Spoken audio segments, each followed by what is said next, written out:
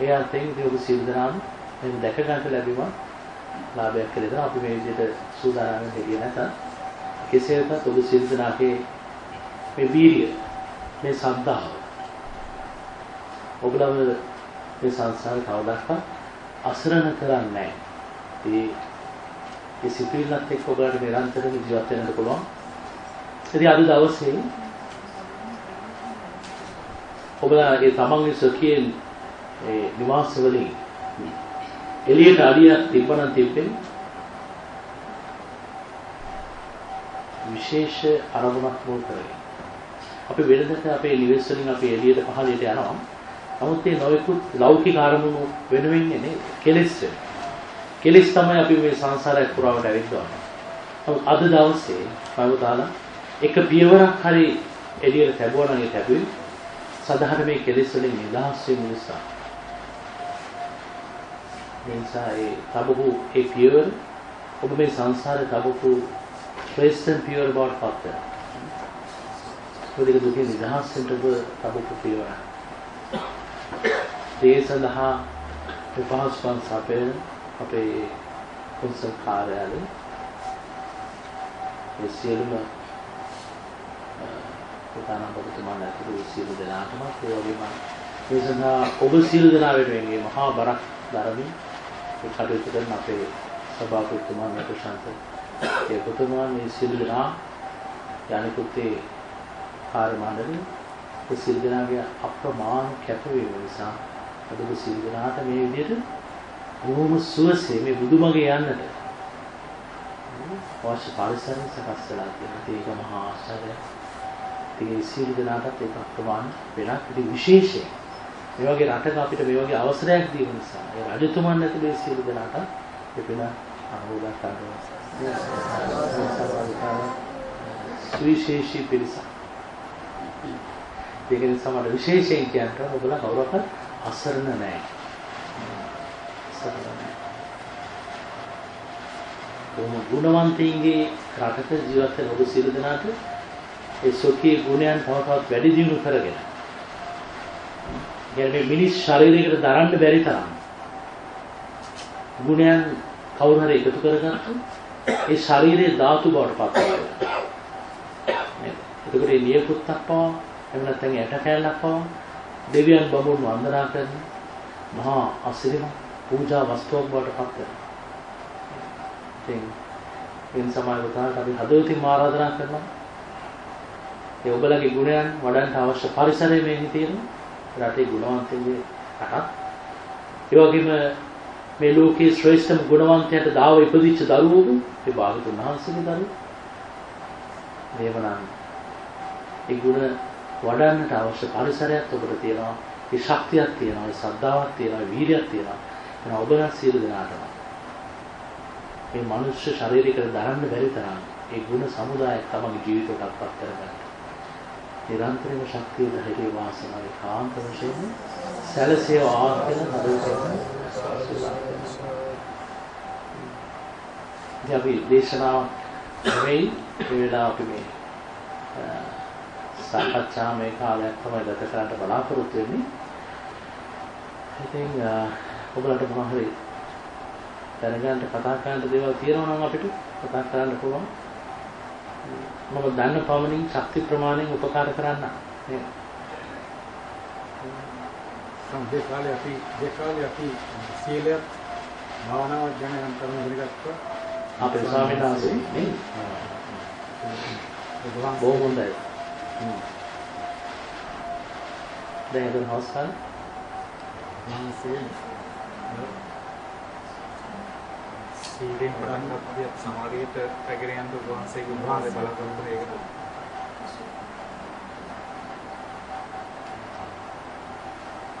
මොකද නා භාවන මේ නිවන් මාර්ගය ගැන විශුද්ධ මාර්ගය. විශුද්ධ මාර්ගය ගැන මම කියන්න දෙයක් නෑ පොතේ තියෙනවා නේද? ඈ විශුද්ධ මාර්ගය තියෙනවා පොතේ නෙට් එකට ගිහිල්ලා ගන්න පුළුවන්. ඒක තියෙනවා. තව පැහැදිලි. නෑ පුතේ මෙහෙමයි. ඔබලා මේ දන්න අපි මේ කරුණු කාරණා විස්තර එහෙම නැත්නම් මේ සිලබස් එකක් නෙමෙයි අපි හදාගන්නේ. ප්‍රායෝගිකව අපිට මේ ධර්මය අපේ ජීවිතේට ගලප ගන්න කොහොමද කියන්නේ. එහෙම නැත්නම් අපිට ඉතින් කියන්න පුළුවන් රයිට්. ධානය මෙච්චරයි. මේ විදිහට තමයි ධානය ලබා ගන්න තියෙන්නේ කියලා අපිට මහා විස්තරයක් කියන්න පුළුවන්. ඔය වැදගත් වෙන්නේ ඒක නෙමෙයි. ඔබ සමහරනාවට අත්විඳින්නේ මේක ධානයක්ද කියලා නොදැන ඉන්නත් පුළුවන්. හැබැයි ඔබ ධානයක් අත්විඳිනවා වෙන්න පුළුවන්. අන්න ඒකයි වටින්නේ. ඒක මොන ධානයද කියලා දැනගන්න ඕනේ නැහැ. හැබැයි ඒක ඔබට දුකෙන් නිදහස් වෙන්න හේතු වෙනවා ඒකාන්තයෙන්. ඒකෙන් සෑහනටපත් වෙනවා. තේරෙනවද මම කියන දේ? අපි හරියට මේ මාර්ගේ වැඩුවොත් අපේ හිත සමාධියට පත් වෙනවා. ඒක කාටවත් වළක්වන්න බෑ. හැබැයි මේ සමාධිය පුතේ මේක පළවෙනි ධානයේද දෙවෙනි ධානයේද කියලා මම දැන ගැනීම තුළ මට ඇති ලාභය මොකක්ද? මම පළවෙනි ධානයේ ඔයා නම් මොකේද ඉන්නේ? දෙවෙනි ධානයේද? මාන මානිකව ඒකද? මොකටද? අපි පරිස්සම් වෙන්න ඕන තැන. මේ ධර්ම මාර්ගය තුල අපිට බොහොම ධර්ම ලෙස කෙලෙස් වැඩෙනවා. වැඩේ තියෙන්නේ මේ ධර්මයේ නාමයෙන් වැඩෙන කෙලෙස් අපි ගලවන්න කැමති වෙන්නේ නැහැ. මොකද ඒක කෙලෙස් හැටියට අපි දකින්නේ නැහැ. නේද? ඒක නිසා ඒක අපි ඉර වෙනවා.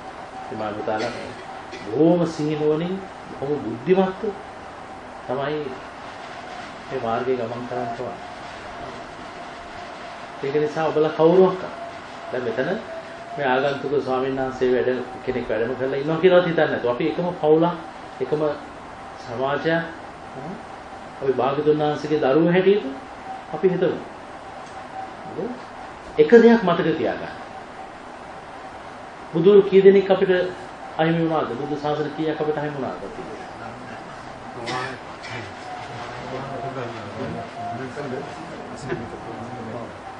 ආ අපි පොඩ්ඩක් මේ ළඟ ඉන්න කට්ටිය උත්තර දෙන්න නැතුව අපි පොඩ්ඩක් මේ පැත්තෙන් උත්තර ගමුකෝ චුට්ටක්. නේද? ඈ? ඔව් මම පුතාලට අවස්ථාවක් දෙන්න බෑ නේද? අහිංසක නේද? නේද? අපි එහෙම කරමු චුට්ටක් නේ? කවන්න නැහැ නේ? ඔව් ඔව් ඔව්. ඉතින් වෙන්න ඕන. ඈ? කියන්නේ බලන්න. නිදිමතයිද? එලි නිදිමතයිද පුතේ? නිදි කියලා වැටුනොත් නම් අපිට මේක කතා කරන්න ඕනේ නේද?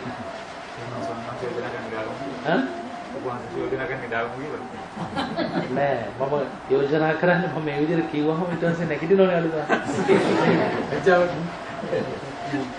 වහන්සේ ආගම්තුලක වහන්සේ දකින්න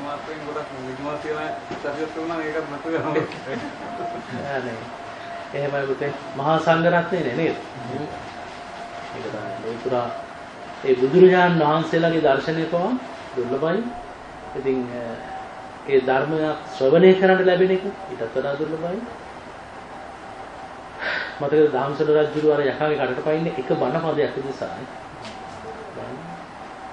එතකොට බුදුරජාණන් වහන්සේගේ ශ්‍රාවක සංඝ රත්නය අදටත් ජීවමානයි. අදටත් ජීවමානයි.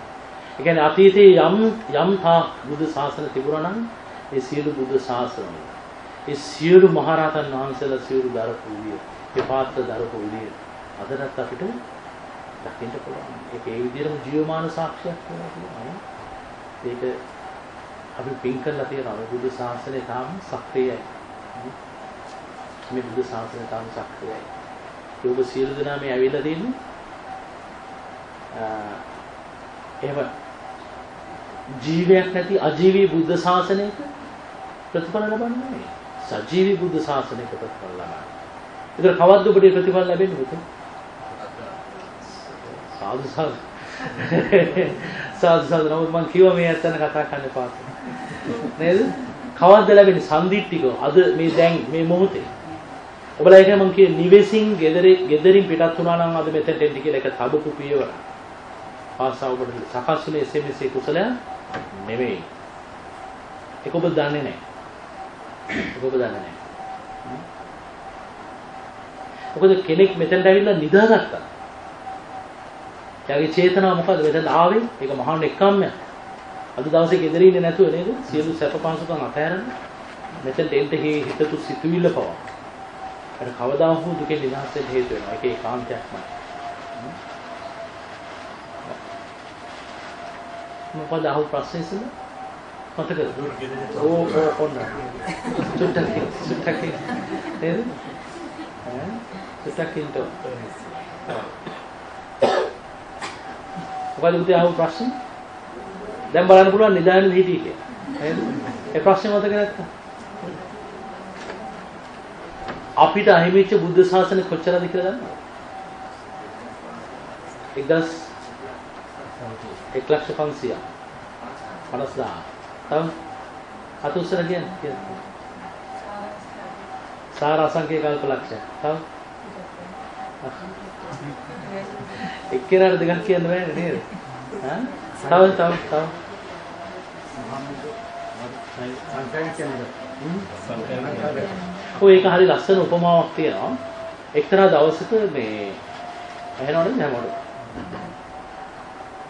භාග්‍යතුන් වහන්සේ මුණ ගැහෙන්න එක බමුණෙක් කෙනා ඒ බමුණ ඇවිල්ලා අහනවා ස්වාමීනි භාග්‍යතුන් වහන්සේ මේ අතීතයේ බුද්ධ ශාසන කොච්චරක් තිබ්බද කියලා.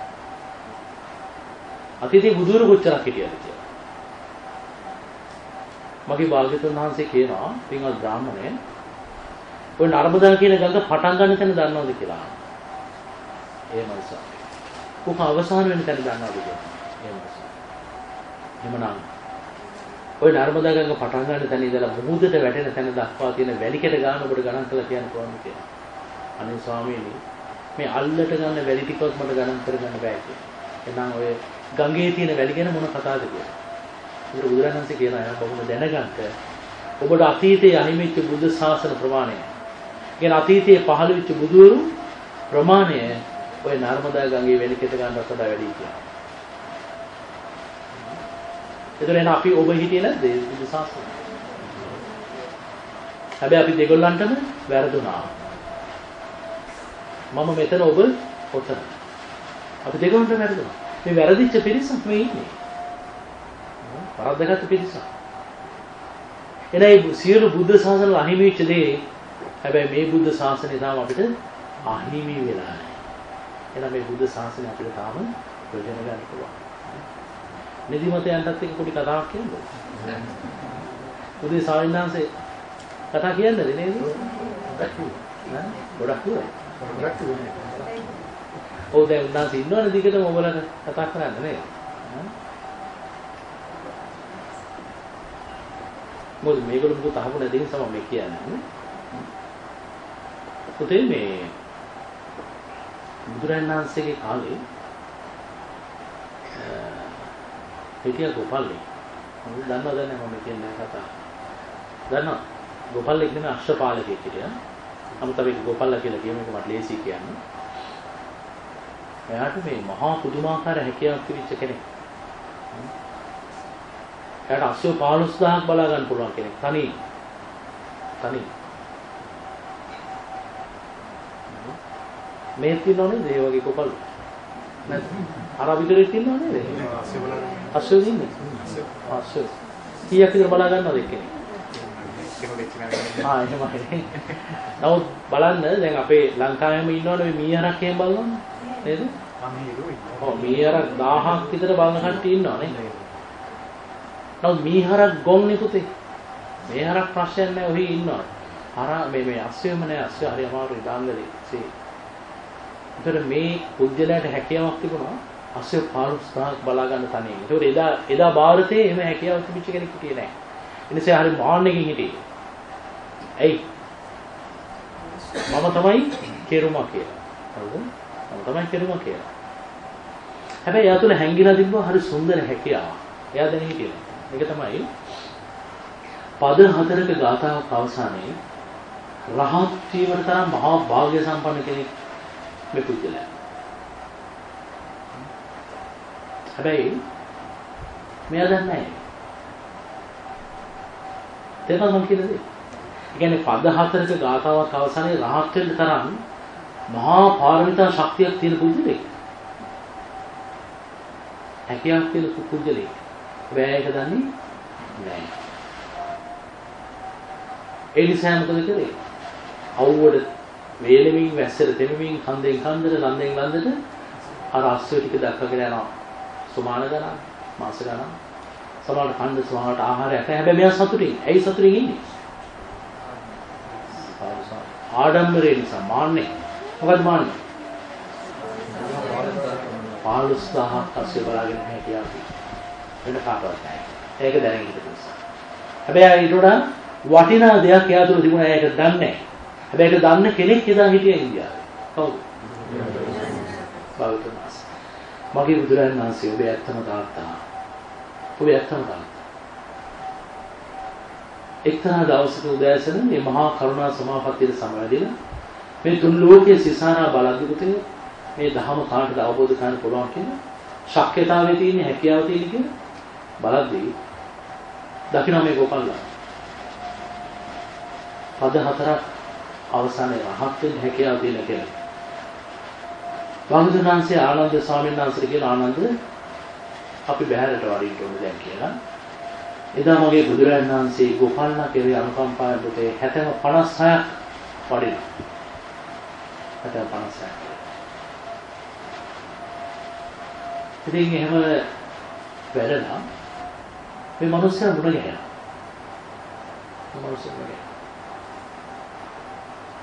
දැන් මේ පුජ්‍යලයා දන්නවද මේ කවුද ආවේ කියලා තමයි බලන්න. දන්නේ.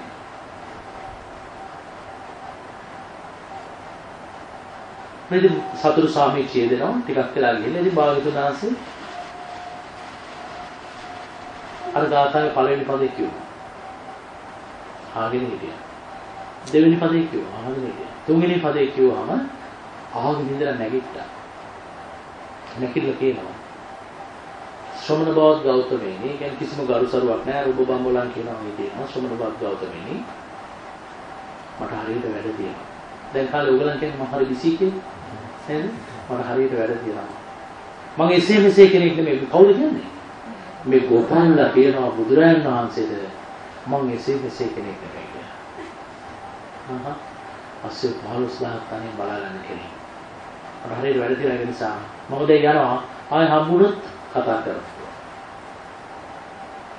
බුදු කෙනෙක් තමන් උදෙසා වැඩම කරලා මේ ලෝකේ කවදාකවත් ප්‍රතිමා වර්ණා ගන්නට බැරි. ඒ දෙවියන්ගේ දිව්‍ය තේජානුභාවය ඉක්මවාගේ අසිරිමත් පරිපූර්ණම රූප කාය තමන්ගේ ඉස්සරහා තමන්ගේ ඇස් දෙකෙන් දැකලා මේ මහ පොළොව දසදහසක් ලෝක ධාතු කම්පා කරන්නේ ධර්මයේ තමන්ගේ කන් වලින් අහලා පද හතරක් අවසානයේ සදාහට මේ දුකෙන් නිදහස් වීමේ ඒ අසිරිමත් හැකියාව තමා තුළ තියාගෙන පද තුනක් ඒ බුදු ගුවින් අහලා තව එකක් අහගන්න නැතුව එදා ඒ ගෝපාල නැගිටලා ගියා. බුදුරජාණන් වහන්සේ මද සිනා පාල කරනවා. ඔලොක්කුඩර නෙවෙයි. ඒ බුදුරු සිනා පාල කරන්නේ කරුණා. සංවේගයට පත් එතකොට භාගතුන් වහන්සේලා බුදුරජාණන් වහන්සේලා පුතේ සිනා පාල කරන්නේ මේ හිස පිටපස්සේ සුදු බුදුරැස් වේදනා. ඒ ආනන්දසානස දන්නවා භාගතුන් වහන්සේ මොකක් හෝ හේතුවක් නිසා තමයි මේ සිනා පාල කරේ කියලා ආනන්දසානස අහනවා ස්වාමීනි භාගතුන් වහන්සේ ඇයි ඔබ වහන්සේ මට සිනා පාල කරේ? ඒ වෙලාවේදී බුදුරජාණන් වහන්සේ ආනන්ද නොදන්නාකම නිසා මේ සත්‍යය නිවන කල්දාන හැටි දැක්කම මට සංවේගයක් ඇති වුණා. එතකොට තමයි ආනන්ද ස්වාමීන් වහන්සේ අහන්නේ ස්වාමීනි මොකක්ද උනේ? එතකොට තමයි බුදුරජාණන් වහන්සේ කියන ආනන්ද ඔය නැකිල්ලගේ පුද්දලයා. තව එක පදයක් ඇහුවනම් එයා මේ ආසනෙම රහත් වෙනවා කියලා. සියලු කෙලෙසුන් නැසලයා සදාත්මේ සංසාරික නිදහස් වෙනවා. හැබැයි ඒක අහන්න හිටියේ නෑ. ඇයි? මානස. මානස. ඒ විතරක් නෙවෙයි.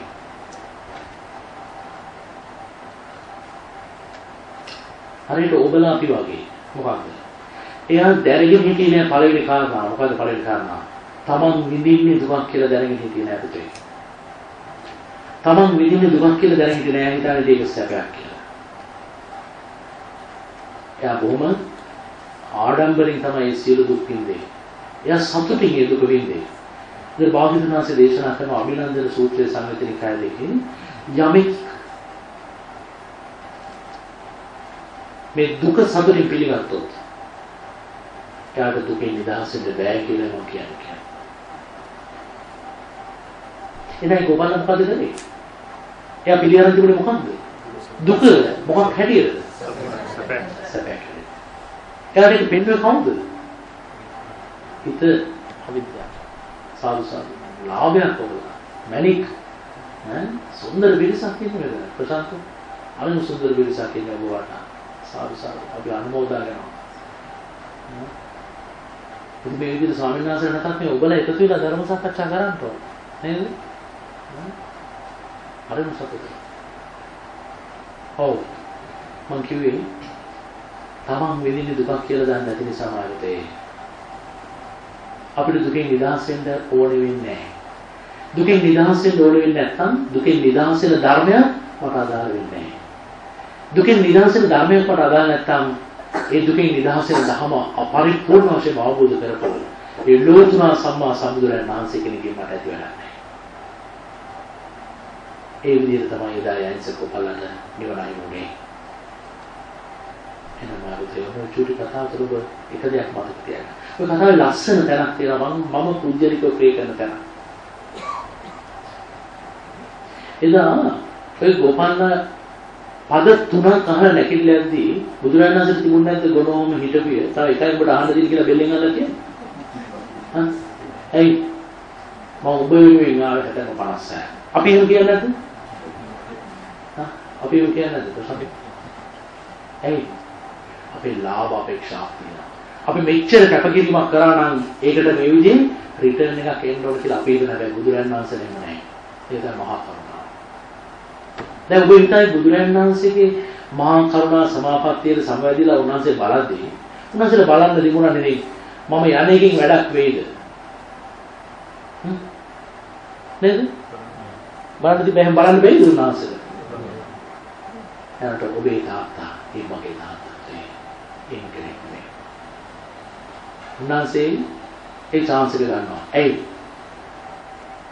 ඒක මම කිය උන්වහන්සේගේ හිත ඒ බුදු කෙනෙක්ගේ බුදු හද මඩල ඔබටයි මටයි කවදාවත් තේරුම් ගන්න බෑ. තරම් නික්ලේශී තරම් මහා කාරුණිකයි.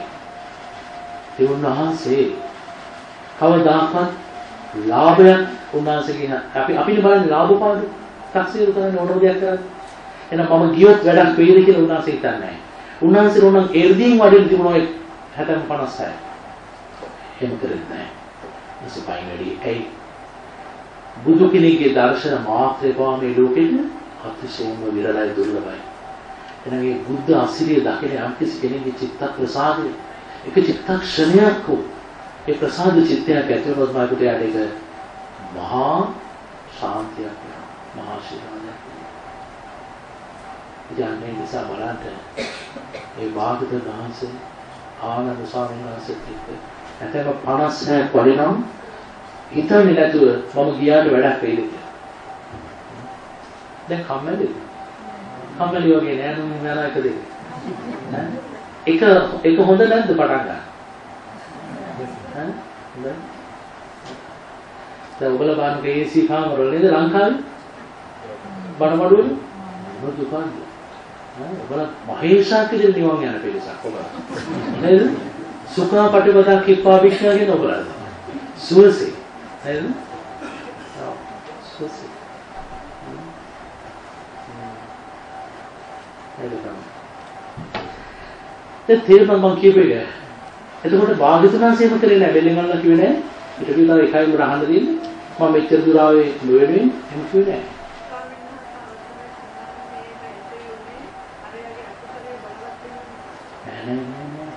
එයාට කුසල සම්පූර්ණයි.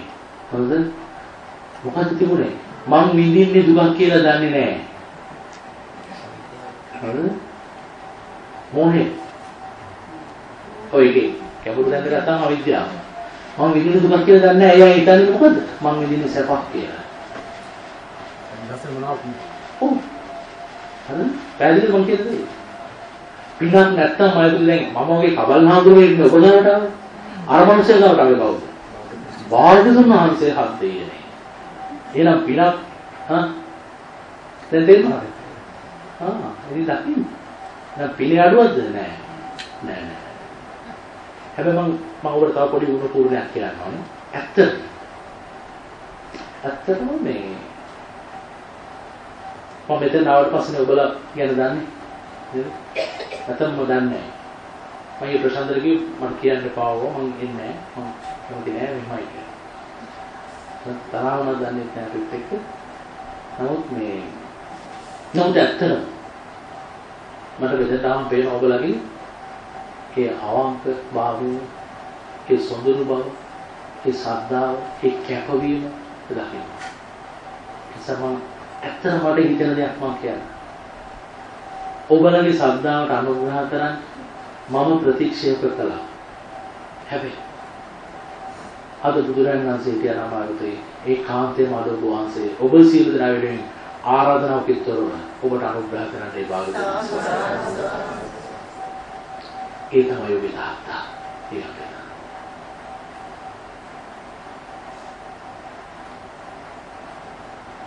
අපි ආරාධනා කරන්න ඕනේ. උන්වහන්සේ පිටාවට වැඩලා ඔබලා ඉන්න ආසනේ ඔබලා දුකෙන් නිදහස් කරනවා ඒ සුදුරු අවස්ථාව අපිට මම හැරුණාද කියන්නේ. ඉතින් අර ගෝපල්ලගේ කතාවේ ලස්සන තැන මෙතන.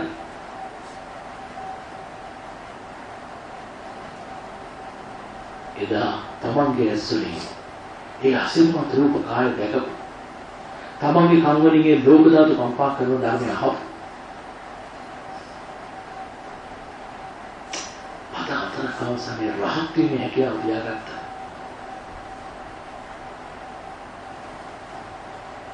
ගෝපල් තාම සංසාරේ. ඒ ඔබ වෙන්නත් පුළුවන් මම වෙන්නත් පුළුවන්. එදත් මගේ පුතේ ඔබ දැනගෙන හිටියේ නෑ ඔබ තුරු දින හැකියාව.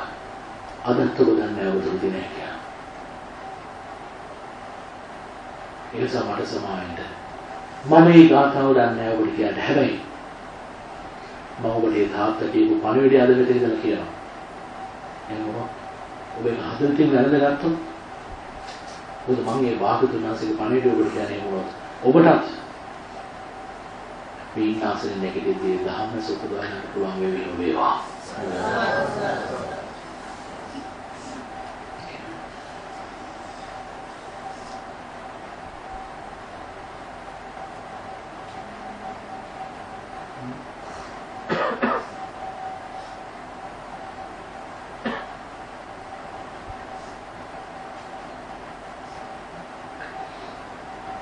වේවා එහෙනම් හොඳ ප්‍රවේශයක් අපිට තියෙනවා. මොකද්ද? ගොපන්නට වැරදිච්ච තැන. මොකද්ද? එයා සැපයි කියලා හිතන්නේ ඉතින් මොකද්ද? දුක. දුක. එහෙනම් අපිත් සැපයි කියලා හිතන්නේ ඉතින් මොකද්ද? ඒක අපිට තේරෙන්නේ නැහැ පුතේ. ඒක තේරෙන්නේ නැති නිසා මොකද වෙන්නේ? අපිට නිදහස් වෙන්න බෑ. එතකොට අපි සැපයි කියලා හිතාගෙන ඉන්නේ දුකනේ. ඒක අපි නොදන්නාකමට මොකද කියන්නේ? මෝහයෙන් දවත් අවිද්‍යාව. එහෙනම් අවිද්‍යාව තියාගෙන අවිද්‍යාව එහෙම නැත්නම් මෝහයට ප්‍රතිකාර කරන්නේ නැතුව අපි මෙහා ඉන් මෙහා සීල ප්‍රතිපදාවක් අනුගමනය කරාට ඒක මෝහය නිරුද්ධ වෙන්නේ නැහැ. අවිද්‍යාව නිරුද්ධ වෙන්නේ නැහැ. අවිද්‍යාවයි මෝහයයි එහෙමම තියාගෙන මම මේ පැත්තෙන් සමාධියක් වඩන්න උත්සාහ කරාට ඔබට සමාධියක් ලැබෙවි කටාව සමාධියක් ලැබෙවිමයි පුතේ හැබැයි ඒක සම්මා සමාධිය වෙන්නේ නැහැ. ඔබ තේරුම් කියලාද? ඒක ඇත්ත. ඒ සමගිය බුදුරජාණන් වහන්සේ මේ ලෝකෙට පහළ වෙන්නේ. ඔබට අර වැහිච්ච දේ මතු කරන්න. ඔබට වැහිලා තියෙන දේ මතු කරන්න. නිසා ඔබලා අපි මේ මාර්ගය පටන් ගත්තේ මේ සැරේ නෙමෙයි පින්වතුනි. ඇත්තට පින්වතුනි කියන වචනේ පාවිච්චි කරන සමාවෙන්. මොකද ඔබලා පින්වත් පිරිසක් නෙමෙයි. ඔබලා මහා ඉර්ධි බල සම්පන්න පිරිසක්. ඔබලා එල්දීමතු පිරිස. දන්නවද? ඒක දන්නවද ඔබලා? හා? හැමෝම කිව්ව ඔයගලට කවුරු කියලාද? පින්වතුන් කියලා නේද? දැන් මම ඔබට කියන ඔබ එල්දීමත් පිරිසක්. ඔබලා දන්නවද ඔබ එල්දී මොකද්ද කියලා? තුන්වෙනි නෑ ඔව් සාදු සාදු අතා ගන්න බෑ ඔයගලත් ඒක හරි දක්ෂයි ඔයගලා නේද? ඔව් පුණ්‍ය එල්දී කියලා කියනවා. නමුත් මම කියන්න හැදුවේ ඒක නෙමෙයි. ඔබ මේ අවස්ථාව උපයා ගන්න අතීතයේ මොනසා වෙනසක් දාන්න නැද්ද? ඔබලා මේ මාසයකට මේ සැරයක් දැන් මේ සිල් ගන්න නේද? නමුත් මේ මොහොතේ ඔබ මේ මනුස්ස ලෝකේ ඉපදලා ඉන්නවා කියලා කියන්නේ මේසා පරිපූර්ණ මේසා මහේශාක්‍ය මනුෂ්‍ය බවට පත් වෙන අංග සම්පූර්ණ මනුෂ්‍ය බවට පත් වෙනවා. බුද්ධ ශාසනය තියෙන කාලේ පොතේ ඒ බුදුරජාණන් වහන්සේගේ ශ්‍රාවක පුතේ තුරින් හැටියට ඔබලා ඉපදලා ඉන්නවා කියන්නේ ප්‍රාර්ථනා. ඇයි?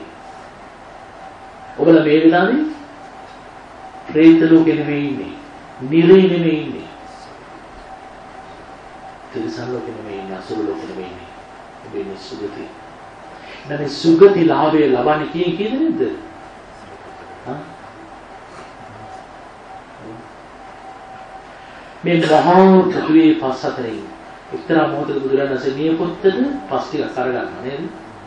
අරගෙන අහනවා මහණෙනි මේ මහා පෘථිවියේ තියෙන පස්ද වැඩි මගේ නියපොත තියෙන පස්ද?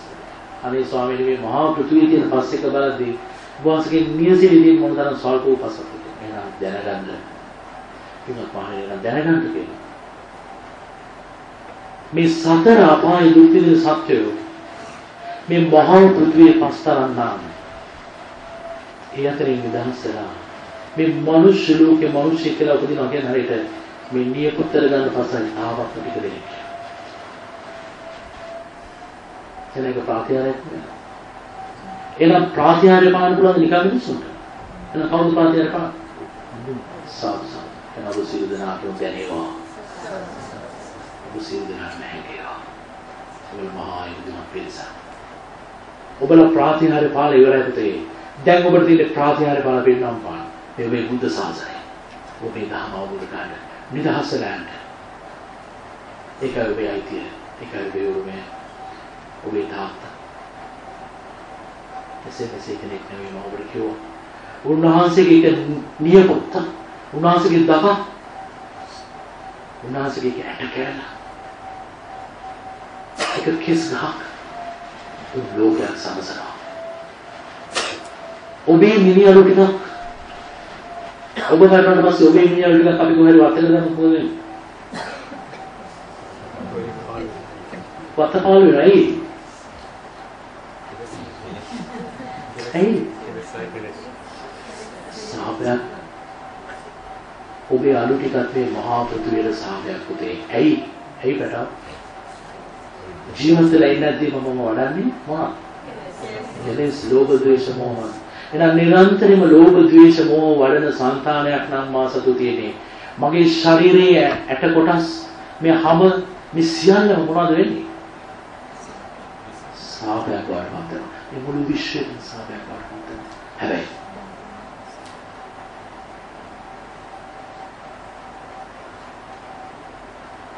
ඔබ ඒ බාහදුර මහන්සියලා දාව ඉපදිච්ච පුතෙක් දුවේ ඒ තාත්තට ආවයන් කිසි කෙනෙක් ඉපදුනා නම් එයාට ඒ පියේ උරුමෙන් ලැබිච්ච අයිතියක් තියෙන උරුමයක් තියෙනවා.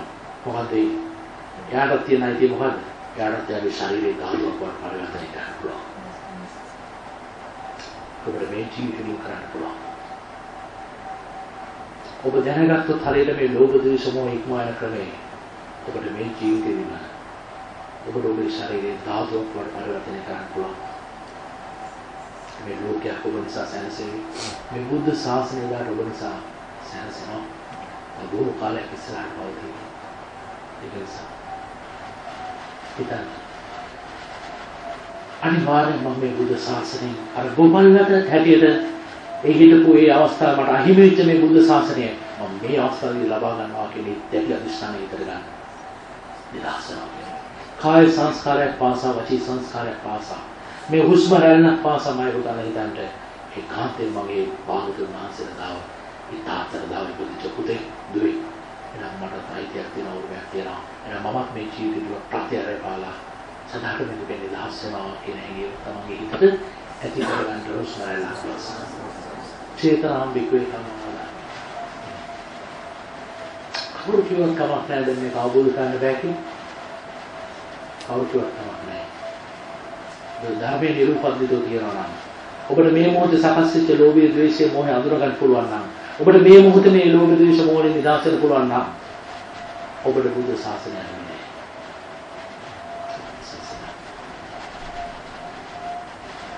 එනම ඔබ පොඩි දෙයක් කරනවා. ඔබ නම් කැමති දුක් පිළින්න.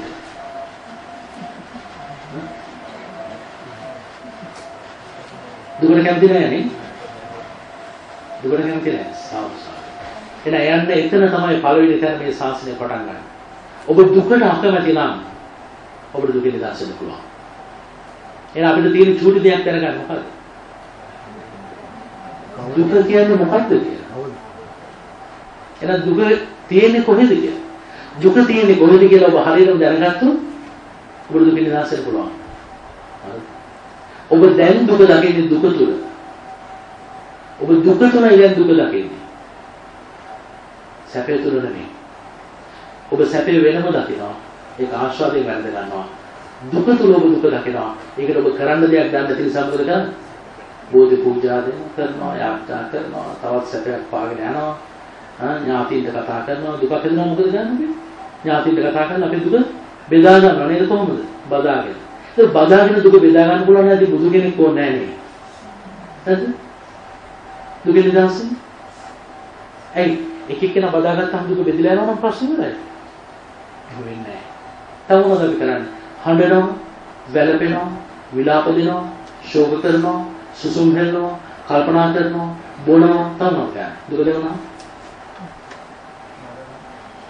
ඕ පොළොවට මේ පපුවට ගහ ගන්නවා, පොළොවේ පස් කනවා, විලාප දෙනවා, කලන්තේ දානවා, සීනතු ඇදගෙන වැටෙනවා, පිස්සු ඇදෙනවා, දරා ගන්න බැලුවොත් සීල විහාරි කරනවා නේද? එහෙනම් මම ඔබේ අහන්නේ මෙච්චරයි. බෞද්ධ ඔබ විතරක් නෙමෙයි. මේ ලෝකේ අනිත් සියලුම ආගම් වල කට්ටිය දුක දෙවුනහම කරන්නේ මොකද නේද? හ්ම්?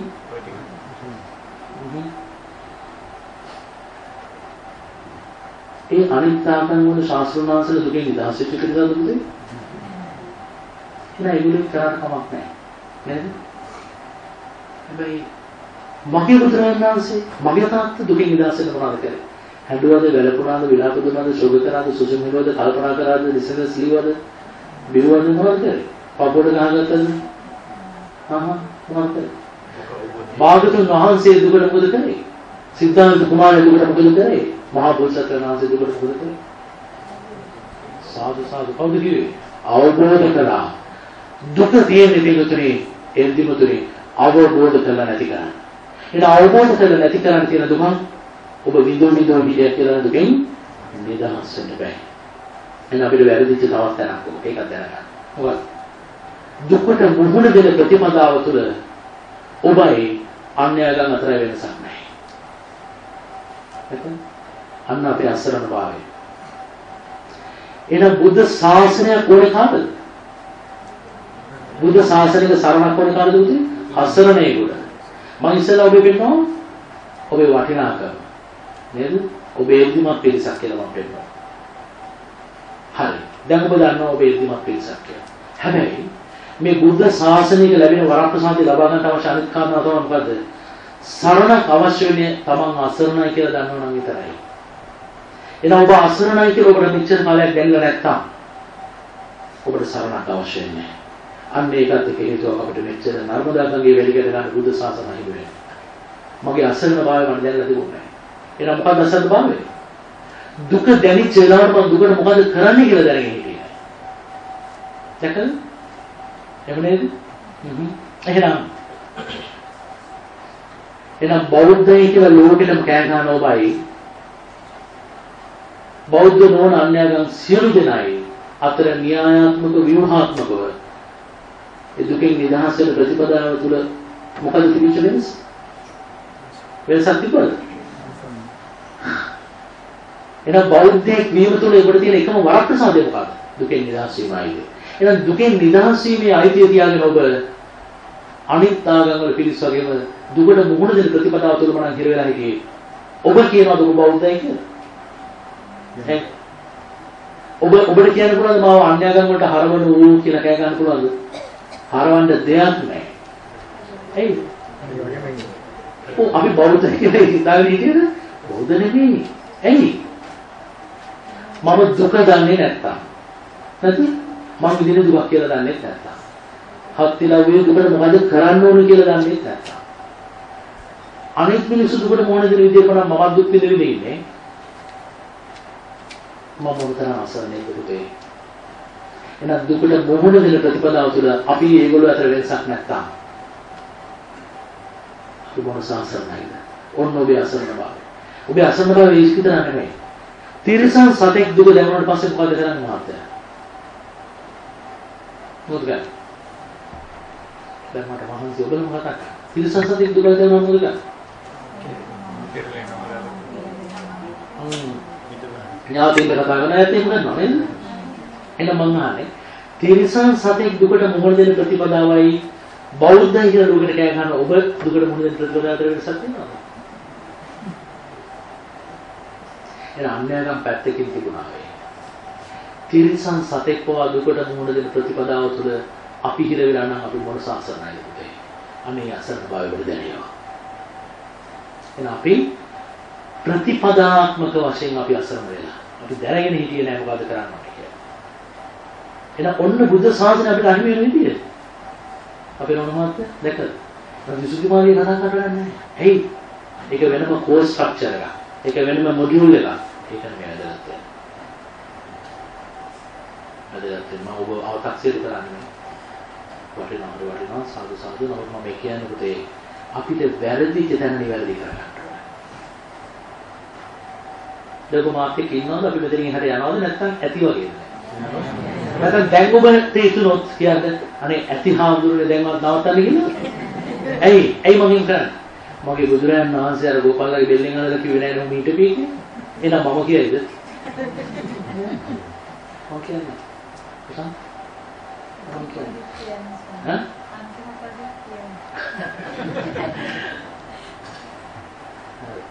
ඇති වෙනවද දැන්? කම්මැලිද? නැත්නම් පොඩ්ඩක් නැගිටලා චුට්ටක් සක්මන් කළා මම වාඩි මහන්සිලා. මෙහෙන්. නේද? හරි. එහෙනම් මම තව චුට්ටක් යන්න පුළුවන්ද?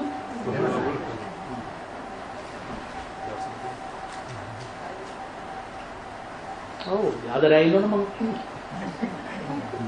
ඉන්නවද? බෑ. ඉන්නවද? එහෙමද? සල්සා. සල්සා. අන්නේ ලෙක්කම්මේ හරි වටිනවා. එහෙම කරන්න පුළුවන් හරි වටිනවා. මොකද? හරි. එහෙනම් දැන් තේරුණාද? අපේ වටිනාකමත් අපි තේරුම් ගත්තා. අපේ අසරණ භාවය තේරුම් ගත්තා. මොකද්ද? දුකට මුහුණ දෙන ප්‍රතිපදාව තුළ අපි අසරණ වෙලා. කවුරු තරම්ද? තිරසන් සතෙක් තරම් අපි අසරණ වෙලා එහෙනම්.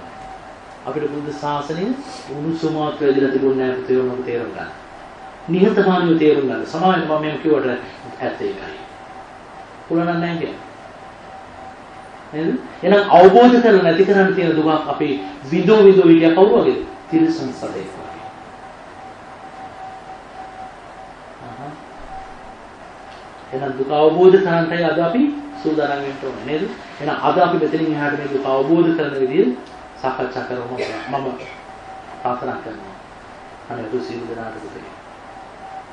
ඔය ඉන්නාසවල දුක අවබෝධ කරගන්න විදිහ ඔබට වැටේවා.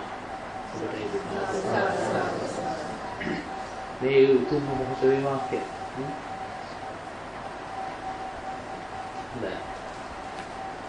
එහෙනම් මෙච්චරලා කතා කරපු දේවල් තේරෙනවද පිළිගන්නවද? එද ඒකක් ප්‍රශ්නයක් නැද්ද? නැත්නම් ඒවත් ක්ලැරිෆයි කරගෙන යන්න ඕන ඉස්සරහට ඒකයි. හරිද?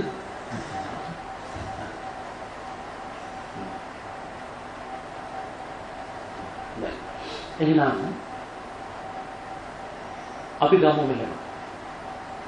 දැන් මම ඔබට කිව්වා දුක දුකක් හැටියට ඔබ දකිනවා. ඒක හොඳයි. දුක දුක්ඛ ඒක දකිනවා. දුක දුකක් හැටියට දකිනවා. ඒක ඕන මොඩියුල පේනවනේ බැරිව. නැත්නම් ඒක ඕන මොඩියුල තේරෙනවා. දුක දුකක් හැටියට.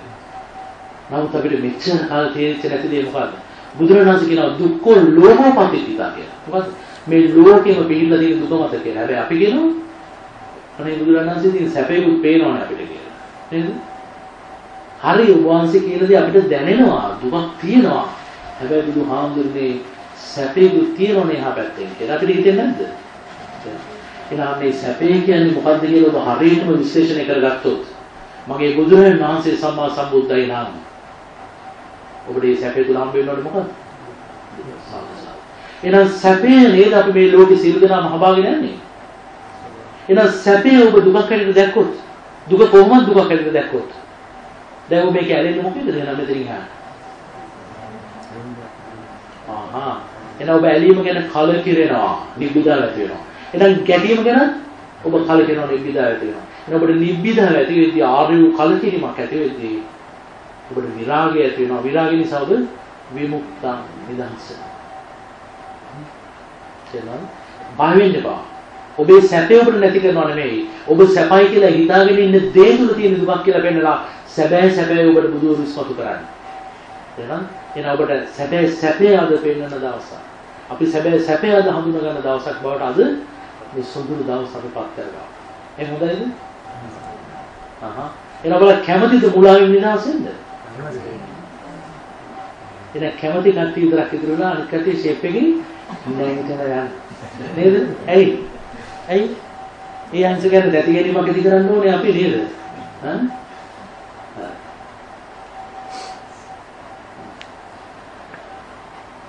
හොඳයි. එනම ඔබතන හිතන්න මේ ලෝකේ ඕනම සැපයක්. අන අහවල් දේ සැපයි කියලා ඉස්සෙල්ලාම අපිට සංඥාවක් ඇති වෙන්නේ කොහෙද? හිතේ නේද? අපි කියන්නේ ටාගට් එකක් හැදේ. අපිට ඇති වෙන්නේ මොකද? සංකල්පයක් හැදෙනවා අහවල්දී සැපයක් කියලා. එහෙම නේද? අහහ. එහෙනම් මූලික වශයෙන් මේ සැපේ ගොඩ වෙන්නේ හිතේ සංකල්පයක් හැදේ. හරිද? එහෙනම් මට ඔබ කියන්න යමක් සැපයි කියලා හිතපු මොහොතේ ඉඳලා එහෙම නැත්නම් ඔබ මම මෙහෙම මෙහෙම අහන්න. දැන් සැපේ කියන දේ ඔබ දන්නවනේ නේ? ඔබ ඔබ සැපයි කියලා හිතාගෙන ඉන්න දේ ඔබ දන්නවා. ඔබට කවද්ද පුතේ සැපේ දුකක් වෙන්නේ?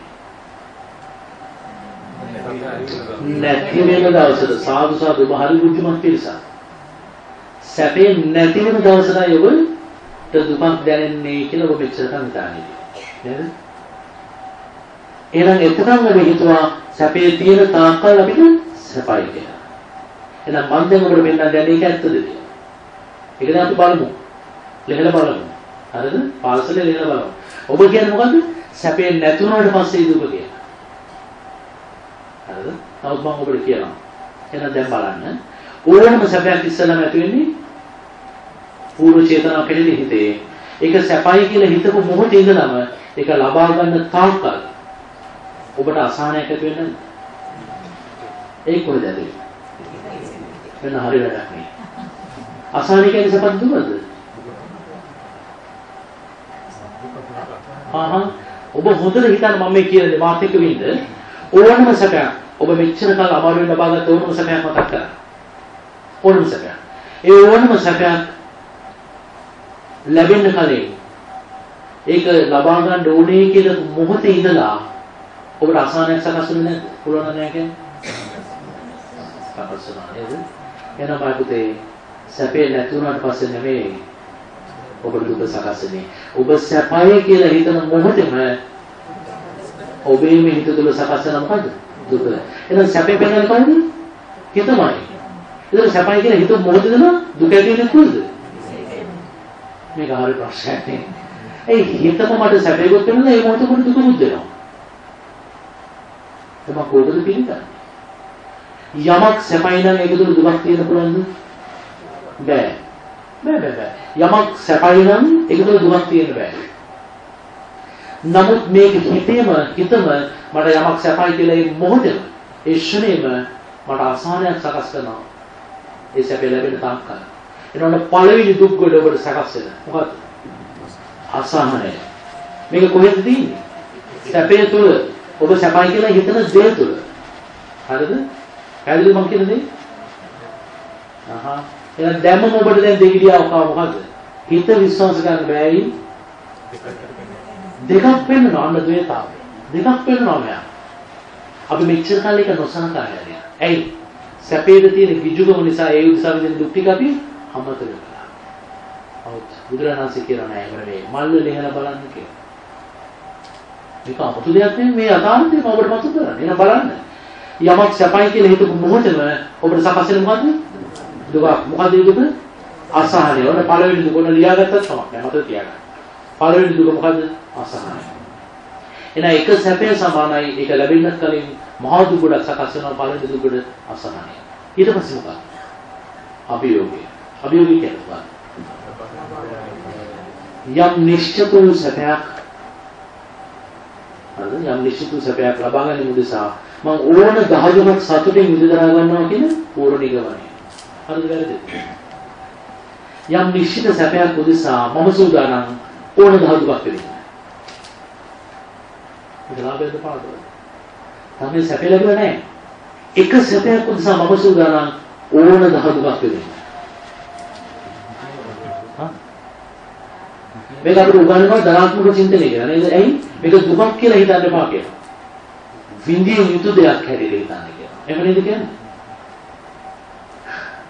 ඒ දුකක් කියලා හිතන්නේ නැතුව හත් වෙලා. දැන් දුක දුකක් නෙවෙයි. නේද? නමුත් අපිට කියනවා නෑ එහෙම හිතන්න එපා කියලා ධනාත්මක චින්තනය කියලා. කම්මැලිද? වෙහසයි. මෙතන තමයි ඉන්න ඕනේ කියන්නේ. ඒක මම කිව්වේ මේ වෙලාවේදී කොහොම හරි මේක වහගෙන හිටියොත් ඔබට මේක නිදාස කරලා. හැබැයි මේක මේ වෙලාවේදී මේක ගන්නෙ නැත්තම් ඔබට ආපහු මේක අහිමි වෙනවා. ඒක නිසා ආදරේ කියන උදේ මෙච්චර උතුම් අවස්ථාවක් ඔබ මගහරින්න එපා කියන මම ධර්මයේ කියන නිසා නෙවෙයි මම ඔබට කියන්නේ අපිට වැරදිච්ච තැන. ඒ බාහුදුන සිතා ඒක අහගෙන ඒ නිවැරදි කරගන්න මම නිවැරදි කරලා තමයි නිදහස් වෙනවා. වැඩි දවසක් නැහැ. එනේ අපතේ ගියා. මේ චූටි තැනක් අපි නිරාවරණය කරගන්න යන්නේ මොකද? මෙච්චර කාලෙ අපි දැනෙච්ච නැතිද? හරිද? අහා. එහෙනම් මේ වැහිලා තිබුණේ මොකෙන්ද? මෝහයෙන්. එහෙනම් අපි සැපයි කියලා කියන ඕනම මේ ඔබේ සැපේ ගැන මේ කතා කරන්නේ. නා අපි සැපයි කියලා කියන ඕනම සැපයක් තුළ දැන් අපි දුක් කියන්නේ නැද්ද? කියන්නේ නැද්ද? දෙකක් දෙආකාරයක දුක වල මොනවද හයින් කියන්නේ නිදිමත යන එක අසහනයයි අභියෝගයයි දෙකක් නෙවෙයි දෙආකාරයක මහ දුක වල දෙආකාරයක මහ දුක වල සැප කියන්නේ සැප කියලා හිතන සංකල්පයක් තියෙන්නේ තාම සැපයක් නැහැ අපි අනාගතේ මේක බලාපොරොත්තු හරිද? පැහැදිලිද? අහා ඔන්න දැන් එනවා බලන්න. ඔන්න දැන් දෙකයි. ඊට පස්සේ මම මොනතරම් සාර්ථකව අභියෝගයට මොන දුන්නත් මගේ හිතේ දෙගිරියාවක් එනවා. මොකද? මට මේක ලබා ගන්න පුළුවන් නේද? බැරි වෙයිද කියන බය හරිද නැද්ද? අවවිනිශ්චිත භාවය. දැන් කියලා තුනයි එහෙනම් එක සැපේ සමානයි එක ලැබෙන්නත් කලින් තුන් ආකාරයක දුක හරිද? ඊට පස්සේ ඔන්න ඔබේ බලාපොරොත්තු වෙන සුන්දර මොහොත එනවා. මොකක්ද? ඔබ අමාරුවෙන් මෙච්චර කාලයක් බලාපොරොත්තු වෙච්ච ආශාදනීය මොහොත එනවා. මොකද? ඔබේ ආදරණීය සැපේ ලබාගත් සුන්දර මොහොත මතක් කරගන්න. හරි සතුටුයි නේද? මහා සතුටක් එන්නේ නැද්ද? අනේ කියන්න පුතේ. එහෙම සැපයක් විඳිනදී මහා කාලකන් පිළිසඳ විදින්නේ. ඈ? හු කතා කරන්න බය වෙන්න එපා. කියන්නේ. සැපයක් කියනවා නේද? සැපයක් කියනවා. ඒ සැපේ මොකක්ද දන්නවද? මම මෙච්චර කල් විඳපු අර දුක් ටික නිමා වීමේ රිලීෆ් එක මට දැනෙන්නේ මොකක්ද? මම ලබාගත් සැපේ කියලා. ඇත්ත ඒකයි. ඇත්ත ඒකයි.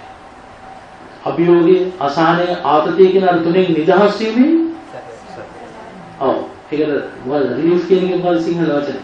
රිලීෆ් කියන්නේ. ඔව් ඒකේ නිදහස් වීමෙන් ආස්වාදය ආස්වාදය තමයි වචනේ. ආස්වාදය තමයි අපි අර්ථකථනය කරන්නේ අපි ලබාගත් සැපේ.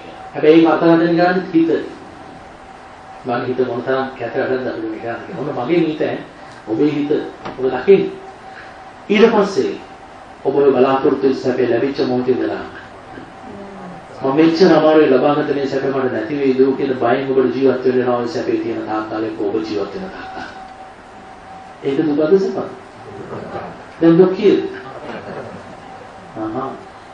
ඊට පස්සේ නැතිව ආරක්ෂා කරන ඕන දහදුවක් වෙනවා. දැන් දුක කීයද? පහයි. සැප කීයද? නෑ නෑ සැප කියලා හිතන දෙයක් තියෙනවා. නේද? අයිද සැපේ කියන දේ අපි ස්ට්‍රිප් කරලා බලනවා අපිට හම්බෙන්නේ මොකද? දුක් පහ. එහෙනම් සැපේ සමානයි පස් ආකාරයක දුකක්. එහෙනම් කොහොම සැපයක් තියෙන්නේ? සැපයි කියලා අපි හිතන දෙයක් තියෙනවා ඒකට කියනවා සංකල්පයක් කියලා. හරිද? හරිද? මම මේ කියන දේ ඔබට නෙවෙයි. මේ ලෝකෙ කිසිම ශ්‍රමණ බ්‍රාහ්මණයෙකුට දෙවියෙකුට බ්‍රහ්මයෙකුට මාරයෙකුට එහෙම නෙවෙයි කියන්න බෑ. මොකද ඒක භාගතුන් වහන්සේගේ ධර්මය. මේ මහා පොළොව කම්පා කරපු ධර්මය. මේකයි ලෝකේ ඇත්ත. මේක අපි දන්නේ නැති නිසා මොකද වෙන්නේ? සැපේ අපි වෙනම දකිනවා දුක වෙනම දකිනවා. දුකෙන් නිදහසෙන් ආපහු සැපයක් හොයනවා. ආයන්නේ හත් අංගල දුක. දැන් මම තාම කිව්වේ කීයද? පහයි. ඊට පස්සේ මොකක්ද? අද ඒ පහ මතක් කරගන්න ගාලින් යන කාලේ. නෑ සැපේ ලැබෙන්න කලින් කීයද? තුනයි. මොනවද තුන? අසහනය, අභියෝගය, අවිනිශ්චිත බව දෙගිරියාව. ලැබුණාට පස්සේ නැති වෙයි කියන බය, නැති වෙවි ආරක්ෂා කරගෙන තුන. පහයි. ඊටසේ වැඩි දියුණු කරන්න. හයයි. නේද? නැති වුණාට පස්සේ ආ දැන් දුක කියද? හතයි. ඔකට අපි පැරණි මිනිස්සු කියව හත් තියලාවෝ කියලා. නෑ නෑ ඇත්ත. දැන් ඔයගොල්ලෝ දන්නේ නැහැ. අපි මෙච්චර කල් වචනේ පාවිච්චි කරලා නමුත් අපි දැනගෙන හිටියේ නෑ මිනිස්සු දැනගෙන හිටියා පැරණි බෞද්ධ දැනගෙන හිටියා මොකද හත් තියලාවෝ. මේ හත් තියලාවෝ කියන වෙන මොකක්ද මේ? හත් ආකාරයක දුක. ඊළඟ හත. ඒ දුක්ඛද කොහෙද හම්බුනේ අපිට? සැපේ තුල. එහෙනම් දැන් දුක වෙනම තියෙන දෙයක්ද? නැත්නම් සැපේ තුල තියෙන දෙයක්ද? අපි සැපයි කියලා හිතන දේ නිරුවත් කරලා බලද්දී අපිට හම්බුනේ මොකද්ද? හත් ආකාර දුකක් එහෙනම් පිටුතුනේ. එල්දිම තුනේ. මායකුතේ. එක සැපේ සමානයි හත් ආකාර දුකක් නාම. ඔබ අනාගතේ යම් සැපයක් උදෙසා දුක් විඳිනවා කියලා කියන්නේ මොකක්ද? හත් ආකාර හත් ආකාර දුකක් උදෙසා දුක් විඳිනවද නැද්ද? ඇයි පුතේ අපි දුක් උදෙසා දුක් විඳින්නේ? ඇයි අපි දුක් උදෙසා දුක් විඳින්නේ? ඇයි? ඒකට කියනවා දුක්ඛ දුක්ඛතා කියලා. දුක් උදෙසා දුක් විඳීම අන දුක්ඛ දුක්ඛතා. එහෙනම් පළවෙනි දුක් වලම දුක්ඛ දුක්ඛතා දුක් උදෙසා තමයි මේ දුක් විඳින්නේ. මම අහන්නේ ඇයි අපි දුක් උදෙසා දුක් විඳින්නේ? අපි සැපයක් උදෙසා දුක් විඳිනවෝ. නමුත් ඔබ සැපයි කියලා අර්ථ දක්වන දේ තුලින් මොකද? අත්කාර දුක. පුළුවන් නැහැ කියන්නේ.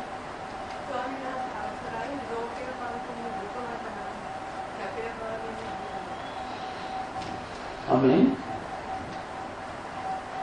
සැපේ කියලා කියන දුකට කියන නම. ඒක මම පෙන්නන්නේ. හත් ආකාරයක දුක තියෙන මොකක් තුළද? සැපේ තුළ. එහෙනම් දුක තුළ තමයි මේ සැපේ පිට. ඔබ පොඩි උදාහරණයක් කියනවා නම් ගොම ගොඩක පණුවෙක් උපදිනවා. ගොම ගොඩක් ප්‍රබලය කරගෙන ගොම ගොඩ තුළම පණුවෙක් උපදවනවා. ඕපපාතිකව. එහෙම නැත්නම් සංසේජ රූපයක් ඇති ඒ ගොමගොඩේ උපදින කණුවට ගොමගොඩ විතර ලෝකයක් තියෙනවා. එයාට සැපේ පනවන්නේ කොහෙද? හා ගොමගොඩ කියන්නේ සැපද දුකද? මම කියන්නේ ඇත්ත මොකක්ද? ගොමගොඩ කියන්නේ මොකක්ද? ඇත්ත මොකක්ද? ඒක සැපද දුකද? ඒක අසුචි මොකක්ද? ඒක දුක. හැබැයි අර පනවන්නේ හා හා එහෙනම් ගොමුගුඩ ඉක්මවා ගිය කෙනාටයි ඒක දුකක් හැටියට තේරෙන්නේ. හැබැයි ඒක තුනේ ඉන්න කෙනාට ඒක සැපයක්. සමහරට ඒ පණුව යාගේ ඥාතින්ම මරාගෙන ඒ දීපල උදෙසා අයිති උදෙසා සරන් කරනවා. මහා අරගලක් දියත් කරනවා. නැද්ද?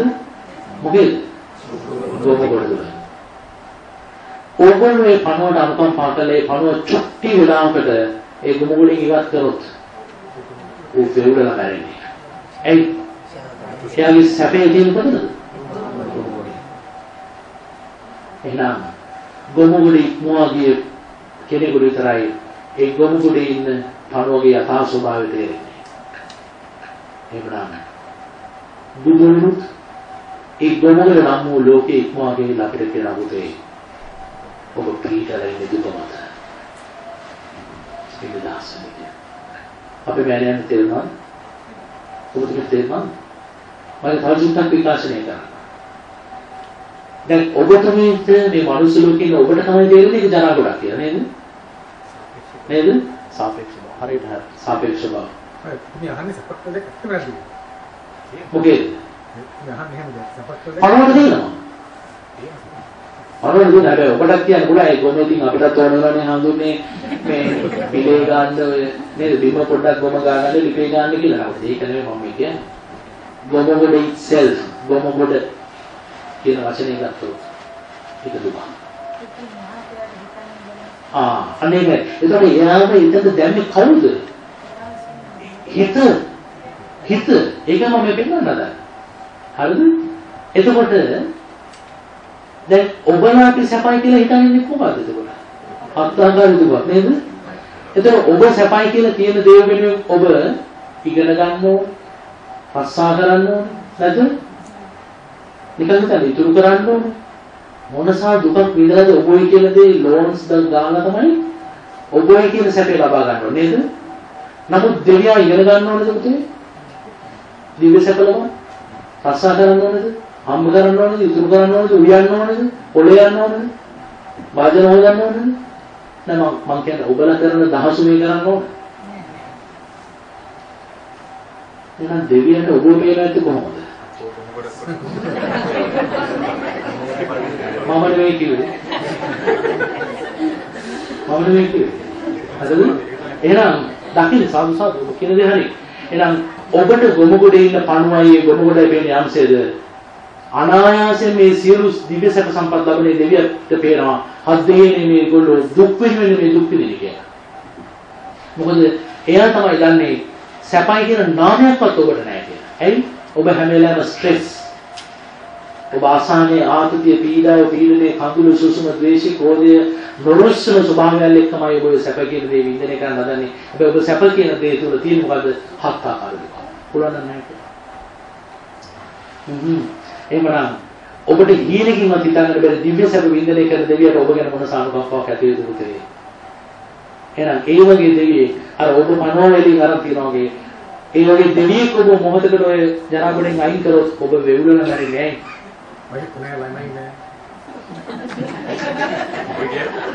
මගේ ලෝකයේ අහිමි කරන්නේ. නේද? දැන් ඒක දකින්න.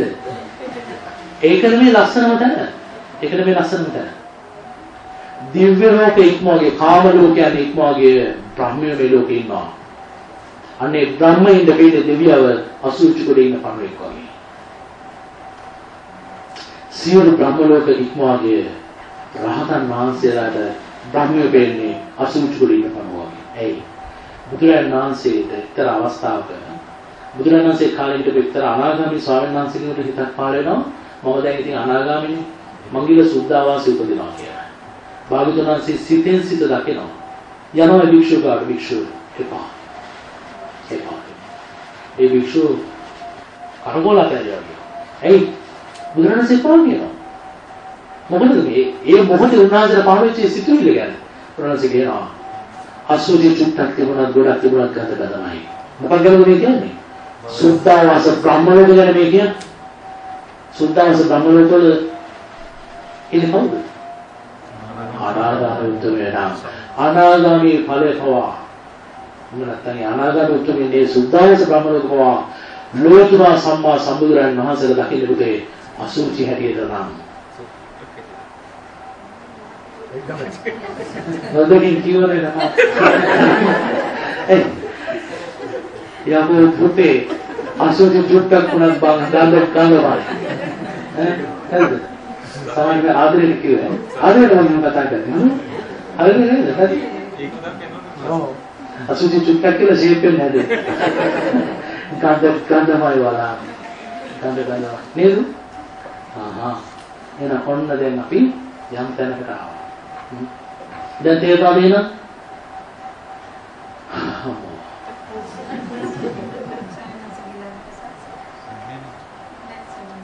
මට ඔබලට කියලා දාන්න බෑ. ඒ සැරෙන් කියන්නේ ආදරේ කියන්නේ. ඈ නෑ නෑ ඔබේ මහන්සි නෑ වැඩි මහන්සිය තමයි. නමුත් ඉතර සතුටක් තියෙන ඔබලා සුන්දර පිරිසක් වාසනාවක් පිරිසක්. මම ඉතින් අර සම්ප්‍රදායට සීල ගන්න පිරිස ඉන්නවනේ. මෙන්න වෙන්නද කියන මෙතන බොහොම ශ්‍රේෂ්ඨ පිරිසක්. ඒක මම හදෝදින්ම කිව්වේ. ඇත්තට බුදුරණන් සීලියා උන්වහන්සේ අනිවාර්යයෙන් වහන්සේ අපි අපිට ඕනේ. නෑ මම ඔබ විනාශන කවටේක්වත් දුකින් ගන්න නෙවෙයි. නමුත් මම පුතේ මම සතුටින් ඉන්න භික්ෂුවක්. හරිද? මම දන්නවා මේක. ඔබ දන්න නිසා මම සතුටින් ඉන්නද මම කැමති ඔයාලා සතුටින් ඉන්නවා නම් අවිද්‍යාව තුල නෙවෙයි, මෝහය තුල නෙවෙයි, අවබෝධය තුල. අවබෝධය තුල ඉන්න කෙනා හැම වෙලාවෙම සතුටින්. ඒකට සතුටින් ඉන්නකොට මම ඒක කියන්නේ නෑ මම නැත්නම් මම අවුල් තුනම ඉන්නේ. නැත්නම් මට මේ කියන්න බෑ නේද? ඔව්. දැන් තේරුණා මම කියන දේ.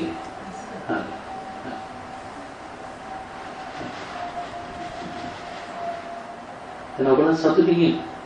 අපි සතුට නැතුනේ ඇයි? අපි දන්නේ නේද මොකද්ද? අර චුටි කාරණාව. අපි සැපයි කියලා හිතන දේ තුළ තියෙන දුක කියලා අපි දන්නේ නැති කම. දෙනවා? ඒක කියනවා මුලාව කියලා. මොහය කියලා. හ්ම්. හොඳයි. එහෙමනම් ඒක මම පෙන්නේ සැපේ තුල නේද?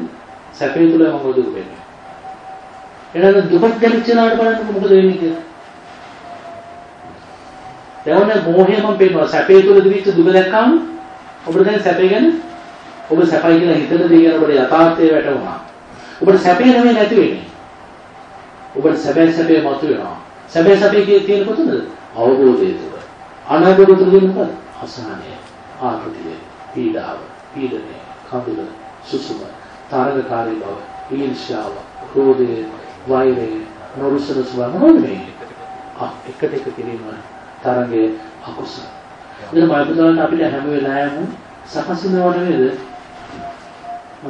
එතන අපිට හැම වෙලාවෙම සකස් වෙනව නම් අපි එතකොට ගුරු කරන්නේ මොනවද? කෙලෙස් අකුසල. ඉතින් අකුසල නම් අපි ගුරු කරන්නේ අපිට විපාක වශයෙන් සකස් වෙන්නේ කොහොමද? ඒක නිසා තමයි බුදුරජාණන් වහන්සේලා කියන්නේ මේ සුගතියේ පිළිසෙන් ආපහු නැවත සුගතියට එන්නේ මෙලිය පුතර ගන්න පස්සේ තාමත් පිටිද කියලා. නිසා මම ඔබලට කියන්නේ සුගතියට එන්න නෙමෙයි සුගති නිදහස්. ඇයි? දැන් අපි සමාජයට අපි හිතනවා ඔබට දෙන්නද සතර අපායන් හරිය නිදහස් වෙනවා කියලා. හ්ම්. හිතනවද? දැන් හිතන්නේ ඔව්. සතර අපායන් නිදහස් වෙන්න ඕනේ කියලා හිතෙනවා නම් ඉතින් පොඩි ප්‍රශ්නයක් තියෙනවා හේතුව මොකද දන්නවද? සතර අපායන් නිදහස් වෙන්න ඕනේ සතර අපායේ ඉන්නේ කෙනෙක්. එහෙනම් දැන් ඔබ සතර අපායන් නිදහස් වෙනවනේ. සතර පායෙන් නැවත වැටෙන්නේ. ඔව් නමුත් දැන් ප්‍රශ්නේ තියෙන්නේ එතන තමයි අපේ මහත්තයා. දැන් සතර අපායන් නිදහස් වෙමු කියලා කියද්දිම අපි කියන්නේ මොකද? සුගතිය ඉපදෙමු කියන එක නේද? දැන් ඔබ ඉන්නේ සුගතියේ. නමුත් ඔබ සුගතියේ ඉන්න ඔබට මේ සුගතිය උප්පත්තිය දුක කියලා නොදකින තාක්කල් ඔබට සුගතිය නිදහස් වෙන්න බෑ. නේද? ඔබ දැනගන්න කියන්නේ ඔබට නිවන අහිමි. එහෙනම් ඔබ දැන් ඔබේ ඉන්නේ දුකේ කියලා දැක්කොත් ඔබ සතර අපායෙ නෙමෙයි ඔබ හිතනවා. ඒ සතර අපාය අපි ඉක්මවල ඇවිල්ලා ඉන්නේ. එහෙනම් සතර අපාය අපිට ප්‍රස්තුතයක් වෙන්න බෑ මාතෘකාවක් වෙන්න බෑ. අපේ මාතෘකාව වෙනවද මොකද්ද? අපිට දැන් විඳින්න දුකක්. මම ඒ දුකට කැමති නෑ. පරි දුකේ නිදහස් වෙන්න. ඔබ දැන් විඳින්න දුකක් කියලා දැක්කොත් තමයි ඔබට දුකේ නිදහස් වෙන්න පුළුවන්. දැන් සුගතිය දුකක් කියලා නොදකින තාක්කල් ඔබට නිවනක් නෑ. ඇයි ඔබ පාතර ගන්නකො සතර අපායේ නිදහස් වෙමු කියද්දී ඔබ නොකිය කියන්නේ සුගතිය ඉපදිමු කියලා නෑ ඔබ භවයේ වර්ණා කරනවා භවයේ පතනවා එන ඒතර තිසරණේ නෑ. තිසරණ නැහැ වෙන තැන. බුදුරු ඔව් භවයේ අල්පෙනිත තුඩක් තරම්වත් වර්ණනා කරන්නේ නැහැ. සමාජය තල තේරුම් ගන්න. එහෙනම් භවයෙන් නිදහස් වෙන අපහසුයක් නැහැ. ඒක කරන්න තියෙන්නේ මෙන්න මේ මෝහය කියන කඩතුමාව අයින් කරන්න. අවිද්‍යාව කියන්නේ අවිද්‍යාව කියන්නේ මොකද කියලා තේරුම් ගන්න. ඒක තේරුම් ගත්තොත් නැහැ. මේ ධර්ම සාකච්ඡාවකට මම ආයෙ අතට බලන්න කියන්නේ. ඈ? සාකච්ඡා කරලා මම සාකච්ඡාවක් වුණා. දෙකක් ඉඳලා ඉන්න ඕගොල්ලෝ කතා කරනවා. හරි. හරි. එහෙනම් දැන් ඔබට කියනවා සැපේ තුල දුක. එහෙනම් දුක ගැන ගන්න. දුකක් දැනුනම බලන්න මොකද වෙන්නේ කියලා නේද දුක අවබෝධ ගන්න ගන්න. සැපේ තුල අපි දුක අවබෝධ කළා. එහෙනම් දැන් අපි සැපේ පැත්තකින් තිබ්බා. එහෙනම් දුක කියන දේ බලන්න. ඔබට දැනෙච්ච දුකක් මතක් කරගන්න. නිරන්තරයෙන් ඔබට ඇති වෙන දුකක් මතක් කරගන්න.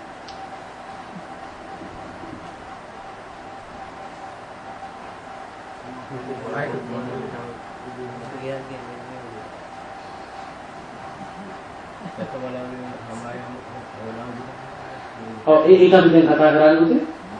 ඒක අපි දැන් කතා කරා. තියෙන කැමතිද සිදුවෙන්නේ නැති වෙලා යනකොට සේරම පොතේ එනවා එළියට නේද? හරි. දැන් හරි. සාදු සාදු එහෙමමයි. එහෙමමයි. ඔව්. නමුත් අපි සරල තැනක් ගන්නකො. ඔබ කියන දේ හරි. ඔබ කියපු දේ හරි.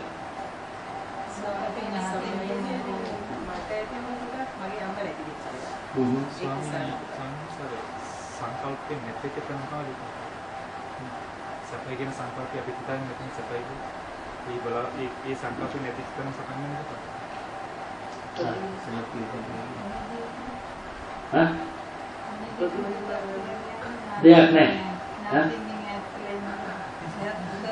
කායික ඒක එතන ප්‍රශ්නේ ඉන්නකොට එන්නේ දැක්කද නේද? ඔබට දුක අඳුන ගන්න බෑ. ඔබලා විඳින දුක. ඔබට මානසික දුක් හැම වෙලාවෙම සකස් වෙන. ඒක නිසා මේ කකුල එහාට මෙහාට කරන්නේ. හා? ඒක. නේද? ඕ. පාර ට්‍රැෆික් එකේ වුණා නම් හැම වෙලාවෙම අපිට ඔබේ හිතේ අසහනයක්, ආතතියක්, පීඩාවක්, පීඩනයක් මොකක් හරි දෙයක් සකස් වෙනවා ඔබට අඳුන ගන්න පුළුවන් වෙනෝනේ තමන්ගේ හිතේ යන්න ගැටීමක් ඇති වුණා කියලා. මූලික වශයෙන් අපිට අපේ හිත දකින්න බැයි නම් අපිට මේ දුකින් නිදහස් වෙන්න බෑ. එහෙනම් අපි හිත දකින්න පුරුදු වෙන්න ඕනේ. අපේ කෙලෙස් අඳුන ගන්න අපි පුරුදු වෙන්න ඕනේ. ඒක ලේසිම ක්‍රමයක් තියෙනවා. මොකද ඇලීම් ගැටීම් කියන දේවත් අඩු ගන්න අඳුන ගන්න. ඒතර ඔබේ හිතේ සැපයක් ආපුවම ඔබ දකින්න අර හැංගිලා තියෙන දුක් ටික තියනවාද කියලා හිතන්න ගන්න. දුකක් ආපු ගමන් මම මේ කියන්නේ යන ටික අපි බලමු. හරිද? දැන් මෙහෙමයි කරන්නේ. අපේ හිත අපිට හැම වෙලාවෙම පේනනේ එකයි. සැපය පේනවා දුක් ටික වහලා. හරිද? එක්ක දුක පේනවා සැපේ වහලා. එතකොට අපි මොකද ගන්න දුක වෙන්න බලනකොට අපි දුකත් එක්ක පැටලි පැටලි යනවා. සැප වෙන්න බලනකොට අපි ඒකත් එක්ක පැටලි වෙනවා. අර හංග පුවන්තිය හොයාගත්තොත් මොහේ නැති වෙනවා. මුලාව නැති වෙනවා. එතන අන්න එතන අපි දැකෙන්නවා. දැන් හිතන්න ඔබලා කාට හරි තරහක් ඇති වෙනවා. එහෙම නැත්නම් මම මෙහෙම කියන්නම්. මේ අසහනය, ආතතිය, පීඩාව, පීඩනය, කඳුළු, සුසුම, ද්වේෂය, ක්‍රෝධය කියන සේරටම එක වචනයක් ගත්තොත් ගැටි. ද්වේෂය, පටිඝය. හරිද? ඔක ඇති වෙන්නේ ඇයි? මේ ලෝකෙ යුද්ධ ඇති වෙන්නේ ඇයි? එකම එක හේතුවයි. ඔබට තරහක් යන්නේ ඇයි? එක හේතුව ඇති. එකම හේතුව මොකද දන්නවද? බලාපොරොත්තු. මම කැමති විදිහට යම් කෙනෙක් හොදයක් නැති නිසා. පුළුවන් නැහැ කියන්නකො. හොඳට හිතන්න. මම කියන්නේ හොඳට අහගෙන ඉන්න. ඔබලා හිතෙන් හිතන්න. ඔබ කැමති විදිහට යම් කෙනෙක් හොදයක් නැති නිසාම නෙමෙයි බලන්න. ඔබට මේ ලෝකේ දුකක් ඇති වුණා නම් නැති වුණේ අතීතේ. අනාගතේ දුකක් ඇති වුණා නැති වුණා. පුළුවන් හිතන්න. හොඳට හිතන්න.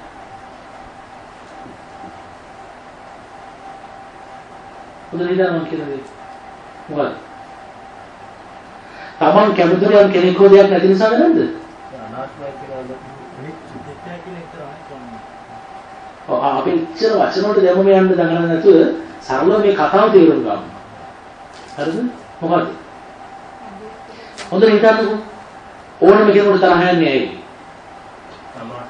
මම කැමතිද නැති නිසා. හරිද නැද්ද? එහෙනම් ලෝක යුද්ධයක් කරනකොට ඒ නිසා නෙවෙයිද? අපිට ගානේ නරුස්සන ස්වභාවයක් ඇති වෙන මාර්ගය ඕක නිසා නෙවෙයිද? දැන් දක්ෂ වෙන්න හැරින්න ටක් ටක් කරලා හිතන්න. මේ විදර්ශනාව. හොඳද? ඇයි ඔබේ ප්‍රශ්නෙට ඒ මොහොතේම උත්තරේ හොයාගන්න ක්‍රමය මම මේ කියන්නේ. දුක අවබෝධ කරන ක්‍රමය මම මේ කියන්නේ.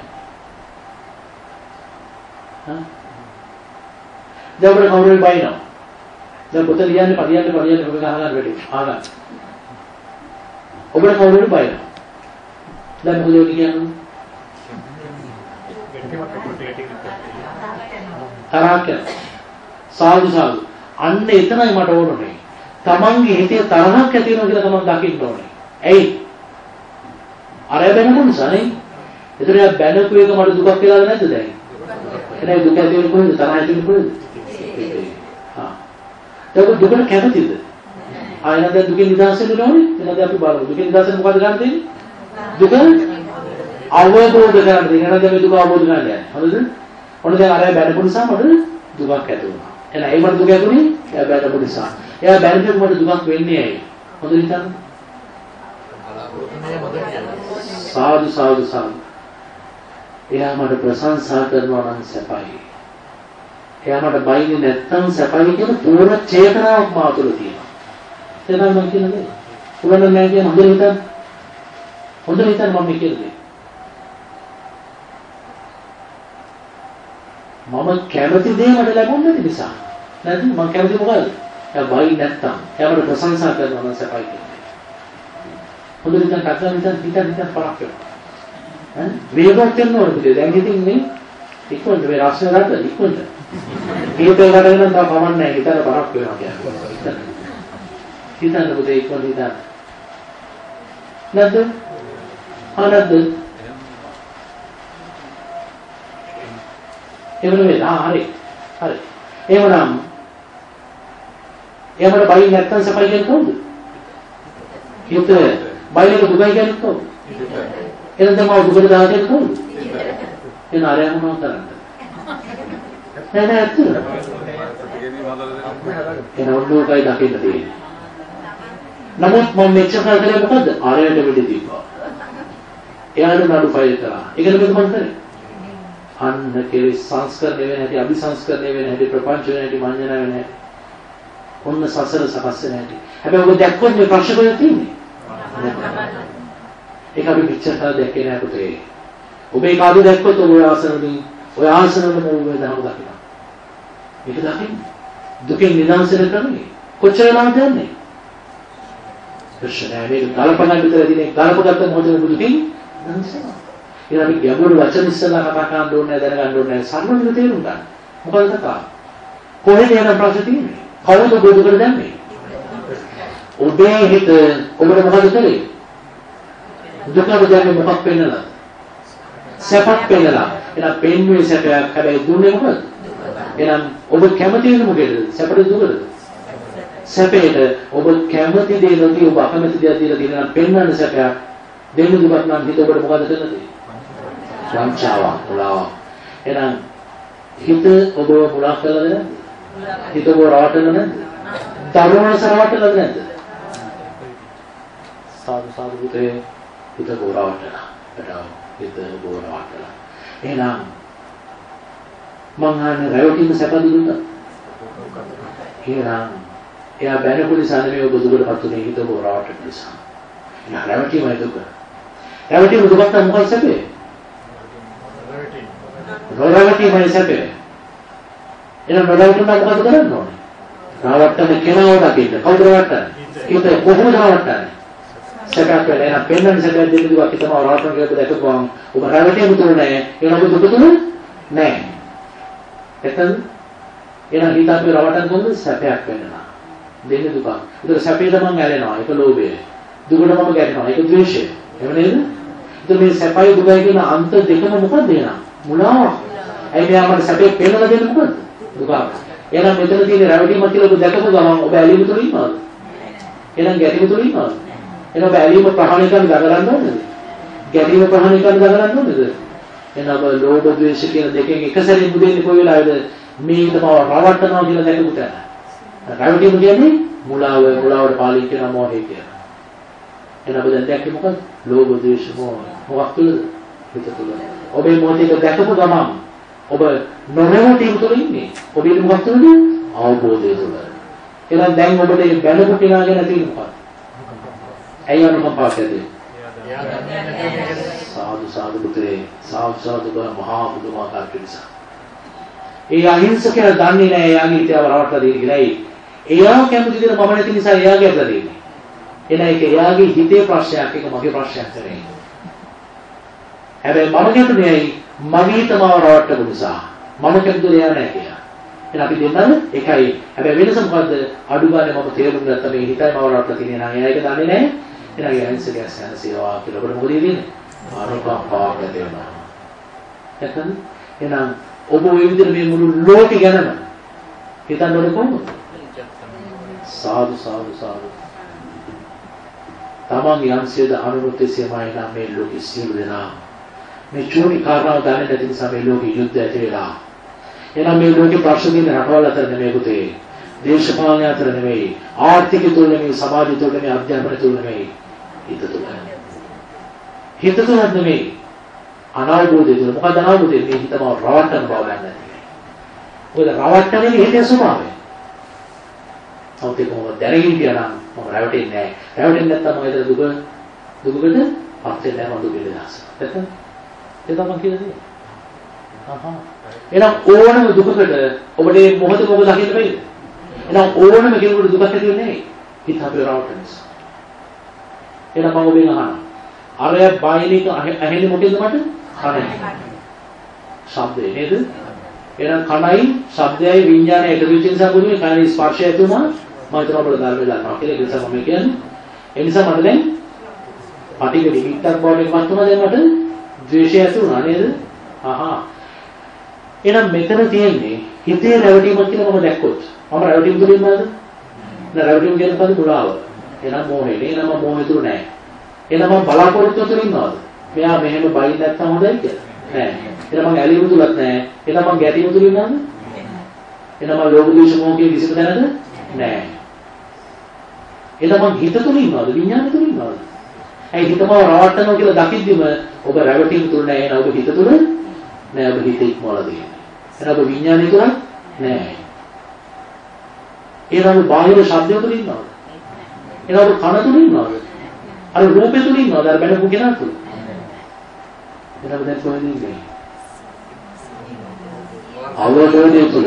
එහෙනම් ඊට සතර මහා ධාතු තියෙනවද? සංසාරයේ සතිපට්ඨාන. එතන බුදුරජාණන් වහන්සේ කියනවා මාරයටවත් ඔබ හොයාගන්න බැරි තැන. ඇයි?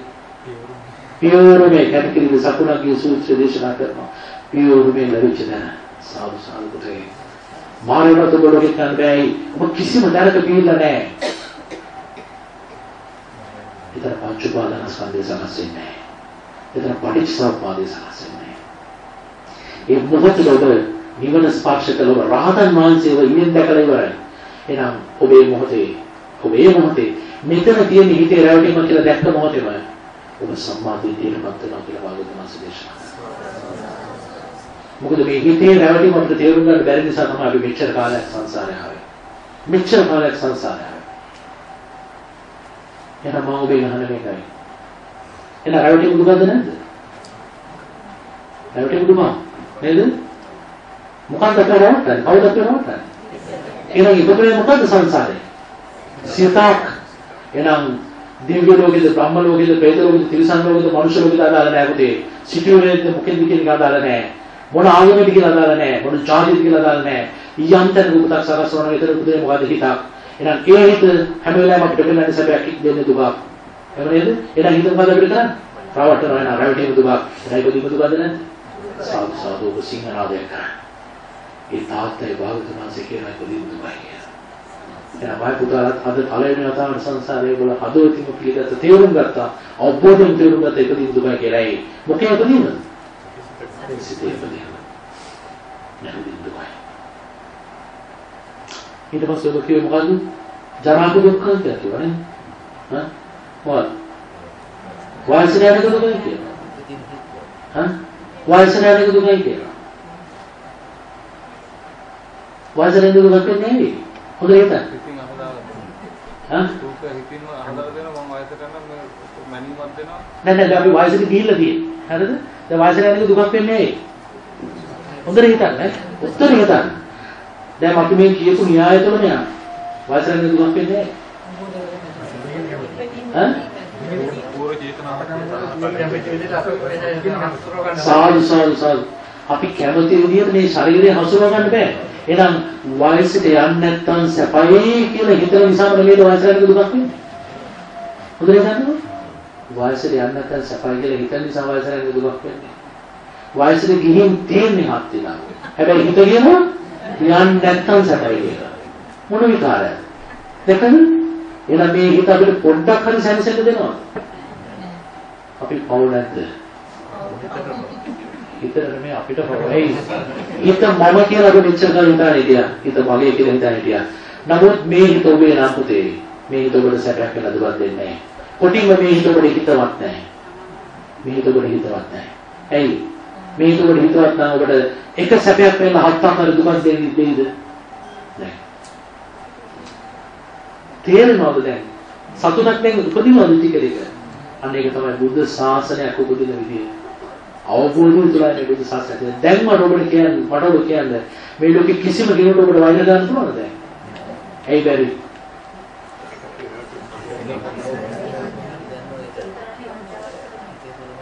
සාදු සාදු පුතේ සිංහනාදය. ඔබ අවබෝධයට පත් වෙනවා මොකද්ද? මගේ හිත මාව රාටනයි මම කැමති විදිහට මේ සියල්ල තියෙන්න ඕන කියලා හිතුවට මම කැමති මේ ලෝකෙ කිසිම දෙයක් පවත්න්න බෑ මේක හිතේ ඇතිවෙච්ච චේතනාවක් විතරයි සංකල්පයක් විතරයි. සංකල්ප රාගෝ පුරුසස්සකමෝ. මේ සැපයි කියලා අපි මොකද කරන්නේ සංකල්පයකට. මම කැමති විදිහ කියන රාමෝ මම හදාගත්තට ලෝකේ අනිත් කට්ටිය දන්නේ නැහැ මම කැමති විදිහ. ලෝකේ අනිත් කට්ටිය මම කැමති විදිහ නෑ. ඒගොල්ලන් හදාගත්ත රාම තියෙනවා නේද? මේ සියලු දෙනාම සනසේවා කියලා. ඔබ හදවතින් මේගොල්ලෝ ගෙනේ මාත්‍රියක් උපදින්නේ නැද්ද? කරුණාවක් උපදින්නේ නැද්ද? මුදිතාවක් උපදින්නේ නැද්ද? ඒගොල්ලෝ බැන්නත් ඔබ ඉවසන්නේ නැද්ද? උපේක්ෂාව. නැත් සතර බ්‍රහ්ම විහරණ ඔබට උපදිනවා. මේ අවබෝධයත් එක්කම සම්මා දිට්ඨිය නිසා ඔබට ලැබෙන්න තියෙනවා. එහෙනම් මම කියන දේ. දැන් ඔබට මේ ලෝකෙ ගැන කම්ප්ලේන් එකක් තියෙන්නේ. ඒ සම්මා සංකප්පය උපදිනවා. සාදු සාදු සාදු සම්මා දිට්ඨියත් එක්කම සම්මා සංකල්පය උපදිනවා. මොකද්ද? මට දැන් ඔබ කියන්නේ හිතක් නම් උපදින්නේ හිත හැම වෙලාවෙම අපි රවටනවා නම්. හරිද? එහෙනම් ජීවිත කාලය පුරාවට මේ ඇහැකරනායි දිවසරි මනස හරහා හිතක්මයි සකස් වෙන්නේ. ඒ හිතේවත් විඥානයේ මායකාරී විඥාකාරී කියලා අපි රවටනවා. එහෙනම් ඒක තුලත් අපිට තියෙන මොකක්ද? මුළු ජීවිත කාලය පුරාවට තියෙන වෙහසක්, රැවටීමක්. එහෙනම් ඉපදීමත් දුක, ජීවිතයත් දුක, මැරෙන්නේ කොහොමද දුක? එහෙනම් ආයෙ ඉපදින වෙන එක දුක. එහෙනම් දැන් මොකක්ද සැපේ? රූපදී සිංහනාදයක්. එහෙනම් ඔබ ඉප නැවත රූපදීම සැපයි කියලා කියන අවබෝධය පිටලා සංසාරේ පරිණත කරන සම්මාදිට්ඨිය සම්මා සංකප්ප නිකම්ම සංකල්ප. ඒ නිසා මොකද උපදින්නේ? මොකද උපදින්නේ? මොකද ලෝකයේ අනිත් සියලු දෙනා කෙරෙහිම. මොකක්ද? නේද? අව්‍යාපාද සංකල්පය.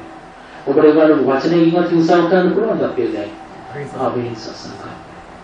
මොනවාද නැත්තද කියලා. එක තැනක් මතුවන පස්සේ මේ මුළු ආරක්ෂාවික මාර්ගෙම අපිට සකස් වෙනට දකින්න පුතේ. මොන ප්‍රාතිහාරයද මේ? හා? හොඳට දේවල් දැනෙනවද ගන්න කියන දේ?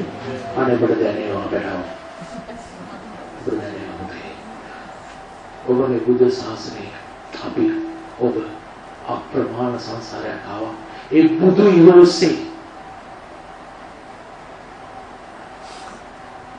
ඉවෝසේ ගවපක්කේ ඉන්න වැස්සයකට පැටියෙක් උපදිනවා. ඒ පැටියට පුළුවන් මොනවැසියන් 1000ක් අතරින් තමන්ගේ අම්මා හොයාගන්න. ඒක ශ්‍රේෂ්ඨ ඉවක්. ඒ වගේ මම පුතේ රුසියු දෙනා. ඒ ඒ වහොන පැටිය කියන සුවඳ ඔස්සේ තමන්ගේ අම්මා හොයාගෙන ආවා වගේ ඔබ සියලු දෙනා තේ බුදු සුවඳ හොයා ඔස්සේ තමන්ගේ ආදරණීය මව බැස්සි වාගෙන ආපු ගමන. ඒක ශ්‍රේෂ්ඨ ඉවක්. ඒක තියන්න. අද මම මේ කියපු දේ ඔබට අමතක නොවේවා. ඔබ ඕනම මොහොතක ඔබගේ නිවස ඉඳගෙන ඕනම මොහොතක ඇතිව චලාපගේ හිතේ අනිත් අන්තය ඔබ දැක්කොත් ඔබේ මොහොතේ සමාධිය දුර යනවා. මේක සරක් එක ඇති කරගත්තු දෙදරින් හරි දෙන ඔබට ඒක ඇප්ලයි කර කර ඉන්න විතරයි. ඒක ගලපන්න විතරයි. ඒක කියන යෝනසෝ මනසිකාරය කියලා. ඔබ ඒක දිගටම ගලප ගන්න ගලපන්න මොකද වෙන්නේ? ඔබට සද්දා, වීර්ය, සති, සමාධි, ප්‍රඥා කියන ඉන්ද්‍රිය ධර්ම උපදිනවා. ඒ ඉන්ද්‍රිය ධර්ම ටිකෙන් ටික බල ගැනීමලා ඔබ මේ ලෝකෙ නිදහස් කරනවා. ඔබ නෙමෙයි ලෝකෙ නිදහස් වෙන්නේ. ඒ ඉන්ද්‍රිය ධර්මය ඔබ නිදහස් කරවන්නේ බල ගන්නවා. තේරුම් ගන්න කියන්නේ බලන්න. එහෙනම් දැන් ඔබ බුදුරජාණන් වහන්සේ කියන දේ ඔබ හදවතේ පිළිගන්නවා ඒකදීම දුකයි කියලා දැන් ඔබ දන්නවා. ඒ විතරක් නෙවෙයි පිළිතුරේ. ඒ දිනතුනේ ඔබලා සියලු ලෝක දැන් මේක කරලා දැකලා ඉවරයි. අතීතයේ උපදින සියලු ආත්ම භාවයන් ඔබ මේක කරලා දැන් දැකලා ඉවරයි. කොතන ඉපදුනත් ඔබ මොන ආත්මික ඉපදුනත් ඒ සියලු ආත්මවල ඉපදුනේ හිතක් ඒ හිත අපි රැට්ටුවයි නයි කාන්තික දුකද නැද්ද? දුක. එනවා වෙන ප්‍රාතිහාර. ඉන්න ආසනෙදී ඔබේ අතීත සියලු ජීවිත ඔබ දැන් දැකලා තියෙනවා. මේක ප්‍රාතිහාරයක් නෙමෙයි. එනවා ඔබ අනාගතයේ උපදිනවා නම් ඒ අනාගතයේ උපදින සියලු ආත්ම භාවයන්ට දැන් ඔය ඉන්න ආසනෙදී දැක්කද නැද්ද? සාදු සාදු. මුලාව තුලින් දැක්කේ. හිත රවටන දැකලා. එහෙම නේද? අහහ. සාදු සාදු. ඒකෙන්මයි සතර සම්‍යක් ප්‍රදාන වීර්යය විතර වැඩෙන්නේ. හරිද?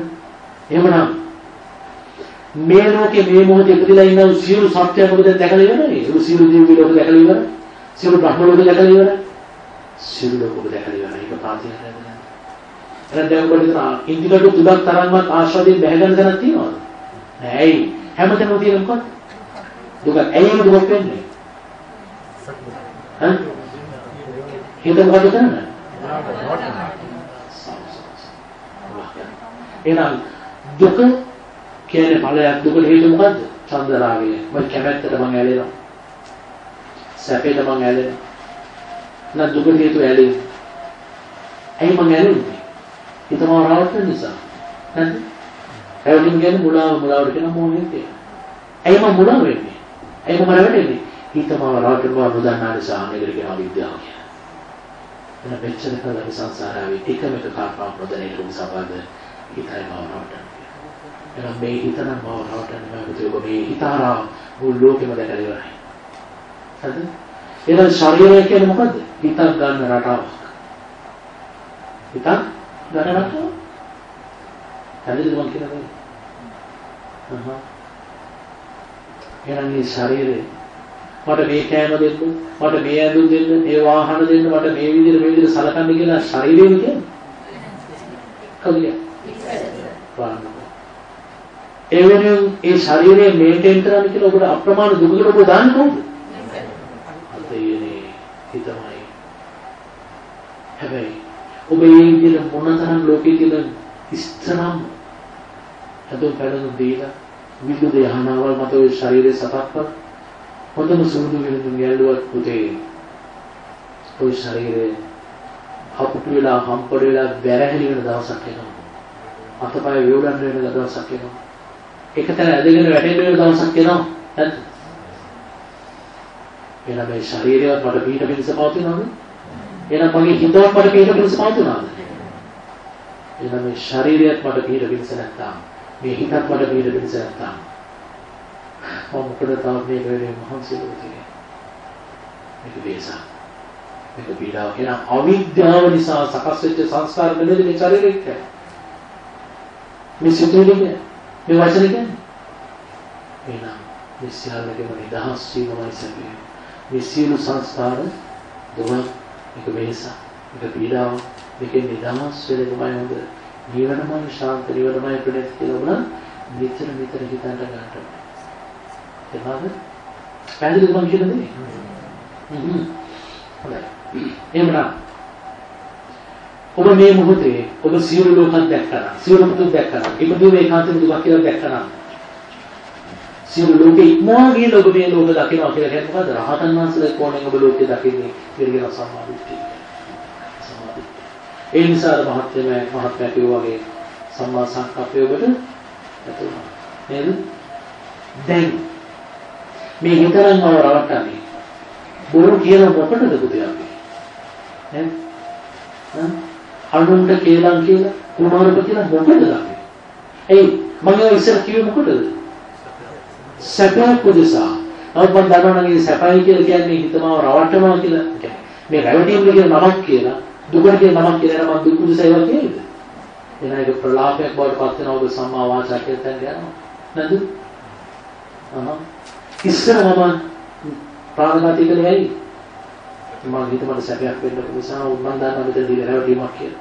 රැවටීම කියන්නේ දුක කියන මම දැන් දුක වෙනුවෙන් ප්‍රාණඝාතය කරයිද හොරකම් කරයිද මත්පැන් බොයිද? කාමේ වර්ධන හැසිරෙයිද? සම්මා කම්මන්ත. එහෙනම් මොකද්ද මේ ඔබ දකින්නේ දැන් මේ? මහරෂ්ඨ කුමාරගේ. ඒකට රැඳුනේ යෝගී දුන සුන්දරම දේ. ඔබ මේ ලෝභ දෝෂ මොහ කියන මේ හිතේ තියෙන මුලාවක් තියෙන කියලා ඔබ දැක ගමන් ඔබ ලෝභ දෝෂ මොහ තුළ පිහිටන්නේ නැත්තම් දැන් අපේ හිතේ තියෙන කාම ලෝකෙනේ කාමෙන් ඇසුරු කරන්නේ හරිද?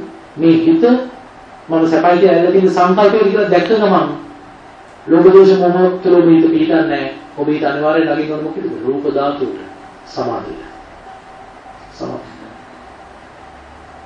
තේරුණා මම කියන්නේ එහෙනම් ඔබයි භාවනා පන්ති වෙන දෙයක් නැහැ.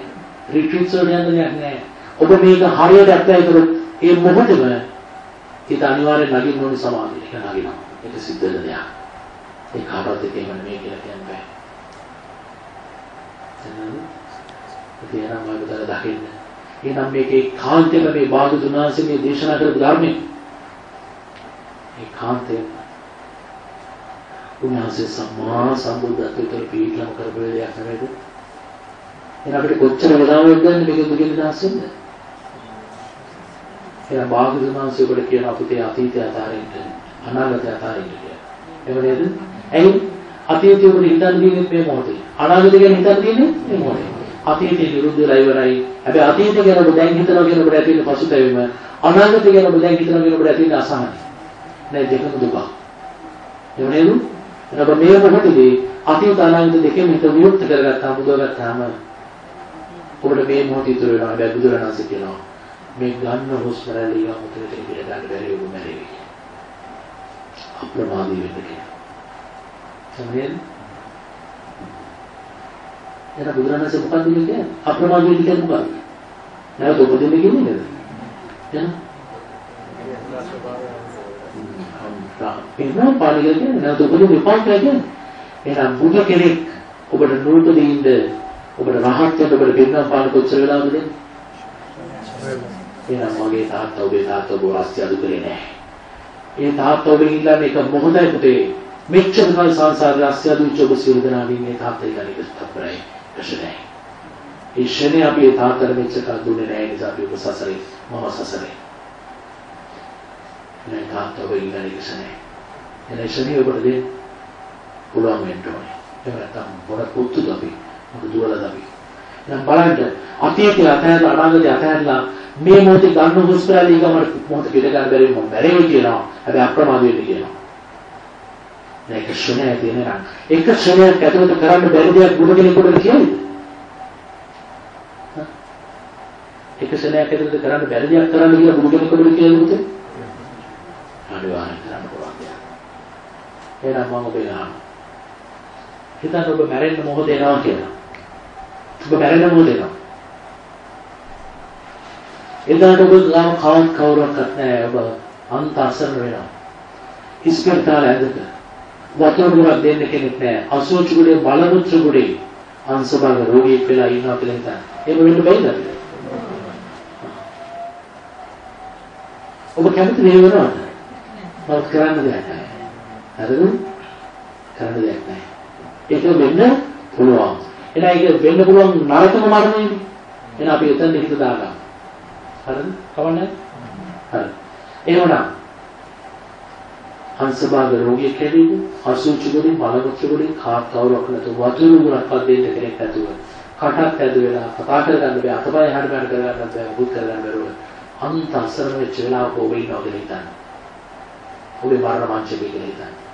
මේ වෙලාවේදී ඔබේ හිතට මොන වගේ සංකාවක් දැනෙවිද?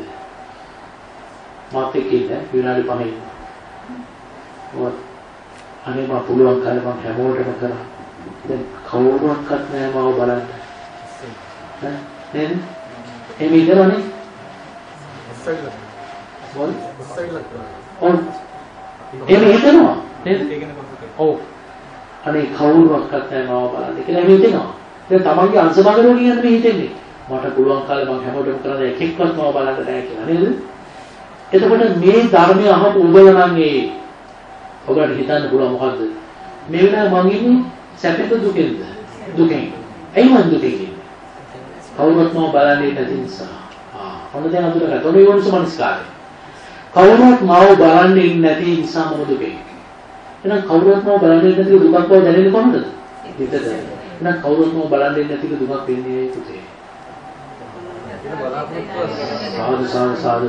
අනේ කවුරු හරි මාව බලන්න එනවා නම් සැපයි කියලා හිතන නිසා නේද? එහෙනම් කවුරු හරි මාව බලන්න එනවා නම් සැපයි කියන්නේ කවුද? නැතිව දුකයි කියන්නේ කවුද? එහෙනම් මේ නාතිගේ ප්‍රශ්න. එනයි කොබෙලා තේරුම් හරි වෙයි. ඒ වෙනාම ඔබ දකින්නේ මොකද්ද? හිතමඩ සැපයක් කියලා දෙන්නේ මොකද්ද? දුක. එහෙනම් මං දුකින් ඉන්න අංශභාග රෝගය නිසා නෙමෙයි. හරිද? හිත මාවක් කරන නිසා රවට්ටන නිසා මුලා කරන නිසා. එහෙනම් මෙතන තියෙන හිතේ රැවටීම කියලා ඔබ දැක්කම ඔබ රැවටීම් තුල ඉන්නවද දුක තුල ඉන්නවද ඥාති මේකේ බලාපොරොත්තු තුල ඉන්නවද හිත තුල ඉන්නවද එහෙනම් ඇහැ තුල කන තුල නාසය තුල දිව තුල ශරීරය තුල මනස තුල බාහිර ලෝකයේ තුල ලෝභ දෝෂ මොහ තුල ඒ චිත්තක්ෂණය ඔබ මරනවා. ඔබ කොහෙද තුල ඔබ ඇත්තටම විශ්වාස කරේ. ඔබට උපදින්න දැනක් නැහැ කියලා ඔබට විශ්වාස ඇයි? පතිත්ත විඤ්ඤා සස්සනහොති. මේ විඤ්ඤාණයට පිළිගන්න දැනක් නැති වෙනවා. තද පතිත්ත විඤ්ඤාණ අවලුණා. ඒ පපිති විඤ්ඤාණය පැලවෙන්නේ නැහැ පුතේ. අනුදි සංකති අනුදි සංකච්ඡති. විශේෂයෙන් සකස් වෙන්නේ නැහැ. විමුක්තං විමුක්තං තටිදා නිදාස වෙනවා. චිරන්තා සතුස්ක. ඕන සංසිඳනවා. දැන් තමන් තුළ පිටවම් පාන ලෝකේ කවුරක්වත් දන්නේ ලෝකෙ මිනිස්සු කියාවේ හරි අවාසනාවන්ත මරණයක් කාත් කවුරක්වත් නැතුව අසන්නස බැලදී අපේ ඥාතිකුට අපේ හතුරුකුට මෙවැනි අවාසනාවන්ත මරණයක් සිදු වේවා කියලා හැබැයි ඒ කවුරුවත් දන්නේ නැහැ රහතන් වහන්සේ කෙනෙක් පිටවම් පාන ඒක වේවා. මට තේරෙනවද මං කියන දේ? එහෙනම් දැන් බය වෙන්න දෙයක් නැහැ. ඔයගොල්ලෝ ගන්නවා කොහොමද හිතන්න ඕන කියලා ඔයගොල්ලෝ කියනවා යෝනිසෝ මනස්කාරය. දැන් ඕක අපි උපදවා ගත්තොත් අපි හිතන්න ඕන විදිහ අපි දැනගත්තොත් ඔබ සූත්‍ර දැනගත්තා වෙනවා සූත්‍රය කියන්නේ මොකක්ද ටෙක්නික් එක සූත්‍රය කියන්නේ ටෙක්නික් එක මොකද දෙවිදාස් බාගදුනාසේ සූත්‍ර 84000ක් කියන්නේ මොකක්ද තාක්ෂණික ක්‍රමවේද මොකද දෙවිදාස් අපි හිතන්න ඕන විදිහ පැහැදිලිද අර මා පුතාට චූටි හරි පීඩාවක් වුණා නම් මට සමාජයට මම පුළුවන් තරම් උත්සාහ කරා ඒක උඹට වෙන්නේ කියන්නේ. හරිද? ඔව් මම නම් පුටුවේ ඔබලා ඔහම නමුත් කමක් නැහැ. මම තව චූටි දෙයක් කියන්න. අපිට තුනෙන් පස්සේ කතා කරන්න පුළුවන්. හරි. ඒක සිවුර නැහැ නේද? හා හරි කමන්නේ.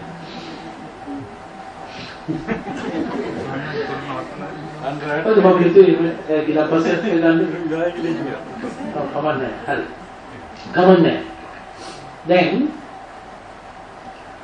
අපි මෙච්චර කල් කරේ මොකද්ද? අපි මැරෙන ක්‍රමය පොඩ්ඩක් එහාට මෙහාට ගන්න කැමති වෙන්නේ. නේද? අපි කැමති වෙන්නේ මැරෙන ක්‍රමය පොඩ්ඩක් එහාට මෙහාට ගන්න. ඇයි? අපි මැරෙන ක්‍රමය තමයි සත්‍යයක් වෙනවා. නේද? එහෙම නේද? සුවසේ මැරෙන හැබැයි සුවසේ ඔබ කියන සුවසේ කියන ඔහොම ඉන්න එකපාරට හොස් දාලා උසුටි කියන යාවි හැබැයි අපි නාමස උපදිනවා නම් ඒතර ආයෙ උපදින මොකද්ද? ඇහැ කන නා ඉදිරි ශරීර මනස ඒ ඇහැ කන සිදිරි ශරීර මනස අපිට ආපෝ මොකද කරන්නේ? එතන හිතක් සකසනවා ඒ හිත විඥානය අපි ආපෝ රවට්ටනවා ආපෝ දුක. එහෙනම් මෙසන අපි තේරුම් ගන්න ඕනේ. මරණ ක්‍රමය එහාට මෙහාට කරන්න ඕනේ පුතේ.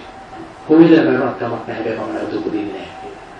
දැන් නැවත නුවපදින්න මොකද කරන්නේ? මේ විදිහට චින්තනය අපි හසුරවන්න ඕනේ. ඒක චින්තන පරිණාමයක්. ඒක චින්තන පරිණාමයක්. ඔය විදිහට අපි හිතන් හිතන්න අපි මේ ශරීරයේ මේ ඇට කොටස් මේ සියල්ල ධාතු බවට පත් වෙනවා. ඇයි? අපි ලෝභ දෝෂ මොහ තුල ධාතු නම් පිටන්නේ නැහැ. පිටන්නේ නැහැ. අන්න ඔබ පියවරමින් ඔබ ලැබිච්ච අසිරිමත් දායාදේ සැබෑ හිමිකාරයෙක් වඩ පත් වෙනවා. ලෝකේ කාටවත් තේරෙන්නේ නැහැ. ඔබ ලෝකයේ අනෙක් සියලු දෙනාම සතුට වෙන විදිහට තමන්ගේ ජීවිතය පරිහරණය කරනවා. තමන්ගේ වචන හසුරවනවා. තමන්ගේ ක්‍රියාව පවා දැන් හසුරවන්න කවුරු වෙනද? අනුන් වෙන්නේ. ඉස්සෙල්ලා ලෝකයා මාව සතුට කරනවා. මම දැන් එහෙම නැහැ. සම්මාදිට්ඨිය සම්මාදිට්ඨිය නිසා ලැබෙන ප්‍රතිලාභය ආ ලෝකයක් සංසාර. ඒ තමයි බුදුරජාණන් වහන්සේ ශ්‍රාවක උදාහරණ. උන්වහන්සේට බෙදින්නේ නැහැ පුතේ. උන්වහන්සේට ಜಾති කුලවල බෙදි නැහැ. සියලු දෙනා දකින්න එකම කුලකේ මොකද්ද? දුක. හැමෝම අහිංසකයෝ. මේ හැමෝම මේ හිතේ කතාව නොදන්නා නිසා මෙච්චර කල් සංසාරය ආවනේ සියලු දෙනා සහස. ඒ මෛත්‍රී චිත්තේ දස දිශාවට පතුරවගෙන ඉන්නේ. පුදුමාකාර සතුටකින් ඇවිල්ලා අතෘප්තිමත් කෙනෙක් මේ ලෝකේ. කාට ලෝකේ භෞතික සම්පත් තිබුණත් එකයි නැත්ත් එකයි. ඇයි අදම ඒකත් හිතේ කතාවක්. දැන් අපි හිතන්නකො කැන්සර් එකක් හැදෙනවා කියලා අපිට. තේරෙනවද? අපිට කැන්සර් එකක් හැදුනහම ඒ කැන්සර් එක නිසා අපි නිරේයයිද? හැබැයි අපි කැන්සර් නිසා බයෙන් ඉන්නවා. දැන් මොකද වෙන්නේ? එහෙනම් වඩා භයානක බය නේද කැන්සර් ගැන වෙන්නේ? නමුත් අපි බය නැති කරන මොන තරම් ලීසිද? නමුත් අපි ඒක නැති කරන්න දඟලන්නේ නැහැ. කැන්සර් එක හොඳ කරන්න දඟලනවා. එතන එතන අපි අසරණ භාවය. එහෙනම් මේ හිතයි ප්‍රශ්නේ. ඒක දකින්න.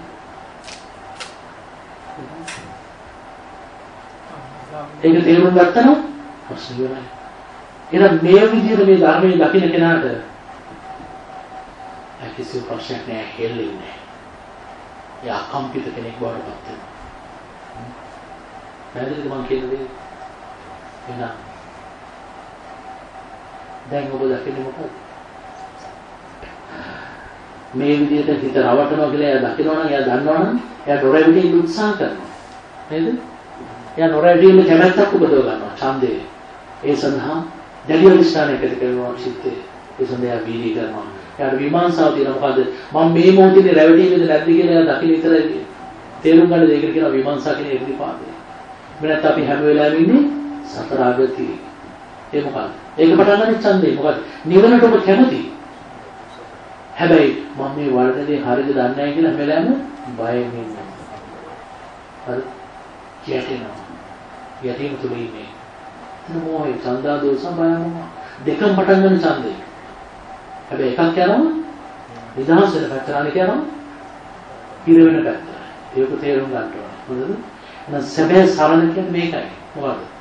දැන් ඔබ රහතන් වහන්සේගේ ස්වභාවය දැකේ නැද්ද? හ්ම්. එහෙනම් ඔබ රහතන් වහන්සේ කියන සැකයක් තියෙනවා. සාසා නබල නොකිය කියන සංඝ සමාගච්ඡාන කියන. එහෙනම් මේක මනාවකට දේශනා කරපු ධර්මයක්ද නැද්ද? ස්වාක්ඛාතයි කියලා ඔය කියන්නේ. මේක මේ මොහොතේ මේ දුක අවබෝධ කරගන්න බැරිද? මේ මොහොතේ මේ දුක අවබෝධ කරොත් මේ මොහොතේ දුක නැති වෙන්නේ නැද්ද? එහෙනම් ඔය කියන්නේ සම්දිතිකයි කියන්නේ. ඕනම වෙලාවක ඔක ඇප්ලයි කරොත් ඔබ දුකින් නිදහස් වෙන්නේ නැද්ද? අකාලයයි. Taman තුන නෙමෙයි මේක දකින්න තියෙන්නේ. ඕපනායකයි. එහෙනම් කෙනෙක් සෝවාන් වෙන්නත් ඒ හැවටිමයි දකින්න තියෙන්නේ. සෝවාන් වෙච්ච කෙනා සකදාගාම වෙන්නත් ඒත් ඕකමයි දකින්න තියෙන්නේ. සකදාගාම කෙනා අනාගාම වෙන්නත් ඕකමයි දකින්න තියෙන්නේ. එහෙනම් පච්චත්තං වේතබෝ නේතව තමගේ දැනපමණින් මේක අවබෝධ කරගන්න තියෙන්නේ නේද? එහෙනම් ඔබ ධර්මයේ සියලු ගුණ ටික දැන් දැක්කද නැද්ද? ඔබ නොකිය කියන්නේ ධම්මස්සනං ගච්ඡාමි කියලා. ඔන්න සරණ. එහෙනම් මේ මොහොතේ ඔය ඉන්නේ ඉරියව් තුළම ඔබ සියලු ලෝක දැක්කා. ඔබේ සියලු අතීත ජීවිත දැක්කා. ඔබේ සියලු අනාගත ජීවිත දැක්කා. ඒ විතරක් නෙවෙයි ඔබ දැන් හදවතින්ම තීරණයකට යනවා ඔබ නැවත උපදින්න කැමති නැහැ. ඒක දීප දුකයි කියලා ඔබ සිංහනාද කරනවා. එන ඒසා පෞෂ්‍යක ඔබට ආවේ කාම නිසා බාහිරනාසයලා මේ කාන්තේ මේ ලෝතර සම්මා සම්බුද්ධනාසේ මගේ තාත්තා සම්මා සම්බුද්ධයි. මාසේ කාන්තේ වරා. ඒ කාන්තේ වරා. උන්වහන්සේ අරහංගුණේ කියන්නේ මොකක්ද? උන්වහන්සේ ඇසෙන් රූප දැකේ රූප කෙරෙන වයනුසේක නොබැටුසේක මුලා නොවුසේක ආශාව රූප කෙරෙන. එහෙනම් ඔබත් දැන් බලන්න. ඔබත් දැන් මේ හිතේ රැවටුම් දැක්කොත් ඔබත් දැන් ඇසෙන් රූප දැකලා මෙතනදී හිතේ රැවටුම කියන එක බෑ. හැදුනත් නැහැ, ඇලීම තුලත් නැහැ, ගැටීම තුලත් නැහැ, මුලාව තුලත් නැහැ නේද? එහෙනම් නොවැළුසේක, නොගැටුසේක, මුලා නොවුසේක එහෙනම් ආශාවවත් තණ්හාව කියන්නේ මොකද? තුනටම කියන නමක් ලෝභ දිසමෝ තුනටම කියනවා. එහෙනම් ඒ තුන තුනම ඔබ නැහැ. එහෙනම් දැන් ඔබ තුලින් ඔබ අරහංගුනේ දැකලා ඉවරයි. එහෙනම් ඒක අන්තිම මේ භාගතුන් වහන්සේ අරහං කෙනෙක් ගැන සැකයක් නැහැ. බුද්ධ සරණ ගච්ඡාමි කියලා කියන්නේ. එහෙනම් එහෙනම් රැවටින් කියන්නේ හිතමන රටන් කොහොමද? එයාගේ ස්ථාන වෙනස් කරනවා නේද? එයා චපලයි. කොහොමද වෙනස් කරන්නේ? සැපයි කියනවා ආයෙ දුකයි කියනවා. සැපයි කියනවා ආයෙ දුකයි කියනවා. පැහැදිලිද? එවනේ? නෑ රැවටිම දුකයි. රැවටිම දුකයි මම රැවටින හිත වෙනස් වෙන නිසා එන වෙනස් වීමයි දුක. වෙනස් වීම කියන අනිත්‍ය. එන අනිත්‍ය දුකයි හිත වෙනස් වෙන බව නවත්තන්න පුළුවන්ද? අනාත්මයි. එන අනිත්‍ය දුක අනාත්මයි කියන ඔබ දැක්කේ. පැහැදිලිද? ප්‍රශ්න තියෙනවද? අර්ථකථන තියෙනවා අනිත්‍ය ගැන හරිද? හරිද?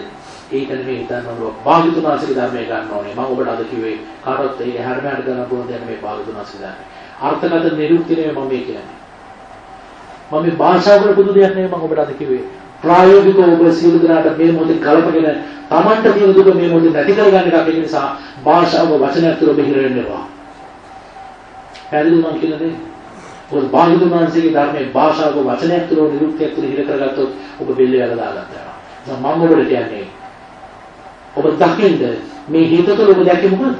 ලෝභ දේශ මොහ. කියන්නේ හිතම රවටන්නේ කොහොමද? සැකක් වෙලා දුකට දානවා. එතන එතන ඇලිමක් තියෙනවා, ගැටීමක් තියෙනවා, මුලාවක් තියෙනවා. එතන ලෝභ දේශ මොහ තුනම තියෙනවා. එතන හිතම රවටනවා කියන්නේ මොකද්ද? රැවටීම දුකයි එම අපිට හිත වෙනස් වෙන සැන වෙනස් වෙන දුක වෙනස් වෙන කියලා අනිත්‍ය අනිත්‍ය දුකයි හිත වෙනස් වෙන නවත්තන්න බෑ. අනාත්මයි. ඒක දැක්ක මොකද්ද? අනිත්‍ය දුක අනාත්ම මොකක්ද ලෝභ දේශ මොහ. චිත්තන වස්නා. පැහැදිලිද? තේරෙනවද කියන්නේ? අහහ. ඔව්. කියන්නේ. මේකේ දැන් මේ හිතේ මුලා මේ දැක්කද සතුන නම් කුතුහල බලමුක හට ගන්නවා කුතුහලයා බලාගෙන ඉන්නකොට ඒ හට ගන්න කුතුහලයේ අභ්‍යන්තරයේ අතීතයේ දැකපු දේවල් පොදු දුහු කරපු දේවල් රූප දැක්කත් ඉතින් හතර දෙන්නේ ආස්වාද එතකොට අතීතයේ හටක් දේවල් ඊට පස්සේ අපි ඒ දිහා හිතේ ඒ හට ගන්න දේ දිහා බලාගෙන ඉත සාමාන්‍ය මේ දකින විදිහටම ඒ ඒ හට ගන්න හිතේ හට ගන්න රූප දිහා බලාගෙන ඒකත් හඳුනා ගැනීම සංඥාවක් විතරයි එතකොට ඒ සංඥාව දිහා මේ ලං වෙලා හොඳට ලං වෙලා බැලුවම මේ සංඥාවට පිටන්න බෑ අතුරු දහන් වෙලා යන ස්වභාවයක් තියෙනවා. ඒ අතුරු දහන් වීම තුළ එතකොට අතුරු දහන් වෙන එක සමාධියක් කියලා තමයි හිතෙන්නේ. ඔව් දැන් ඔබ ඔබ කතා කරන්නේ සමාධිය. සමාධි ස්වභාවය. ඔව්. හරිද? ඔක්කොම අතුරු දහන් වෙන ස්වභාවය. එතකොට ඒ අතුරු දහන් වීමෙන් සාමාන්‍යයෙන් මේ රූප දැක්කත් හැබැයි අරක වැඩෙනවා මේ රූපේ පිහිටන්නේ අය මෙතන අභ්‍යන්තරයේ හටගන්න නැති ස්වභාවයක්. ඔව් ඔබ මම ඔබ ඔබ කියන දේ මම දන්නවා. ඔබ කතා කරන්නේ සමාධි ස්වභාවයක් තුළ ප්‍රකට වෙන විදිහ. තේරුණාද? හරිද? නමුත් දැන් මම ඔබට පෙන්නන්නේ සම්මාදිට්ඨිය. හරිද? එතන මේක ඔබ හොඳට මතක තියාගන්න. මම ඔබට පෙන්නන්නේ සම්මාදිට්ඨිය විතරයි. සම්මාදිට්ඨිය කියන්නේ මොකද්ද? සත්‍ය ඥානය. හරිද? සත්‍ය ඥානය. එතකොට දැන් හිතන්න මෙහෙම කළුවර කාමරයක් තියෙනවා. හරිද? මේ කාමරේ කළුවරයි. අපි කවුරක්වත් දොර දකින්නේ නැහැ. හැබැයි එක පාරකට එක පාරට අකුණු එළියක් වගේ වැදිලා මම දොර මොහොතකට දකිනවා. ඉතින් ඇත්තට මම දොර දැක්කද නැද්ද? දොර දැක්කේ. හරි. හැම මම දොර දැක්කගෙන මම දොර ගාවට ගියා කියන්නේ නේද? ආහා. දැන් ඉස්ලාම මේක පිළිගන්න. හරිද? දොර දැකීමයි දොර ගාවට යෑමයි දොරෙන් එළියට යෑමයි කියන තුනක්. එහෙනම් සත්‍ය ඥානය ගැන මම අද ඔබට කතා කරන්නේ. මේ සත්‍ය ඥානය පිළිබඳව මොන දේ කරත් ඒක කෘත්‍යයක් වඩපත් වෙනවා. මොකද ඒක සම්මාදිටිය ඔබට ගැලවෙන්න බෑ. එක සැරේ මේක දකින්න තියෙනවා. හරිද? එහෙනම් ඉතින් ඔය කියන දේවල් සමාජයක් තුල ප්‍රකට වෙන දේවල් ඒව තුල නිගමන තීන්දුවකට බහින්න එපා. ඒක සමාධිය. එහෙනම් දැන් ආකින්චන්‍යයේදී සමාය සමාධිය පුතේ කිසිවක් නැහැ. හැබැයි අද කාලේ ඒක ඒක ඉන්ටර්ප්‍රිට් කරනවා අර ශූන්‍යතාවය කියලා. ඒක හරි ශූන්‍යතාවය තමයි. හැබැයි ඒක බුදු දේශනාව නෙවෙයි. ඒක ආකින්චන්‍යයේදී සමාපatti. ඒක සමාපatti කියන්නේ සුවසේ ඉන්න ක්‍රමයක්. හරිද? ඒක ධර්ම අවබෝධයක් නෙවෙයි ඒක අවබෝධ ඥානයක් නෙවෙයි. හරිද? ඒක නිසා අපි ඒක සියුම් තැන් අපිව තේරුම් ගන්න ඕනේ. නමුත් ඒවා අපිට දෘෂ්ටි වලට යන්න පුළුවන්. එහෙම කියොත්. ඒක නිසා මම පුතා එතන යන්න එපා. මේ සම්මාදිට්ඨිය හරහා ඔබ මේක දකිද්දී අර බේස් එක නවදින්නේ මෝහෙට නවදින්නේ. එතන මෝහය නැති වුණොත් මොකද වෙන්නේ? අවිද්‍යාව නැති වුණොත් ඉතුරු කොහොමද වැටෙනවා? එහෙනම් අන්න ඒක විතරක් හිතන්න. ඒ නිසා මම කියන්නේ පුතේ ඔබ සමාධි වඩන්න හැබැයි යෝනිසු මනසිකාරය කියන්නේ මොකක්ද කියලා දැනගෙන ඉන්න. හිතේ හිතේ හිතේ මුලාව දැනගෙන ඒ විදිහට මං හිතේ හිතා ඉන්නවා කියන්නේ යොන්සු මනස්කාරය. ඒක තමයි තියෙන්නේ. හොඳේ? ඒ විදිහට යන්න. අර හැබැයි මේ සත්‍ය ඥානය ගැන මම කිව්වේ. ඒතර මේක කවුරු හරි තේරුම් ගත්තා නම් ඔබ උතන ඔය කියන දේ තුළ මොකක් හරි තියෙනවනේ කියලා. ඒ අපමණකින් සෝවන් මාර්ගයට එනවා. අපිට හිතේ දැන් රූප දැක්කත් හිතේ තියෙන අපි අඳුනගත්තු දේ තමයි හිතේ රූපෙට සුපත්කාර කරනවා සන්නයි. හොඳයි. අවමෝද? හිතේ රූප දැක්කත් අභ්‍යන්තරයේ හඳුනා ගන්නකොට අභ්‍යන්තර තියෙන දේ තමයි කරනවා. හිත හදලා දෙන්නේ. ඒ ඔක්කොම දකිනවා. ඔව්. එරමුසු හරි. හොඳයි. හොඳයි. ඔය දැන් මෙහෙමයි. දැන් ඒක ඒක එහෙමම තමයි. නමුත් දැන් අපිට එකපාරට මේ සියල්ල අභිභවයන්න බෑනේ. එතන මාර්ගයේ ක්‍රමක්‍රමයෙන් මේ ඉන්ද්‍රිය ධර්ම බල ගන්නවා ගන්නවා. ඒක බල ගන්නවා ගත්තට පස්සේ තමයි ඒක බොජ්ජංග බවට පරිවර්තන වෙලා මේ අපි නිදහස් වෙලා යන්නේ නේද? ඒතර ඒකට කාලය එනවා. අපි හදිසි වෙන්න ඕනේ නැහැ, දඟලන්න ඕනේ නැහැ. තේරෙනවද? අපිට සියල්ල එක සැරේ ප්‍රහාණය කරන්න බෑ. ඒක නිසා අර කාන්ති පරමන්ත පරිදි. ඒ කියන්නේ ඉවසීම තමයි මේකේ දිගටම තියෙන්න ඕනේ දේ. ඒ අතර ඉන්ද්‍රිය ධර්ම වැඩෙන්නේ අපේ පෙර කුසල්. හරිද? ඒතර මේ මොහොතේ අපි මේක ඇප්ලයි කරන විදිය අනුව තමයි. හරිද? ඒක නිසා ඒකට කාලෙට ඉඳී අර හොද්ද ඉදවන වගේ වැඩක් මේක. හරිද? දැන් ඔබ හොද්දක් ඉදවනවා කියලා ඔබට හොද්දක් ඉදවන්න බෑ. හරිද? ඔබට තියෙන්නේ මොකද්ද? අවශ්‍ය අවශ්‍ය ගින්දර ටික දෙන්න ඕනේ. හරිද? ඒ හීට් එක දෙන්න ඕනේ. අවශ්‍ය දුර්මාට ටික දාලා ඒ සේරම දාලා කිරි ටිකක් දාලා හැඳි ගාන එකක් කරන්න ඕනේ. ඉවසී වෙලාවක් දෙන්න ඕනේ. ඉවසීමෙන් ඉන්නත් ඕනේ. එතකොට ඒක cook by itself නේ. හරිද? අපි ඉදවනෝ නෙමෙයි. ඒ වගේ මේ මේ ධර්මයේ දැක්කම යම් කිසි කෙනෙක් එයා ධර්මතාවයකට ණයති වෙලා දෙන්නේ. ඉතින් එයා ධර්මතාවයකට අයිති වෙච්ච කෙනා තුළ ධර්මතාව මතුවෙන්න ඉඩ අරින්නවා. අතට කෙලෙස් කියන ධර්මතාවයත් එක්ක හැප්පෙන්නේ අපි තුළ තියෙන ඉන්ද්‍රිය ධර්ම කියන ධර්මතාවය. ඒක බල ධර්ම. හරි බල බවට පත් වෙනවා බල ගැන්වෙනවා ඒවා. ඉන්ද්‍රිය ධර්ම බල ගැන්වෙනවා. එතකොට මේ කෙලෙස් කියන ධර්මතාවය ඕවර්රයිඩ් කරන්නේ ඉන්ද්‍රිය ධර්ම.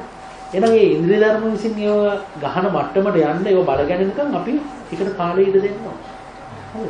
ඒ නිසා මම මේ පෙන්නේ පුතේ සත්‍ය ඥානය කියන දේ විතරයි. හරි. ඒක ලෝකයේ සියලු ප්‍රශ්නට උත්තර උතන තියෙනවා. එහෙනම් බුදුරජාණන් වහන්සේගේ ධර්මයේ තියෙන ආශ්චර්යය ඒකයි. එක එක ඒවාට එක එක උත්තර නෙමෙයි. එක තැනක් දැක්කම සියලු ප්‍රශ්න ලෙහෙනවා. ඒකයි ඇත්ත. හරි? පැහැදිලිද? සම්මාස වැරදි ප්‍රශ්නයක් ඇහුවේ මට වමනාව තිබුණේ විදර්ශනාව ගැන අහන්න. ඉතින් ප්‍රශ්නයක් අහන්න ගියම අරගෙන තමයි මම දැන් කල්පනා කරනවා මගේ හරි වචනේ ආවේ. ඒ විසිතුමාර ගිනේ මට ඇත්තටම විදර්ශනාව ගැන මම කිව්ව විදර්ශනාව තමයි. මට ඉතින් හරියට උත්තරේ ආවා. වචනේ හැබැයි මේ ආවම විදර්ශනාව තුළ සමතේ තියෙනවා ඈ. මම මේ කියපු දේ කරොත් හරියටම සමතේ ආය අමුතෙන් ලබන්න දෙයක් නැහැ. එයාට ඉන්ද්‍රියක් හැටියට පිහිටනවා. දැන් ඔබේ අතපය වගේ සමතේ පිහිටනවා. ඔබට සමාධියෙන් ගැලවෙන්න බෑ. ඒක තියෙනවා ඔබට. ඔය සම්මාදිට්ඨිය නිසා. එසවනද ආනාපාන සති භාවනාව කරගෙන යනකොට සිත සමාධිමත් වෙනවානේ. ඊට පස්සේ ඒක හිමීට විදර්ශනාවට.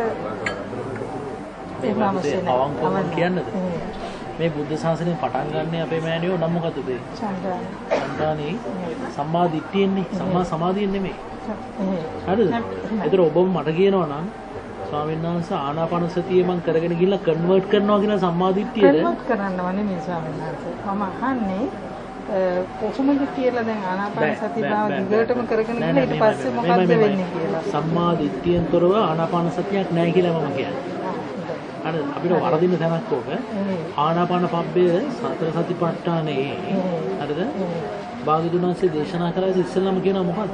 සතිමා විනය ලෝකේ අවිජ්ජා දෝමනස්සන්නේ. ඒත් අපිට අමතක වෙන වාක්‍ය ඕක. ආතාපි සම්පජානෝ සතිමා විනය ලෝකේ. එතකොට අපි ඒ වැකි අමතක කරනවානේ. එහෙනම් මොකද්ද මේ කියන්නේ? අනිත් පැත්තට ගන්න. ආහා එහෙනම් ලෝකයේ කෙරෙහි ඇති ඇලීම සහ ගැටීම නැති වෙලා යන ආකාරයටයි මම හුස්ම රැල්ල දිහා බලන්න ඕනේ. එහෙනම් මමද මේ පෙන්නේ මොකද්ද? ඇලීම සහ ගැටීම නැති වෙලා යන ආකාරය. එහෙනම් ඇලීම සහ ගැටීම නැති වෙනවා නම් මුලාව නැති වෙනවා. හරිද? එහෙනම් සතර සතිපට්ඨානයේ තියෙන කීවර්ඩ් එක ඕක. ඒ කියන්නේ සතර සතිපට්ඨානය අපි විග්‍රහ කරනවා නම් ආනාපාන පබ්බේ හරි සතර සතිපට්ඨාන ඕන දෙයක් ආත්මාවි සම්පජාන සත්‍යම වෙනේ ලෝකේ අවිජ්ජා දෝමනසං කියන කෑල්ල නැතුව එතන රහතන් වහන්සේ කෙනෙක් බිහි වෙන්නේ නැහැ. හරිද? මම ඒක ගැටලුව තමයි කීවර්ඩ් එක. ඒක තමයි කීවර්ඩ් එක. දැන් කියනවා. ඒක මේ ට්‍රේන් වෙලා තියෙන පුතේ වෙන සිස්ටම් එකකට මේකයි. මොකද ටෝක් ඔෆ් ද ටවුන් වෙලා තියෙන්නේ භාවනාව, සමාධිය. නමුත් මේක දන්නේ භාවනාව කියලා කියන්නේ වඩවනවා කියන්නේ. වඩවන්න බුදුරජාණන්සේ පහක් කියලා දෙනවා. සද්ධා, වීර්ය, සති, සමාධි, ප්‍රඥා. ඒ ඉන්ද්‍රිය ධර්ම පහම වඩනවා. ඒක සද්ධාව නිසා වීර්ය වැඩනවා, ඒ දෙක නිසා සතිය වැඩනවා, ඒ නිසා තමයි සමාධිය වැඩනවා. එහෙනම් සද්ධා, වීර්ය, සති තුනෙන් තොරව සමාධියක් වඩන්න බෑ. හරි? මං කියේ සම්මා සමාධිය. සමාධිය පුළුවන්. එතකොට සද්ධා වීර්ය සති සමාධි තියෙනවනේ ප්‍රඥාව කියලා. එහෙනම් මේ පහයි භාවනා කරන්නේ. එහෙනම් භාවිතා බහුලී කතා කරනවා කියන අර්ථයෙන් භාවනාව කියන්නේ. හරිද? නම් මේක නම් කතා කරන්නේ සමාධියේ තමයි භාවනාව. එතකොට මේකෙන් හතරවෙනි එක තමයි භාවනාව කියලා කතා කරන්නේ. එතකොට පහක් භාවනා කරලා තියෙද්දි මම හතරක් ගැන කතා. ඒ හතරේ එක කරුණක් ගැන කතා කරනවා. තේරෙනවද?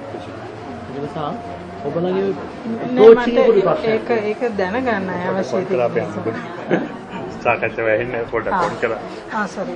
නෑ ඒක පා කියන්න පුළුවන් ස්වාමීන්. ඒ කියන්නේ සාකච්ඡා ඇහෙන්න ඕන හම්බුනේ. අනිත් අයට තාම තමයි. නැහැනේ බොනවද නේද? නෑ ස්වාමීන් ඉවරයි. ආ මේවා යනවා නේ. මේවා යනවා. මේ මේ දෙන්න.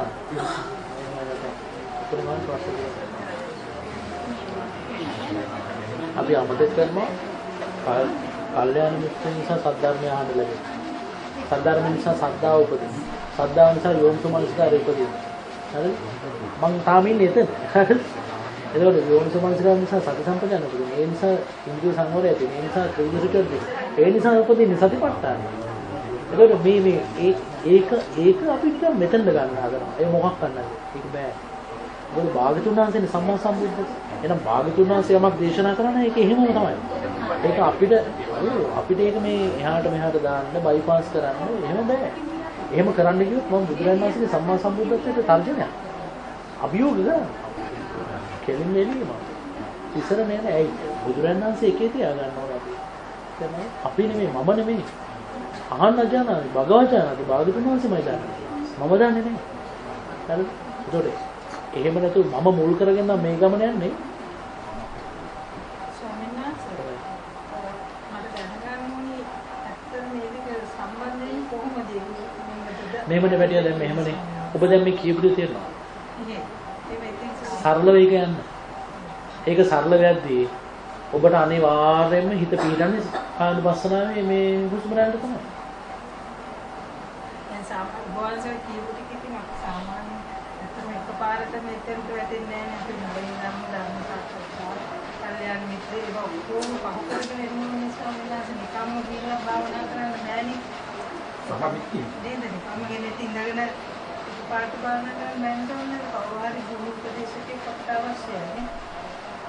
මේ වගේ චන්ද්‍රානේ නේද? ඒ ඔබ භාවනාව කියලා අර්ථ දක්වන්නේ මොකක්ද? භාවනාව කියලා ඩිෆයින් කරන්නේ මොකක්ද? අදහස් කරන්නේ මොකක්ද? භාවනා කියන්නේ භාවිතා බහුල කතා කරනවා කියන එක, වඩවනවා කියන එක. හරිද? ඒකයි වැඩි. ඒතර වඩවන්න බුදුරජාණන් වහන්සේ කරුණු පහක් කියලා. සද්ධා, වීර්ය, සති, සමාධි, ප්‍රඥා. ඒතර ඔය කතා කරන්නේ සමාධිය ගැන. හැබැයි මේ සමාධියට එන්නේ සද්ධා, වීර්ය, සති කියලා තුනක් වඩන්න ඕනේ මේක ලැබෙන්නේ. මේ හේතුඵලනේ. සද්ධා නිසා වීර්යය ඇති වෙනවා, සද්ධා වීර්ය නිසා සතිය උපදිනවා, සද්ධා වීර්ය සති නිසා සපා සමාධිය උපදිනවා. මේ තුන බයිපාස් කරලා ඔබට සමාධියට එන්න බෑ. හැබැයි එන්න පුළුවන්. එතන ඉන්ද්‍රිය ධර්ම නැහැ, සමාධිත්‍ය නැහැ. ආලංකාල මුදිකරණ පුත්‍රයන් සමාධියක් ලැබෙනවා. එතන සාසනය නැති නැහැ. හරිද? එතන බලන්න මේක මේ සීක්වන්ස් එකක් තියෙනවා, ඕඩර් එකක් තියෙනවා. මේක අපිට වෙනස් කරන්න බෑ චන්ද්‍රානි. සමදික්ෂේ ප්‍රධාන වෙන්නේ. සද්ධාව කියන්නේ සම්මාදිට්ඨිය. ඒතර සම්මාදිට්ඨිය, සම්මාවායන, සම්මා සති කියන තුනම තමයි සද්ධා, වීර්ය, සති කියන්නේ. හරිද? ඒතර සමාධිය එන්නේ ආශ්‍රණීය මාගේ කියවෙන අංගයට දුරට. කියවෙන අංගය. ඒතර මායපැලියා දැන් සම්මා සමාධිය එකට දාන්න හැදුවොත් මොකද වෙන්නේ? කවුද බුදු වෙලා තියෙන්නේ? චන්ද්‍රායනද බුදු වෙලා තියෙන්නේ? සම් කරන්න ආ එහෙනම් ආහා එහෙනම් සම්මා දිට්ඨිය වෙන්න කියලා සම්මා සංකප්ප ඇති වෙනවා. සම්මා සංකප්ප තියෙද්දි සම්මා වාචා. ඊට පස්සේ කම්මන්ත. ඊට පස්සේ ඊට පස්සේ ඊට පස්සේ ආ ඊට පස්සේ තමයි සමාධිය. එහෙනම් කරුණු හතක් වැඩුවාට පස්සේ ලැබෙන දේ තමයි සමාධිය. ඒක ඔබ ස්ට්‍රෙස් වෙන්නේ. ඒ නේද? එහෙනම් බයපුතා හිතන්න ඕනේ සම්මාදිට්ඨිය විතරයි. ඔබ හරියට සම්මාදිට්ඨිය අඳුරන් ගත්තොත් ඔබට මේ මුළු ආරෂ්ඨාංගික මාර්ගයම වෙනවා. සාදු සාදු වෙනවා සාදු. ඒක සූත්‍රය උනේ මම පෙන්නනවා නම් කියන්නේ. සූත්‍රය කියන්නේ ඕනේද මොකද කියන්නේ? තපස් මහා තපස් සාදු සාදු මේ ලාභයක් තමයි. හරිද? ලාභයක්. මහා චත්තාරි සූත්‍රය. හ්ම්. අනිවාර්යෙන් වැඩෙනවා. ඒ ආරක්ෂණ මාර්ගය. ඉතින් ඒක නිසා වැදගත් වෙන්නේ මේ අපිට මෙච්චර තේරිච්ච නැති දේ තේරුම් ගන්න. ඒතර මම ඒ චුට්ට තමයි මේ තේරුම් කරලා දුන්නේ. මොකද ඒක නැතුව ෆවුන්ඩේෂන් එකක් නැතුව මම මේ පළවෙනි තත්ත්වය හදනවා කියන එක වෙන්න බැරි දෙයක්. තේරෙනවද? ඒතර ඒක නිසා ඔබලා මේ සංසාරේ අපි ඔබලා හැමෝම ගෙදර වැඩ කරලා තියෙනවා චන්දන. ගෙදර වැඩ කියන්නේ හෝම්වර්ක් කරලා තියෙනවා මේ බුද්ධ ශාසනය වෙනුවෙන්. ඒ කරපු නිසා තමයි අපි මේ බුදු ඉරෝස්සේ මෙතන ඇවිල්ලා තියෙන්නේ. හැබැයි අපිට කරගන්න බැරි වෙච්ච එක මොකද සම්මාදිටියටපත් වෙන්නේ. එහෙනම් අඩුවානේ ඒකටපත් වෙන ක්‍රමය මං කියලා. එහෙනම් ඒක ඒ විදිහට ඔබලා කර කර ගියොත් ඔබ ස්ට්‍රෙස් වෙන්න ඕනේ නැහැ. ඔබ මේ බුද්ධ ශාසනය සම්පූර්ණ කරනවා කියන එක ඒ කාන්තේම සිද්ධ වෙන දෙයක්. ඇයි මම කියන්නේ? මගේ ලෝතුරා සම්මා සම්බුදුරණන්සේ කියලා තියෙන නිසා. මොකද යංච රත්ත්‍ින් තථාගතෝ අභිසම්බුද්ධියන් රාත්‍රිම මගේ බුදුරණන්සේ බුදු වුණා. යංච රත්ත්‍ින් තථාගතෝ අභිසම්බුද්ධති රාත්‍රිම බුදු වුණා. පරිණිපාය දුන්නාසේ පින්නම් පැවණා. ඒ තස්මින් අන්තරේ ඒ අපේ කාලය තුල වාසති ලබති දීති සතියම දේශනා කරන පැනෙවන මතුරු දැක්වන සබ්බම් තන් තතේ වති කියන වෙන්නේ නොවන්නතා. එනිදී එහෙනම් එනම් බුදුරජාණන් වහන්සේගේ සම්මා සම්බුද්ධත්වයේ පිළිගන්න මම පුතා විවේක ගන්න. විවේකීව මේ දේ කරගෙන යන්න ඔබ නිවන් දකිවි. බස් එකේ ඇතුලේ දුවන්න එපා. බස් එකේ ටිකට් එකක් අරගෙන ඩ්‍රයිවර්ගේ වේගය පිළිගන්න. බස් එකේ වාඩි වෙලා ඉන්න.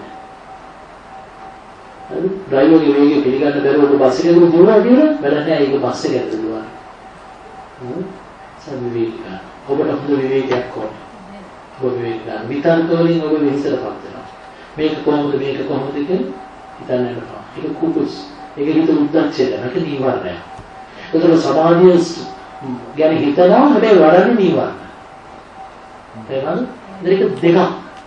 සමාධියට අවශ්‍ය පරිස්කාරකණය ඔබ හදන්න. සමාධියට අඩ කොටයක් දාගෙන සමාධියට මංජන බෑ. තේරුණාද? ඒක ඒක ඒක විදිහට තේරුම් ගන්න. සරලව තියාගන්න. මේ බුද්ධ ශාසනය කියන්නේ හරි සුන්දර තැනක්. සරලයි. මේක කොම්ප්ලිකේටඩ් කරගන්න එපා. මේක විඳින්න. හරිද? ඒ රහ ඇති කරගන්න. ඒක නම් කිව්වේ සමාධියට ස්ට්‍රෙස් යන්න ඕනේ නැහැ. ඔබ හරියට මේ හිතේ කතාව දැක්කම ඔබට සමාධිය ඇති වෙනවා කියන එක ඔබ සිද්ධ වෙන දෙයක්මයි. මොකද හිත පිහිටන්න බෑනේ පුතේ. ලෝක දේශ මොහොන හිත පිහිටන්න නැත්නම් අනිවාර්යයෙන් හිත නගින්න ඕනේ රූප ධාතුවට. සරල කතාවක්.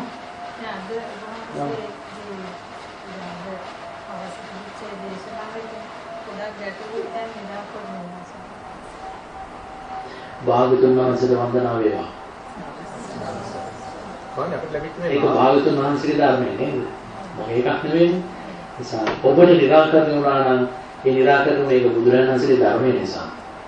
හැබැයි තියෙන තැන තව පැටලෙනවා නම් ඒක බුදුරණන්සේගේ ධර්මය නෙවෙයි. ස්වාමී සංජානකාව වදේශන පහක් තියෙනවා මේ දවස් අද දවස් පහක් පහක් තියෙනවා.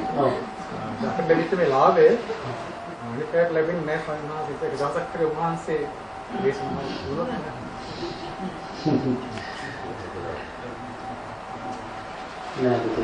නැහැ. ඔබලට මේ රහතන් වහන්සේලාම මුණ ගැසේවා. දැනද ඔබ වහන්සේලා රහතන් වහන්සේලා බවට පත් වේවා. මේ ඔබ නිදහසෙන් යන්න. අපේ මාත්‍යගේ චේතනාව උතුම් චේතනාවක්. නේ? ඈ? නෑ නෑ දැන් මේ වගේ ආයෙ නැහැ කියන ආයෙ එන්නේ ඉතින් ආයෙ මොනවා කියන්නේද වලා මේ මෙච්චර නම් තාත්තයි. මොනවා කියන්නේ? නෑ නෑ මම නෙමෙයි අර වෙන ස්වාමීන් වහන්සේ කෙනෙක් අපේ අර ලොකු ස්වාමීන් වහන්සේනේ වැඩි දිමුල් කුඹුරේ ස්වාමීන් වහන්සේ අද උදේ හිටියේ. උන්වහන්සේ තමයි ඔබලා වෙනුවෙන් වැඩි මේ මේ ආගේට මම ඇදගෙන ආවේ මේ ප්‍රශාන්ත මහත්තයා.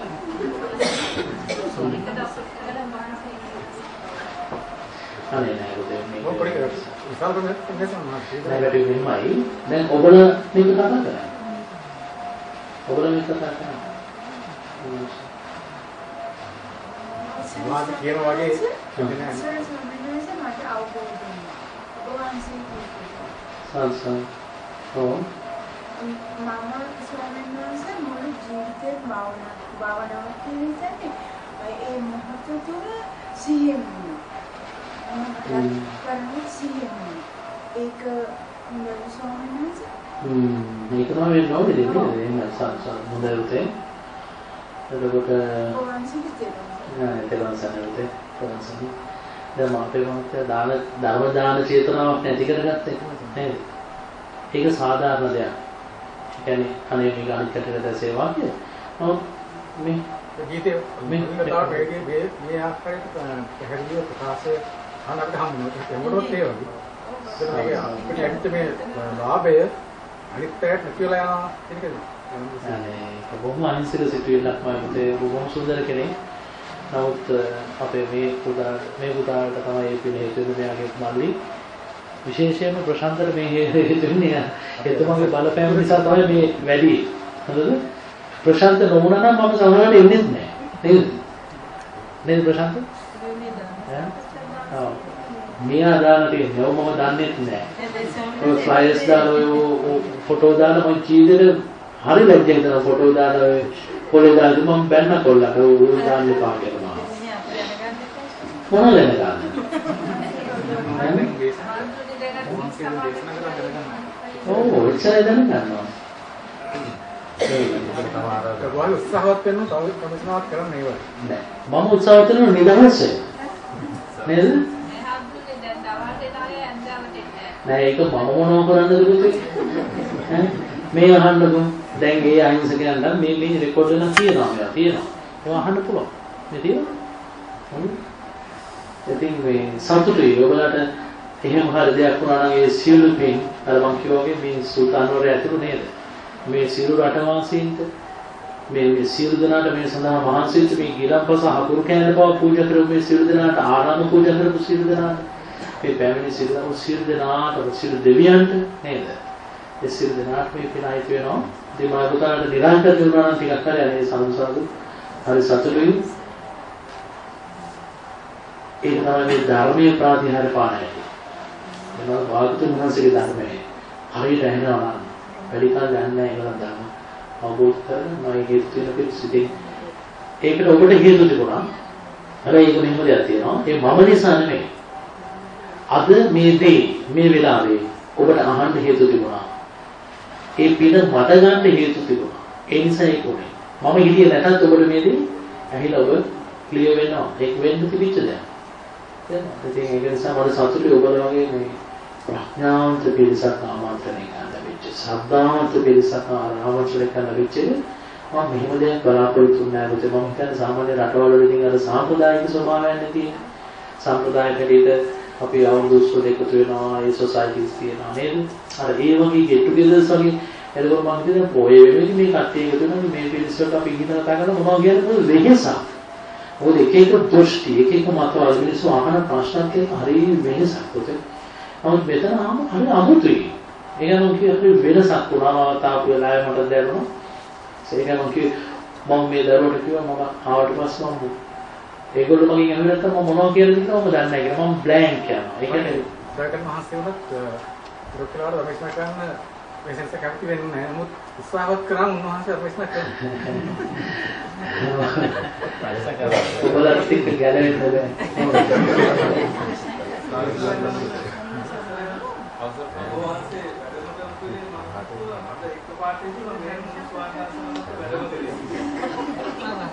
ඒ මොකද ඇයි ඒ තරම් අවුල්ද? උන්වහන්සේගේ අතේ තිබ්බ කෙවිත දැකලා මට මතක් වුණා චක්කුපාල මහරහතන් වහන්සේ.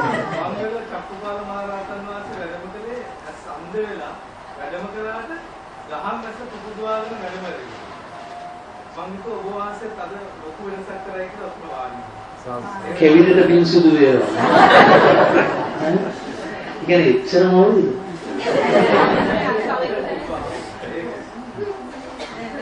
ඊට කාලේ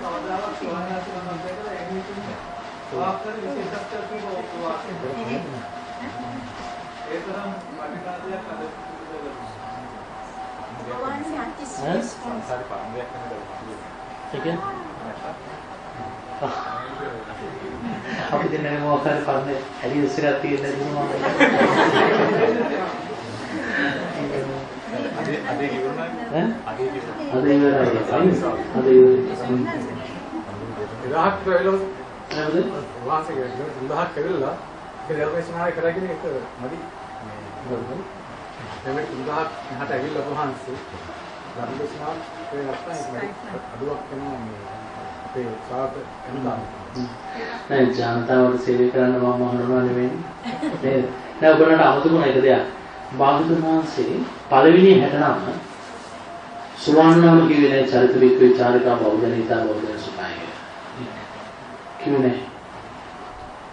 සකදාගාමී නාම කිව්වෙත් නෑ. අනාගාමී නාම කිව්වෙත් නෑ.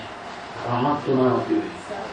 එතනද එහෙනම් බුදුරජාණන් වහන්සේ සම්මා සම්බුදුරජාණන් වහන්සේ මගේ බුදුරජාණන් වහන්සේ ධර්ම දේශනා කරන්න අවම සුදුසුකම හැටියට දකින්නේ රහත් ඵලය. එහෙනම් අපි මොන සොක්කොද? අපි මොන සොක්කොද?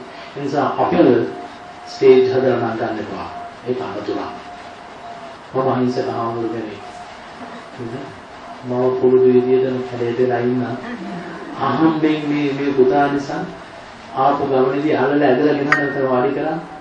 ඉතින් මම දන්න දේ කිව්වා අපේ. ඉතින් ඒකට මම දන්නේ ඒක මම කිව්වා මම සමාවෙන්න කියලා. බාගතුනාන්සි කියන ඔබලා ඉන්නාසනේ රහත් කරනවා.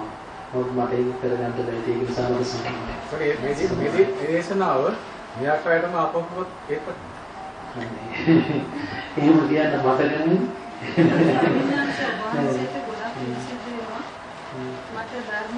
කියන්නේ අවුරුදු 10 ඉඳන් අවුරුදු 48 වෙනකම් උදාහරණ කියනදී මට ජීවිතේ තිබුණේ දන් දුන්නා. නමුත් මම හිතේ කතෝලික පරිසරය.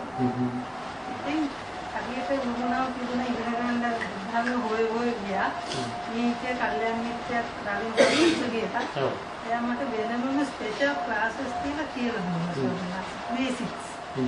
ඉතින් ඇත්තටම දැන් තමයි මේ වගේ අදත් මට මේ විදිහට එන්නත් ඉන්න ඇඳට ආයෙත් කරන එන්න නැගිටලා ආවා. ඉතින් වහන්සේ ගොඩක් පින් අද ගොඩක් දැන් මට තිබුණා නිකන් අඳුර වලාගෙන් එන්නච්ච කැටි ටිකක් තිබුණා. ඉතින් මම හිතනවා ඇත්තටම මම අවුරුදු 38ක සැරිය එකක් නේ දැන් අහපෝ කව කරගෙන කරගෙන යනවා සෝම. ඒ කියන්නේ ඔබේ වයස 38යි කියලාද කියන්නේ? නැතේ නම් 38 කම තිබුණා. ස්වාමීන් නන්දකයන් වහන්සේ කැමති උනේම නැහැ දේශනා කරන ධර්මයේ විශ්වහින්ද. ජීවන වහන්සේ බල කරලා යවුවා. අන්තිමට මහා අසෝ මහා සන්හාසෙක් මේ පිටපත් තුන විශ්වහින්ද ධර්ම දේශනා කිරීමෙහි අතිදක්ෂ වයින්නා. මේ සාසාවතු උනාසර වන්දනා වෙමු. මම රහත් නැහැ. ආන්දෝලනයේ අපේ කම්පාවේ කොසල් පොයේ දවස් ධර්ම දේශනාවට වඩින සේවය. සාදු මම අපවත් වේ. මේ ඔබ හිතනවා ඔබ ජීවත් වෙයි කියලා. එනේ අපි මේ අද කතා කරපු දේ අපි ගලපගමු උදේ. මම වටින් මං හිතන්නේ ඒකයි වටින්නේ. අපි අනාගතේ හිත පිහිටවන්න එපා. මම ඔබට මේ ධර්මයේ කියන්නේ මේ මොහොතේ මේ දේ ගලපගන්න. නේද? අනාගතේ හිත පිහිටවන්න නිදහස් කරගන්න. ඔබට තියෙන්නේ මේ මොහොතේ විතරයි. ඊට වඩා දෙයක් නෑ. වර්ණ වර්ණනා කරන්න හොඳ නැහැ නේද ස්වාමීන් වහන්සේ? මොකද්ද පුතේ? භවය වර්ණ කරන්න මොහොතක් මොහොතක් කියලා වර්ණනා කරන්න හොඳ නැහැ ස්වාමීන්.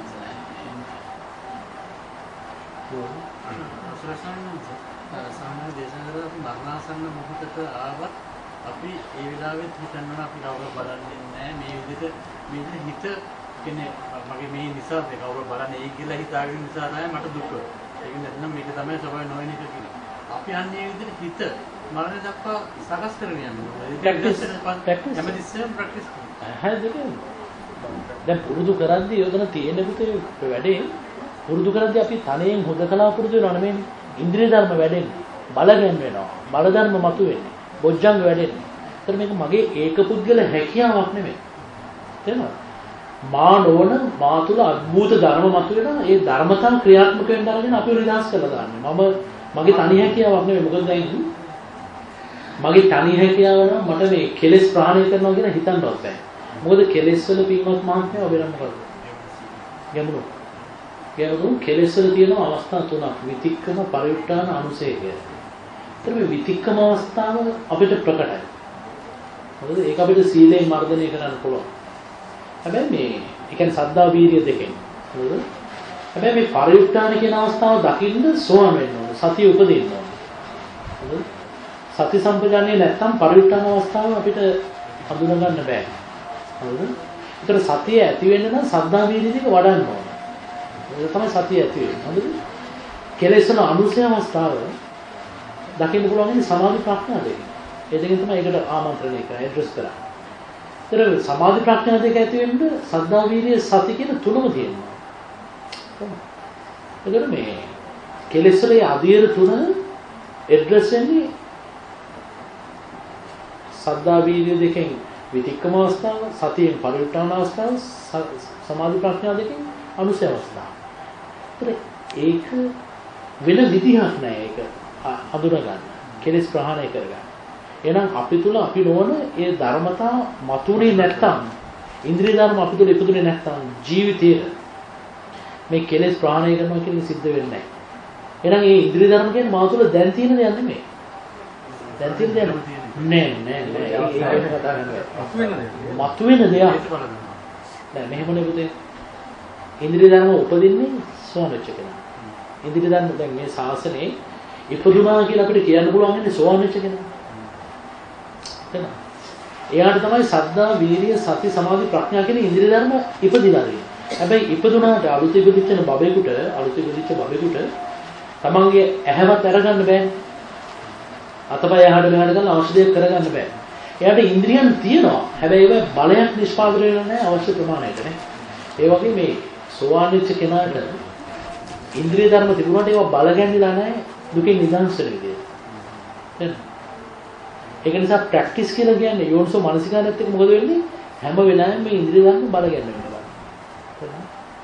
ඒක අපි දාන ඉන්පුට් එක අනුව තමයි තියෙන්නේ. හරිද? ඒක ඒක භව හතක් කරා යන්නත් පුළුවන්. සමහරට මේ ජීවිතෙම වෙන්නත් පුළුවන්.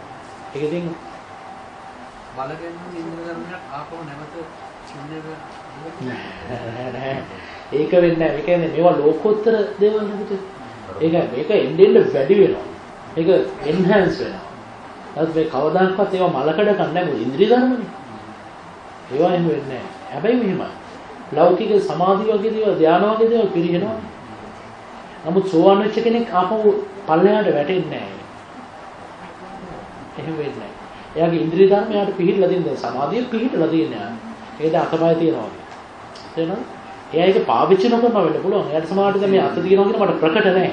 නමුත් ඒක තියෙනවා. ඒක තියෙනවා. මොකද ඉන්ද්‍රිය පහ එයාට නැති වෙන්නේ නැහැ. එයා සෝවාන් වෙලා හරි තියෙනවා. ඒක අපිට ලැබෙන වරක් ප්‍රසාදයක් මේ බුදු සාසනය. ඒක තියෙනවා. තියෙනවා ඒක ඒකට එයා දන්නේ නැහැ නමකට තියෙනවා. සෝවාන් කියලා දන්නේ නැහැ. නමුත් එයා වෙනස් කියලා දන්නවා.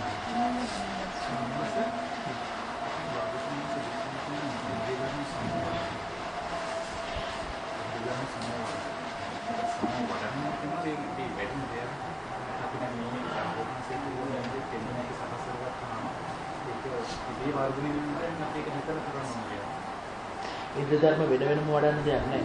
අපේ යෝනිසු මනසිකාරය තුළ මේක සමව වැඩ.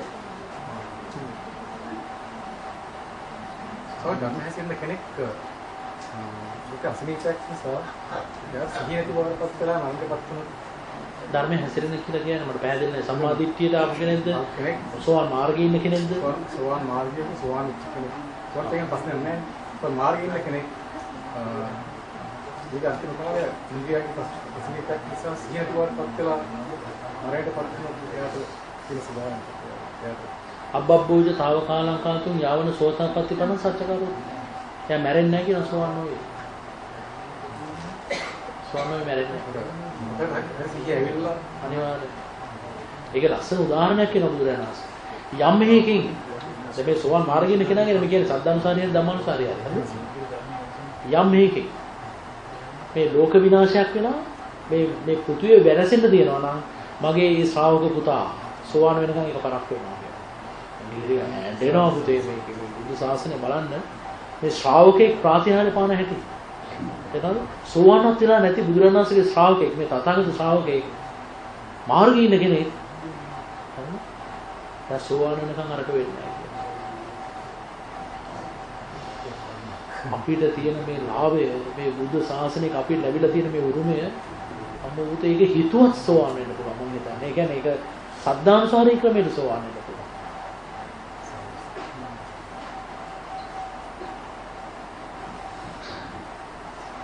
අවසන්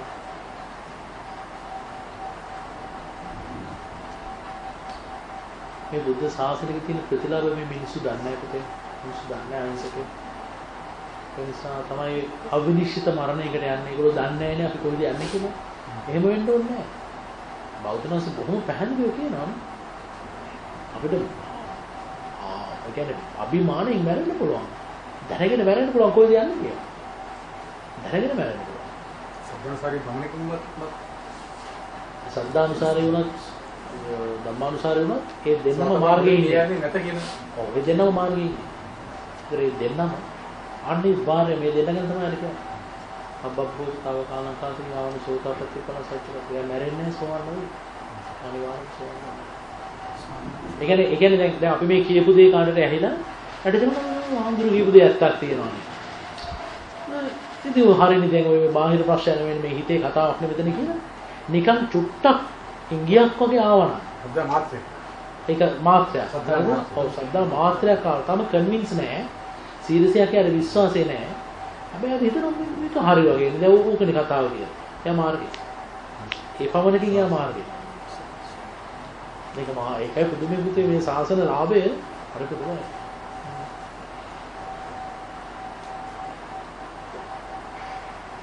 ඕකම කතා කරන්නේ අපේ මාතෘ. ඊට පස්සේ සාමාන්‍යයෙන් හිටියත් නැතත් එකතු වෙලා ඕකයි කතා කරනවා. මෙන්න මේ සමාජ මේ ලෝකේ කතා නෙමෙයි අපි කතා කරන්නේ. තේරුණාද? ඔබලා ජාතිකයටයි ජාතිකයටයි ඉන්නේ නැහැ. ඔබලා ශ්‍රුතවත් ආර්ය ශ්‍රාවක කියන කුලකේ ඉන්නේ ආර්ය කියන කුලකේ ඉන්නේ ඔබලා. වෙන ජාතියක් වෙන මොකක්වත් නැහැ. දැන් මම කියන දේ තේරුම් ගන්න නැහැ. මම කියන්නේ අපි ඉන්නවා අපි හිතනවානේ ජාති වෙනුවෙන් සංස්කෘතියට අපි මරාගෙන වත් මැරෙන්නේ නැහැ නෝ. එතනද යන්න එපා. ඒක නෙමෙයි ඔබ වටිනාකමක් දෙන්න ඔබ සිංහල බෞද්ධුනේ ඇයි? ධර්මයේ උදෙසා ධර්ම අවබෝධ කරගන්න. ඒතර අන්‍ය ජාතිකින් අපි කියන හිත හිතා වෛර කර කර ඒගොල්ලෝ නිරේට ආවේ. ඒගොල්ලෝ ඒක ගියාට කමන්න මොකද ඒගොල්ලන්ගේ ශාස්ත්‍රඥ වහන්සේලා ඒක කියලා නැහැ. ඒකෙන් ගැලවෙන්නේ තමයි. නමුත් බුද්ධ ශාසනය ඔබ හොඳට මතක තියාගන්න මේ බුද්ධ ශාසනය විනාශ කරන්නේ භික්ෂු භික්ෂුණී උපාසක උපාසිකා කියලා බුදුරජාණන් වහන්සේ කිව්වේ ඒක දැනගෙනමයි. ඕ. එහෙනම් ඔබලා කියනවා නෑ නෑ ඒගොල්ලෝ නෙමෙයි මෙන්න මේ අහවල් ಜಾති අහවල් ආගමේ කට්ටිය කියලා ඔබ බුදුරජාණන් වහන්සේත් එක්ක හැප්පෙන්න. හරිද? එහෙනම් ඔබයි මමයි දුකින් නිදහස් වීමේ අයිතිවරුමේ කියන මිනිස්සෙක් කියලා ඉපදිලා බෞද්ධයෙක් කියලා ඉපදිලා අපි තවත් જાතියක් එක්ක ද්වේෂ කර කර ගිහලා අපිත් මැරලා ගිහිල්ලා ඒ බංකුවෙම නම් ඉන්නේ නිරේ. හරිද? අරගොල්ලෝ ඉන්නේ බංකුවෙම නම් අපිත් ගිහිල්ලා වාඩි වෙන්නේ ඔබ බෞද්ධ ජාත බෞද්ධකමට වටිනාකම දුන්නා. සිංහලකමට වටිනාකම දුන්නා. හොඳට මතක තියාගන්න ලෝකේ වටිනා දේවල් දුර්ලභයි. මැණික් බොරළු වගේ වුණා නම් මොකද වෙන්නේ? සංසම්. මැණික් බොරළු වගේ වුණා නම් වටිනාකමක් නැහැ. සිංහට සිංහ දෙන්නේ කිපා. ආහා. එහෙනම් ශාක්‍ය කුලේ බුදුරජාණන් වහන්සේ ජීවත් වෙලා ඉන්න ඇද්දිමයි සමූල ඝාතනය. එහෙනම් ඔබලා අපි ඊගා මොහොතේ මැරෙන්න පුළුවන් මැරෙන ක්‍රමය මොකද්ද කියලා හිතන්න යන්න එපා. කවුරුහරි මරලා වුණත් කමක් නැහැ. කවුරුහරි මරලා වුණත් මැරෙනවා නම් ඒක ඔබේ අවසාන මරණය කරගන්න. මේ විදිහට හිතන්න. අන්න ඔබ මේ බුද්ධ ශාසනය බබළුවන ඒ බුද්ධ ශාසනික සරම් බුද්ධ අනුශාසනයි ඒ බුද්ධ ශාසන සරසන බුදුරජාණන්සේ ශ්‍රාවක බුදාවටපත් වුණා. එහෙම නැත්නම් ඔබ ශාසනයේ නාමයෙන් අනාගතයේ ඔබේ දරුවන්ට බහිඳ රටක් නැහැ කියලා හිත හිතා ඔබ ද්වේෂය නම් වඩන්නෙමයි පුතේ. ඔබ මේ බුද්ධ ශාසනය විනාශ කරන පිරිසකට එකතු වුණා විතරක් නෙමෙයි. මගේ බුදුරජාණන් වහන්සේ පින්වම් වංශකෙදී දැක්කා මේ බුද්ධ ශාසනය විනාශ වෙන්නේ කවුරු නිසාද කියලා. ඒ මූණුව තුළ ඔබේ මූණ එන බුදුරජාණන් වහන්සේ දැක්කා. na බුදුරජාණන් වහන්සේ මොනසා සංවේගයක් උපදින්නේ නැද්ද? අප්‍රමාණ මහා ප්‍රතිපස්සතරේ නිදහස් වෙනා නියපුත්‍ර ගන්න පස්සන ඉතාමත්ම සුළුතරයක් වූ මේ සුගතියට එන්න ඔබ මොනතරම් වීර්යයක් දරුවද හැබැයි එහෙම ආපෝබ මේ හිත එකමික සිතුවිල්ල තේරුම් ගන්න බැරි නිසා තමන්වත් විනාශ කරන මේ ශාසනයත් විනාශ කරන හැටි තාත්ත දැක්කා. ඒ ඔබ නොවේවා. එහෙම නොවේවා. නමුත් ඔබට මෙහෙම හිතන්න පුළුවන් අනිත් පැත්තේ. ඔබ මේ ධර්ම අවබෝධ කරා නම් ඔබ මේ ධර්ම අවබෝධ කළොත් මගේ ගෞතම බුදුරජාණන් වහන්සේ පින්නම් වංශකේ දැක්කා උන්වහන්සේගේ බුදු සාසනය අවසානයේටම සෝවාන් වෙන කෙනා දක්වා වෙන්ගෙන් වශයෙන් මොන එන මගේ බුදුරජාණන් වහන්සේ මගේ මේ ගුණ දැක්කා කියලා හිතා. ඒක ඔබට මොනතරම් සතුටක් වේවිද? ඔබට ජීවත් වෙන්න පුළුවන් ඒකත් එක්ක. කොයි විදිහට හිතන්නේ? කොයි විදිහට හිතලා සතුටින් ජීවත් වෙන්නේ? අපි මොනවා කියන්නද නේද? හ්ම්? මොනවා කියන්නද?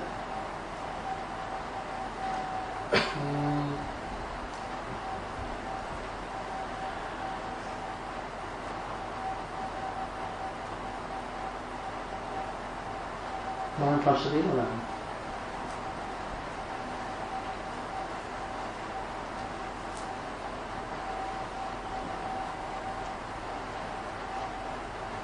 හැමෝටම තේරුණාද තේරිච්ච නැති දැන කෙනෙක් ඉන්නවා.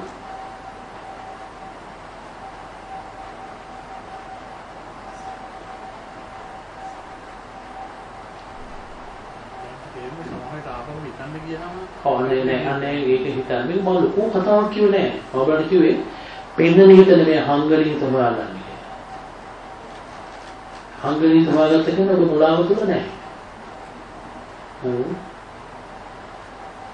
මේ මහත්තයාට තා පොත දුන්නා දන්නේ නැහැ. පොත හම්බෙන්නේ නැද්ද වෙන්නේ? කීප දෙනෙක් විතර එතෙන්ට කොපිස් හතරක් මේගොල්ලන්ට දුන්නා මේගොල්ලෝ පොත ගහගනි. මේ මේ කොපි හරි ගහගනි. ඔව්. මේ මේ ඒක හිතන්න තියෙන්නේ. දැන් අපි මේ කතා කරපු දේ මේ අපි මේ වගේම කතා කරද්දී කෙනෙක් එක ටයිප් කරලා මේ ලියපු පොත පොඩි පොතක් පිටු 40 ගන්න. ඒක ඔබලා විවේකීව ඒක ඒ පොත හිතන්න තියෙන්නේ කියවන්න නෙමෙයි. ඒකේ ඔබට සියල්ල තියෙනවා. මම මේ කතා කරපු සියල්ල ඊට වඩා මෙමොරින් විශ්ලේෂණය කරලා තියෙනවා විවේකීව කියවන්න. මම හිතන්නේ ඒක ඔබට ඔන්න පොසොන් පඳුරක් බවට පත් වේ. ඔබේ තුන මොකද දැන් මට වචන නැහැ පිටේ කතා කරන්න මොකද ගොඩේ ගානි කතා කරලවත් නැහැ මොකද එහෙම අවශ්‍ය නැහැ. ඒ කියන්නේ කතා කරන්නේ නැහැ. කතා කරන්න බඩ කියන්නේ නැහැ. දැන් ඒක ඊට වඩා හොඳයි අර පොතේ තියෙන විස්තර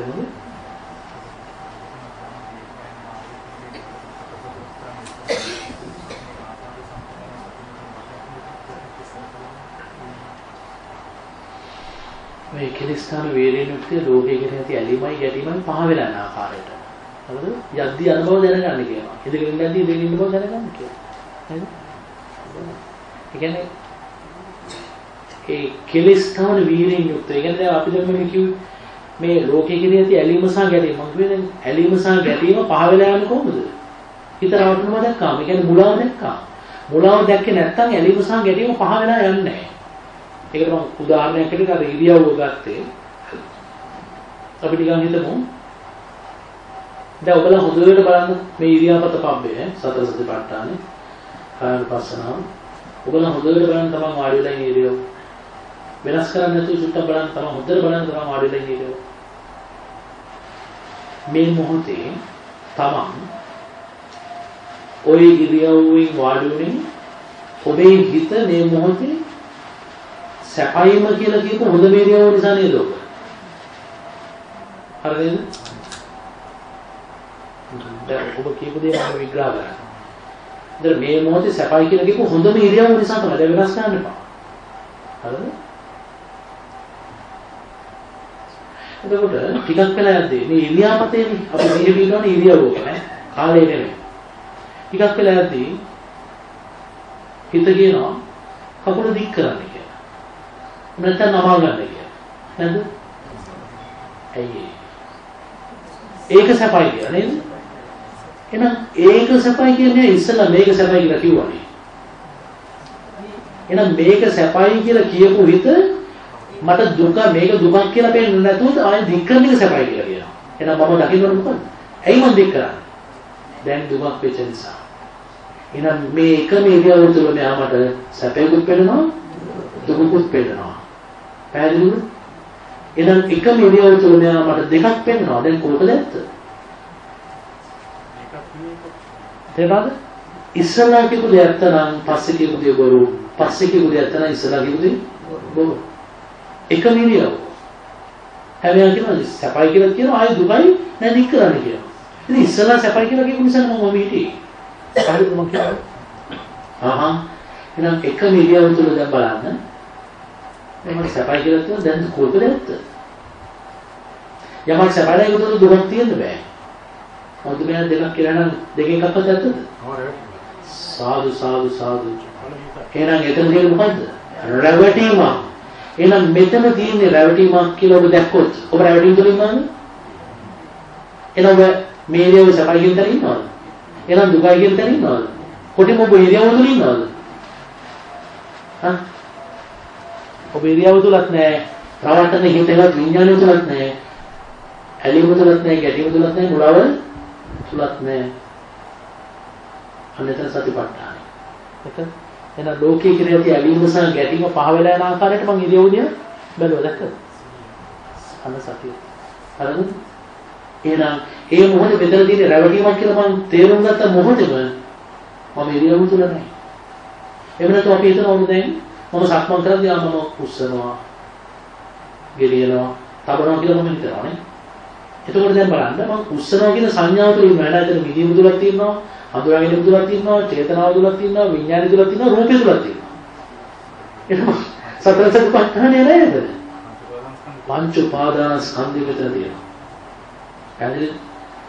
තියනවා කියන්නේ ආයේ මොනවයි. එතන මම කනවා කියලා මම දැනගෙන කනවා කියලා ඒක එතරම් තියෙන සියල්ල තියෙනවා. මේක සතිපට්ඨානෙ වෙන්නේ නැහැ. ඒක මොකද? සමතයක්. ඒකාන්ත භාවය. හැබැයි අද කාලේ ඒක ඉන්ටර්ප්‍රිට් වෙනවා. ඒක අර්ථකථනය වෙනවා. ඒක සතිපට්ඨානය කියලා. ඒක එකම එක චූටි දෝෂයක් නිසාම ඒක තේරුනේ. ඒක තමයි බුදුරජාණන් වහන්සේ සතිපට්ඨානයේ රහතන් වහන්සේ කෙනෙක් දීවෙල එකම එක වාක්‍යයක් කියලා. ඒ වාක්‍ය තමයි අපේ පින්වත් මහත්මයා දැන් කියුවාද ආතාපි සම්පජානෝ සත්මා විනය ලෝකේ අභිජ්ජා දෝමනස්ස. මේ කෙලෙස් තම වීරිනික් තුළ ඇලීම සහ ගැටීම පහ වෙන යන ආකාරයට මම ඉරියව් පවත්තා. එහෙනම් ඇලීම සහ ගැටීම පහ වෙන ආකාරයට ඉරියව් පවත්නවා කියන එක තමයි ඔබට වෙන්නේ. ඒකට කොහෙවත් පිළිතුරද දැන්? කොහොමද අන්න සතිපට්ඨානයි. යුක්තව නුවණයි දාන්න ඕනේ නැහැ කියලා අමුතුවෙන් නුවණ හිතන තියෙනවා. සති සම්පජානේ තොර දෙයක් නෙමෙයි සතිපට්ඨානයි කියන්නේ. ඔව්.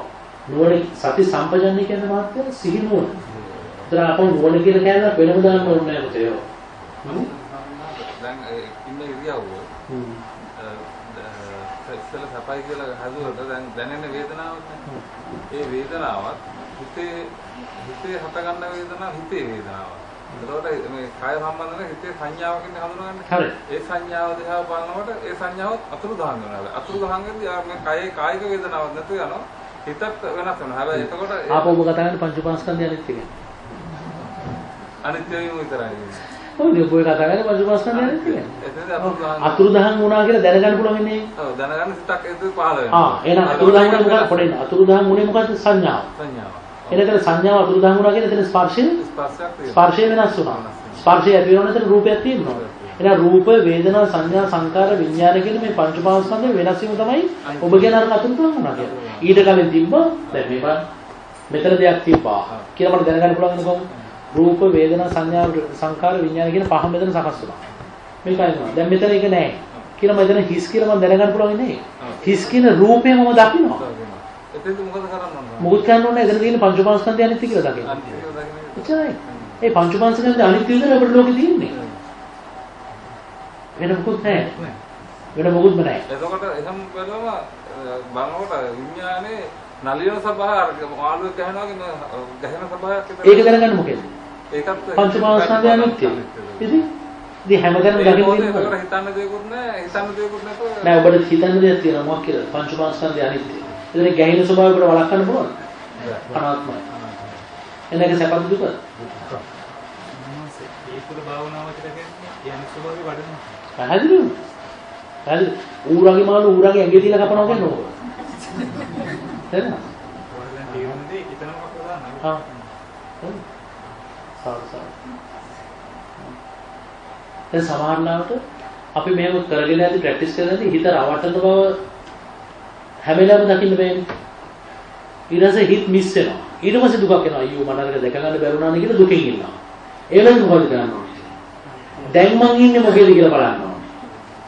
ධර්මයේ නාමයෙන් ප්‍රතිපදාවේ නාමයෙන් දැන් මං ඉන්නේ මොකක් තුළද? දුකක් තුළ, ගැටීමක් තුළ. ඒ මං ගැටීමේ ඉන්නේ. මට අරක කරගන්න බැරුණා නේ කියන පසුතැවිල්ල. එන එක කරගන්න බැරුණා නේ කියන දුක ඇතුලේ කොහෙද? හිතේ. ඇයි කරගන්න බැරුණා නේ කියන දුක ඇතුලේ? කරගන්න තිබ්බන සැපයි කියන හිත නිසා. එහෙනම් කරගන්න තිබ්බන සැපයි කියන කවුද? හිත. නැතිව දුකයි කියන කවුද? එහෙනම් එතන ඔබ දැක්කම ආපහු රැවටෙන්නේ අර සියල්ලට වැදෙන. එහෙනම් අන ප්‍රතිපදා. එහෙනම් එහෙනම් එතකොට හැම මොහොතකම ඔබ බේස් එකක් හදාගෙන මොකද සතුට. සතුට කියන බේස් එක ඔබ හැම වෙලාවෙම පිළිපදේ. ඔබ වෙනස්. ඔබ වෙනස් විදිහට දකින්න ඕකේ. ඔබ වෙනස් විදිහට හිතන්නේ.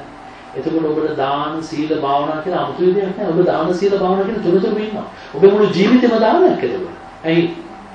අනුන් වෙනින් ඔබට මොනවද කරන්න බැරි? ඔබ වචනේ දන් දෙනවා, හිනාව දන් දෙනවා, ක්‍රියාව දන් දෙනවා, සිතුවිල්ල පවා දන් දෙනවා.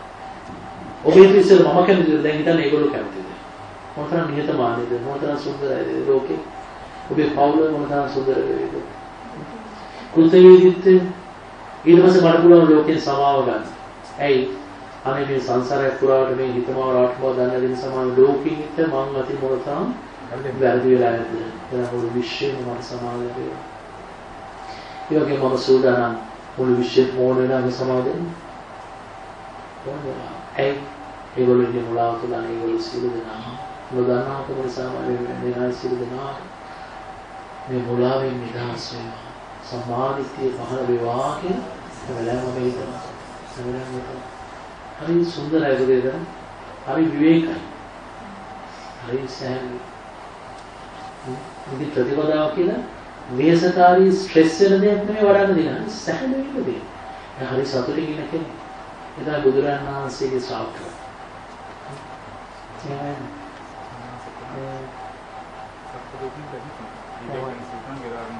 සාදු සාදු සාදු සාදු ඒක එහෙමමයි ඉන්ද්‍රිය ධර්ම ක්‍රියාත්මක වෙන්න ගත්තට පස්සේ මහත්තයෝ අපි ස්ට්‍රෙස් වෙන්න ඕනේ නැහැ මේ කෙලෙස් එක්ක හැප්පෙන්න. මොකද අපිට හොරෙන් එක හිතක්වත් ඊට පස්සේ සකස් වෙන්නේ නැහැ. ඒ හැම හිතක්ම ඇනලයිස් වෙන්න ගන්නවා. ඒවා ක්ලියර් වෙනවා. ඒවා දකිද්දී මම පළවෙනි වතාවට සංසාරේ විවේකයේ මොකද්ද කියලා මම හඳුනා ගන්නවා. ඇයි? මානවන අద్భుත ධර්මතා මම වෙනුවෙන් මේ කෙලෙස් වලට නවතින වෙලා සහ මුලින්ම මේ බැටල් ග්‍රවුන්ඩ් එක සුද්ධ කරන හැටි මම දකිද්දී මම විවේක නිසිත මම විවේකයේ අත්විඳින්න ගන්නවා. විවේකයේ අත්විඳින්න විවේක නිසිත විරාග නිසිත මම මේ විරාගය මේ මගේ හිත තුළ කිසිම දෙයක් පිහිටන් නැති හැටි හබරු කොල්ට වැටෙන වතුර වගේ මේ කිසිම දෙයක් පිහිටන් නැති හැටි මට ප්‍රකට වෙන්න ගන්නවා විරාග නිසිත. මට කිසිම සැකයක් නැහැ. මේ හැම දෙයක්ම නැමිලා තියෙන නිවන පැත්තටමයි කියන එක කිසිම සැකයක් නැහැ ඔස්සන්න කරලා. ඒක බොජ්ජංග දාන වැඩේ.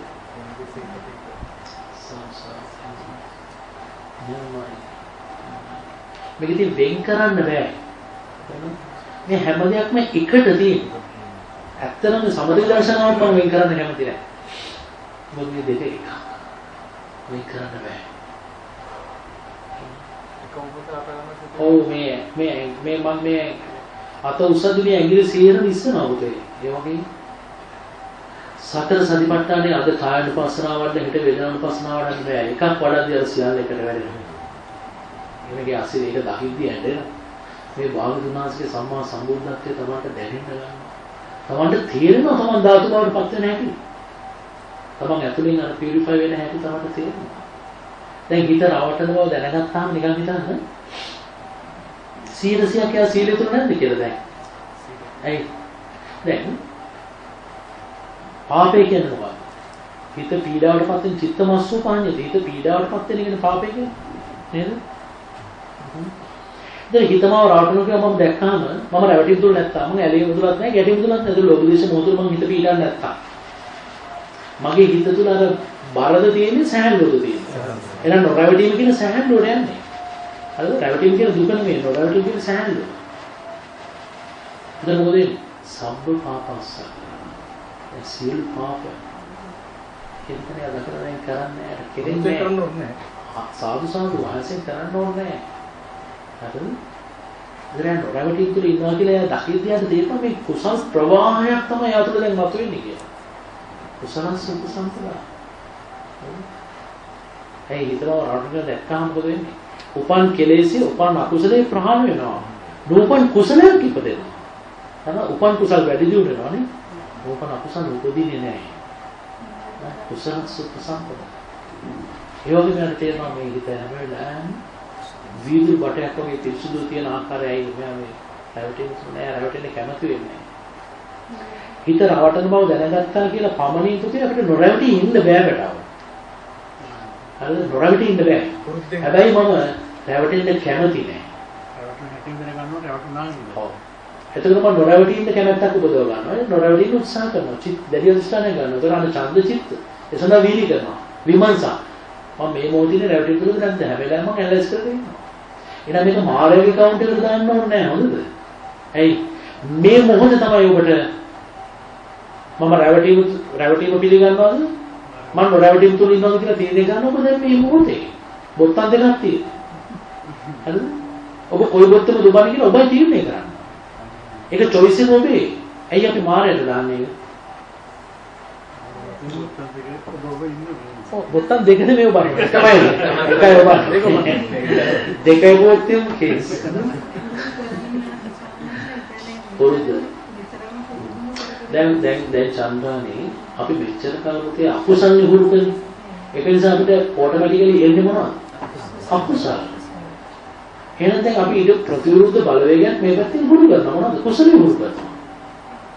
එතන මොකද වෙන්නේ? අකුසල නිකම්ම ෂට් වෙලා නැහැ මේ පැත්ත පිරෙන්න ගන්න කුසලෙ. සිංකේහකට සිංකේක මොනවාරි මොනවාරි දෙයක් හොදලා හරිද? අර මුඩි ඇරියාම දැන් වතුර ටික ඩ්‍රේන් වෙනවනේ. ටැප් එක අරින්නකෝ ඒ කුණු වතුරටම ටැප් එක අරින්න මොකද වෙන්නේ? කුණු වතුර ටික ගිහිල්ලා හොඳ වතුර ටික ඉතුරු වෙනවා. හරි? ඒතර කුණු වතුරටම තමයි අපි මේ හොඳ වතුර ටික දාන්නේ. හැබැයි කුණු වතුර ටික බර වැඩි ඒක ඉස්සෙල්ලා ගිහලා අර ටික ඒක තමයි වෙන්නේ. හරිද? ඒ නිසා ඒකට බය වෙන්න එපා.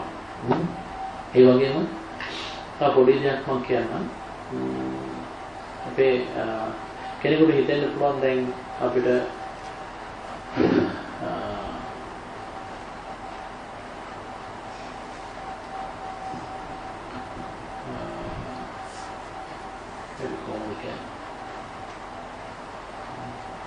දැන් අමෙන්නාස්ලෙන් කැමැත්ත මම අපිට හේතු වෙනව නේද කියලා දැන් දුකින් නිදහස් වෙන්න අපි කැමති වෙන එකක් කැමැත්තනේ. හරිද? දුක දුක ඉන්න කැමති වෙන එකත් අපි කැමැත්තනේ. ඒ දෙකම කැමැත්තක් නේද කියලා කෙනෙකුට හිතෙන්න පුළුවන්. දැන් අපි මෙච්චර අපි කැම චන්දරාගේ ප්‍රහාණය කරන විදිහනේ. ඉතින් ඕකත් චන්දරාගේ නේද කියලා කෙනෙකුට අහන්න පුළුවන් හිතෙන්න පුළුවන්. නමුත් චුටි දෙයක් මම කියන්නම්. අසුචි වලක අපි වැටිලා ඉන්නව නම් ඒ අසුචි වලේම ඉනිමගක් තියෙන අසුචි ගෑවිච්ච. එතකොට අසුචි වලේ ඉන්න මම හිතුව අයියෝ අර ඉනිමගේ නගින්න කියලා තවත් අසුචි ගා ගන්න ඕනේ නැහැ කියලා මම හිතුවා. නේද? උනම් ඉනිමගේ අසුචි ගෑවිලා තියෙනවා තමයි. හැබැයි ඉනිමග නිදහස් වීම හේතු වෙන දෙයක්. ඒක නිසා ඒකට කැමැත්තක් උපදව ගන්නවා. ඒකත් චුට්ටක් තේරෙන්න. කැමැත්තෙන් තොරව කැමැත්ත ඉතිරන්න බෑ. ඔව්. ඒකමයි. ඒ කැමැත්ත කුසලයේ හේතු. හරිද? අරක මොහය. එතන ඉස්සලාම ඔබලා පුරු වෙන්නමයි පුතේ තමන්ගේ කෙලෙස් හඳුනා ගන්න. හරිද? තමන්ගේ ගැටෙන හිත හඳුනා ගන්න. ඇලෙන හිත හඳුනා ගන්න. ඒක ගැටෙන හිතට අකමැති වෙන්න. අකමැති වෙලා ඊට පස්සේ බලන්න මේ හිත රවට්ට නැහැ. හිතනවා මම මේ රැවටීම කියන වචනේ ඔයගොල්ලෝ කිව්වේ ඒක අපි සිංහල වචනයක්. අපි මෝහය කියලා කිව්වට අපිට මෙච්චර නරක තේරුන්නේ නැහැ. තේරුණා? අපි ඇලීම් ගැටීම් ගැන විතරයි කතා කරේ. ලෝක දේශ ගැන විතරයි. මෝහය අපි එද්දසුන් නමුත් රැවටීම කියන්නේ මුලාවට. මුලාව කියන්නේ මොනවද? මොහේ කියන එක නැතුව අරස් දෙක වෙන්නේ නැහැ නේද? සංසාරේ මෝහය නිසාමයි ඇලි ගැටීම් තියෙනවා. ඇලීම් ගැටීම් නැති. ඇලීම් ගැටීම් නැති. හ්ම්. තමනක තියෙනවා.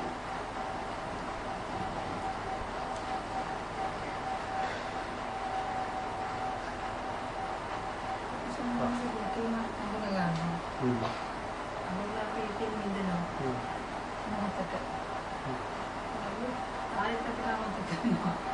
දැන් කමන්නේ. එක සැරයක් හරි අපි අඳුරගත්තා නම් අපිට ඉන්ද්‍රිය ධර්ම පිළිගියා චන්දා. හරි. ඊට පස්සේ අපි ඒක නොවඩ හිටියා අපි ආත්ම හතක් කොට යන්නේ නැහැ. ඒක අපි ධර්මතාවයක් වඩපත් වෙනවානේ. ඉතින් ඒක නිසා වැදගත් වෙන එක සැරයක් හරි මේක දකින්න. හරිද? දැකලා ඔබ ඉතින් මෙහෙමයි. ඉතින් අර ඒක මම කිව්වේ දැන් ඕනම දෙයකට අපි කැමැත්තක් උපදව ගන්න බෑ. ඒක මම කිව්වේ අර Taman විඳින්නේ දුකක් කියලා දකින්න. දුකට අකමැති වෙන්න. දුක ගැන කලකිරෙන්න. ඒ සේරම වැටෙන්නේ මොනවටද? ධම්මවිචේ සම්පෝඥාගේ. එහෙනම්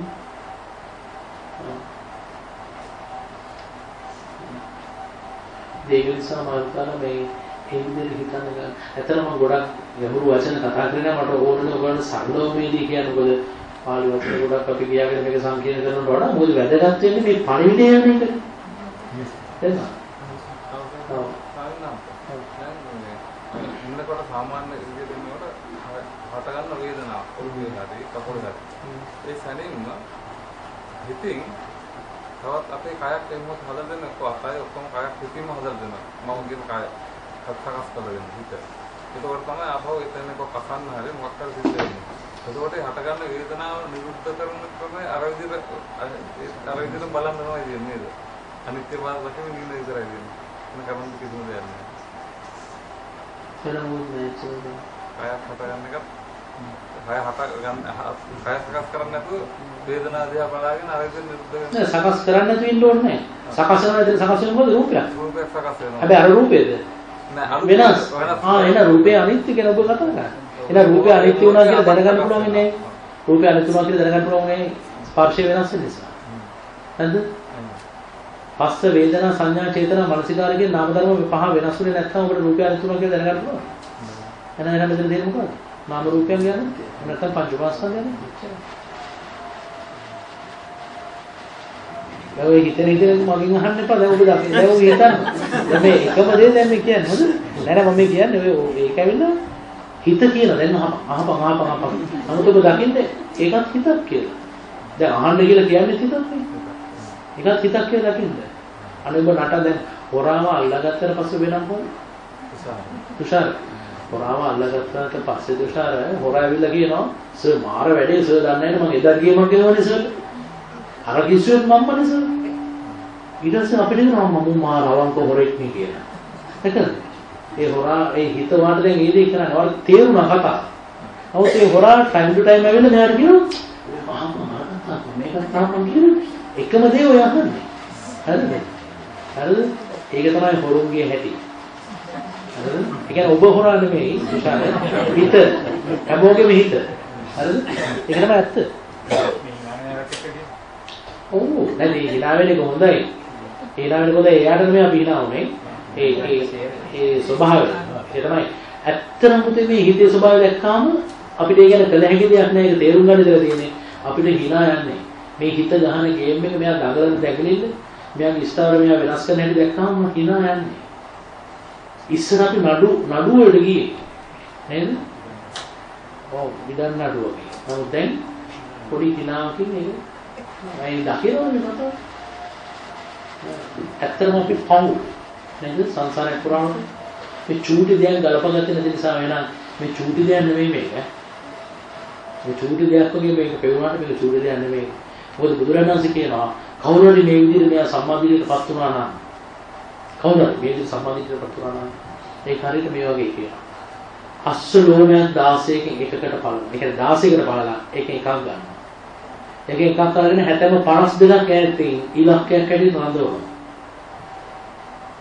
තවත් අස්සලුමින් 16ක් අරගෙන ඊතලයක් කරලා අර හැතැම්ම 52ක් විනිදි විනිවිද ගිහිල්ලා හරියටම අස්සලුමින් 16කට අස්සලුමින් 16ක කුඊතලෙන් විද්දා වගේ කියනවා. කවුරු මේක දැක්කම. මේක තමයි අමාරුයි. මේ සංසාරත් එක්ක බලද්දී මාතුකාට එක ලේසි වෙලා තියෙන්නේ. ඔබලා හෝම්වර්ක් කරලා තියෙන සංගීත ජීවිතවල බුදු සාසනෙ දෙක නිසා ඔබලව දැකීම ලාභයක් සිදු වෙනාට ඔබලා ප්‍රාතිහාර්ය බාලමේ සුන්දර අවස්ථාව උපදවා ගන්නමයි පුතේ නා ඔබ ප්‍රාතිහාර්ය බාල පිරිනම් පාන්න මේ ඔබේ බුදු සාසනය. එතම ප්‍රාතිහාර්ය පාන්න කියලා කියන්නේ මේක. ඔබ මේ හිත මාව රවටනවා කියලා දකිද්දී මේ හිත මට සැපයක් වෙලා දෙන්නේ දුකක් කියලා දකිද්දී හිත මාව රවටන බව නොදන්නා දිව්‍ය ලෝක ගල් ගැහෙනවා කම්පා වෙනවා. හිත මාව රවටන බව නොදන්නා බ්‍රහ්ම ලෝක කම්පා වෙනවා ගල් ගැහෙනවා. වාග්ය බුදුරණන්සේ ශාවකේ මේ ඉන්න ආසනෙ ඉඳගෙන හිතුවොත් දැක්කොත් මේ හිත මාව රවටනවා කියලා. ඒ මොහොතේ අර දිව්‍ය ලෝක බ්‍රහ්ම ලෝකම් එන එක ප්‍රාතිහාර්ය වෙනවා. මේ සියලු ලෝක සම්පා කරලා ඒ අමාමහ නිවන සාක්ෂාත් කරන දවස් වැඩි ඈතක නොවේවා කියන මේ සඳහා අප කපුරා වූ සෑම සිවිලාටම ඉරණ උස්පරල්ල පාසා කරන පියවර පාසාවකදී කිසිම කායික දාහයක් මානසික දාහයක් ඇති නොවේවා. සියලු දෙනාටම සැනසීමෙන් සැනසීම වේවා. උතුම් චතුරාර්ය සත්‍ය පරිපූර්ණ වශයෙන් අවබෝධ වේවා ඒ අමා නිවන ඒ අමා මහ නිවන සාක්ෂාත් ඒ සොඳුරු දිනේ වැඩි ඈතක නොවේවා කියලා අපි හදවතින්ම ඒ සියලු සම්මිය දෘෂ්ටික දෙවියන් සියලු අමනුෂ්‍යයන් මේක අනුමෝදන් වේවා. සියලු මේගේ ඥාතින් මේක අනුමෝදන් වේවා. ඒ සෑම සිද්ධාටම ඒ සියලු ආත්ම භාවයන් සුඛී සුවපත් භාවයට පත් කරගෙන සදාටම සංසාරේ විනාශ ශක්තිය ධෛර්යය වාසනාව සිතේ කාන්ත වශයෙන් අවසරයි ස්වාමීනි ස්වාමීන් වහන්සේ වෙනුවෙන් නම් මම කරන අනුකරණ අපගේ සත් මහත්මයාට මම කරන මම වහන්සේ වලුත් ඉනම් ගුණයක් කරන වහන්සේ ආ මේ කිසිම මොන්නේ අනුමෝදනා ඒවයි පා සම්ප්‍රදාය ඕනේ බෙර වැදගත් වෙන වැඩි එක නිදාසන සතුටින් වචනයක්වත් වෙනස කරවන්න එපා දැන් ඔබලා. අපි මේ සංසාරේ වෙහසුන නැති පුතේ සමේ වචී සංස්කාරයක් අනිත්‍ය හැටියට දකින්න. මේ වචනයක් දුකක් හැටියට දකින්න. වචනය කියන වචනය තුළ තියෙන මොකද්ද බලන්නකෝ වයන්න ඡායන්න නායන්න යන්න කියන මොකද්ද? වයන්නට වඩා ඡායන වෙනස් ඡායනට වඩා නායන වෙනස් නායනට වඩා යයන වෙනස් එනම් කල මේ රූපේ? වෙනස් වීමක් තියෙනවා රූපේ වෙනස් වෙනවා කියන දැනගන්න වෙනස් වෙන්නේ කොහොමද? වෙනස් වෙන බව දැනගන්න කොහොමද? විදීම වෙනස් වෙන්න ඕනේ හඳුනාගෙන වෙනස් වෙනවා චේතනාව වෙනස් වෙනවා විඥාන වෙනස් වෙනවා.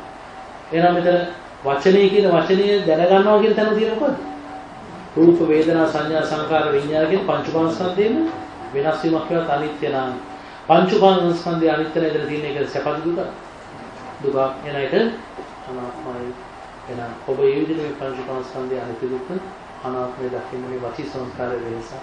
මේක නිදහස් වෙන නම නිල පීඩාව ඒක නිදහස් වෙන කරන දේ නිවනමයි ශාන්ත නිවනමයි කියලා අනුදාන මනස්කාරය කරන සතුටුමින් අර කොට ගන්න මේ ඕන්න ඕනේ නම් මේ මේ මේ අපි මේ කතා කරපු දේවල් වගේම ටිකක් තව තියෙනවා මේ අර Google Drive එකක් තියෙනවා ඒ ඒකේ link එක දෙන්න ඒක share කරගන්න ඒක එතකොට කට්ටියට දෙන්න පුළුවන් මේ එහෙනම් හරියට හොඳයි ඊළඟ සැරේ සතුටු දෙකේ අවසරයි අපි ස්වාමීන් වහන්සේ වන්දනා කරමු. ඒ සිතින් කායින් වචනය දෙකවන්ත දපවල් බව පස්ම අපි මහත්මයාගේ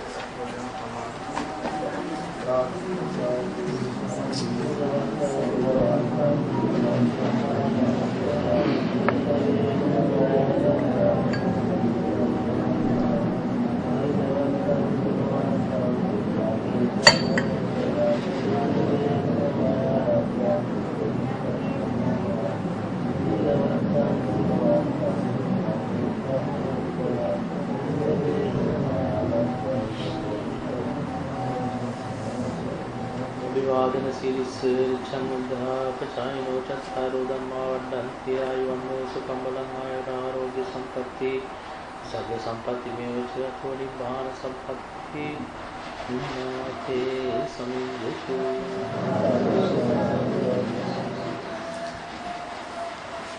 ස්වාමීන් වහන්සේ අපිට බුදුන් වහන්සේ වන්දනා කරන අදහසින් යුක්තව අපේ අදහසින් කරන ක්‍රියාස්ථානයේ වන්දනා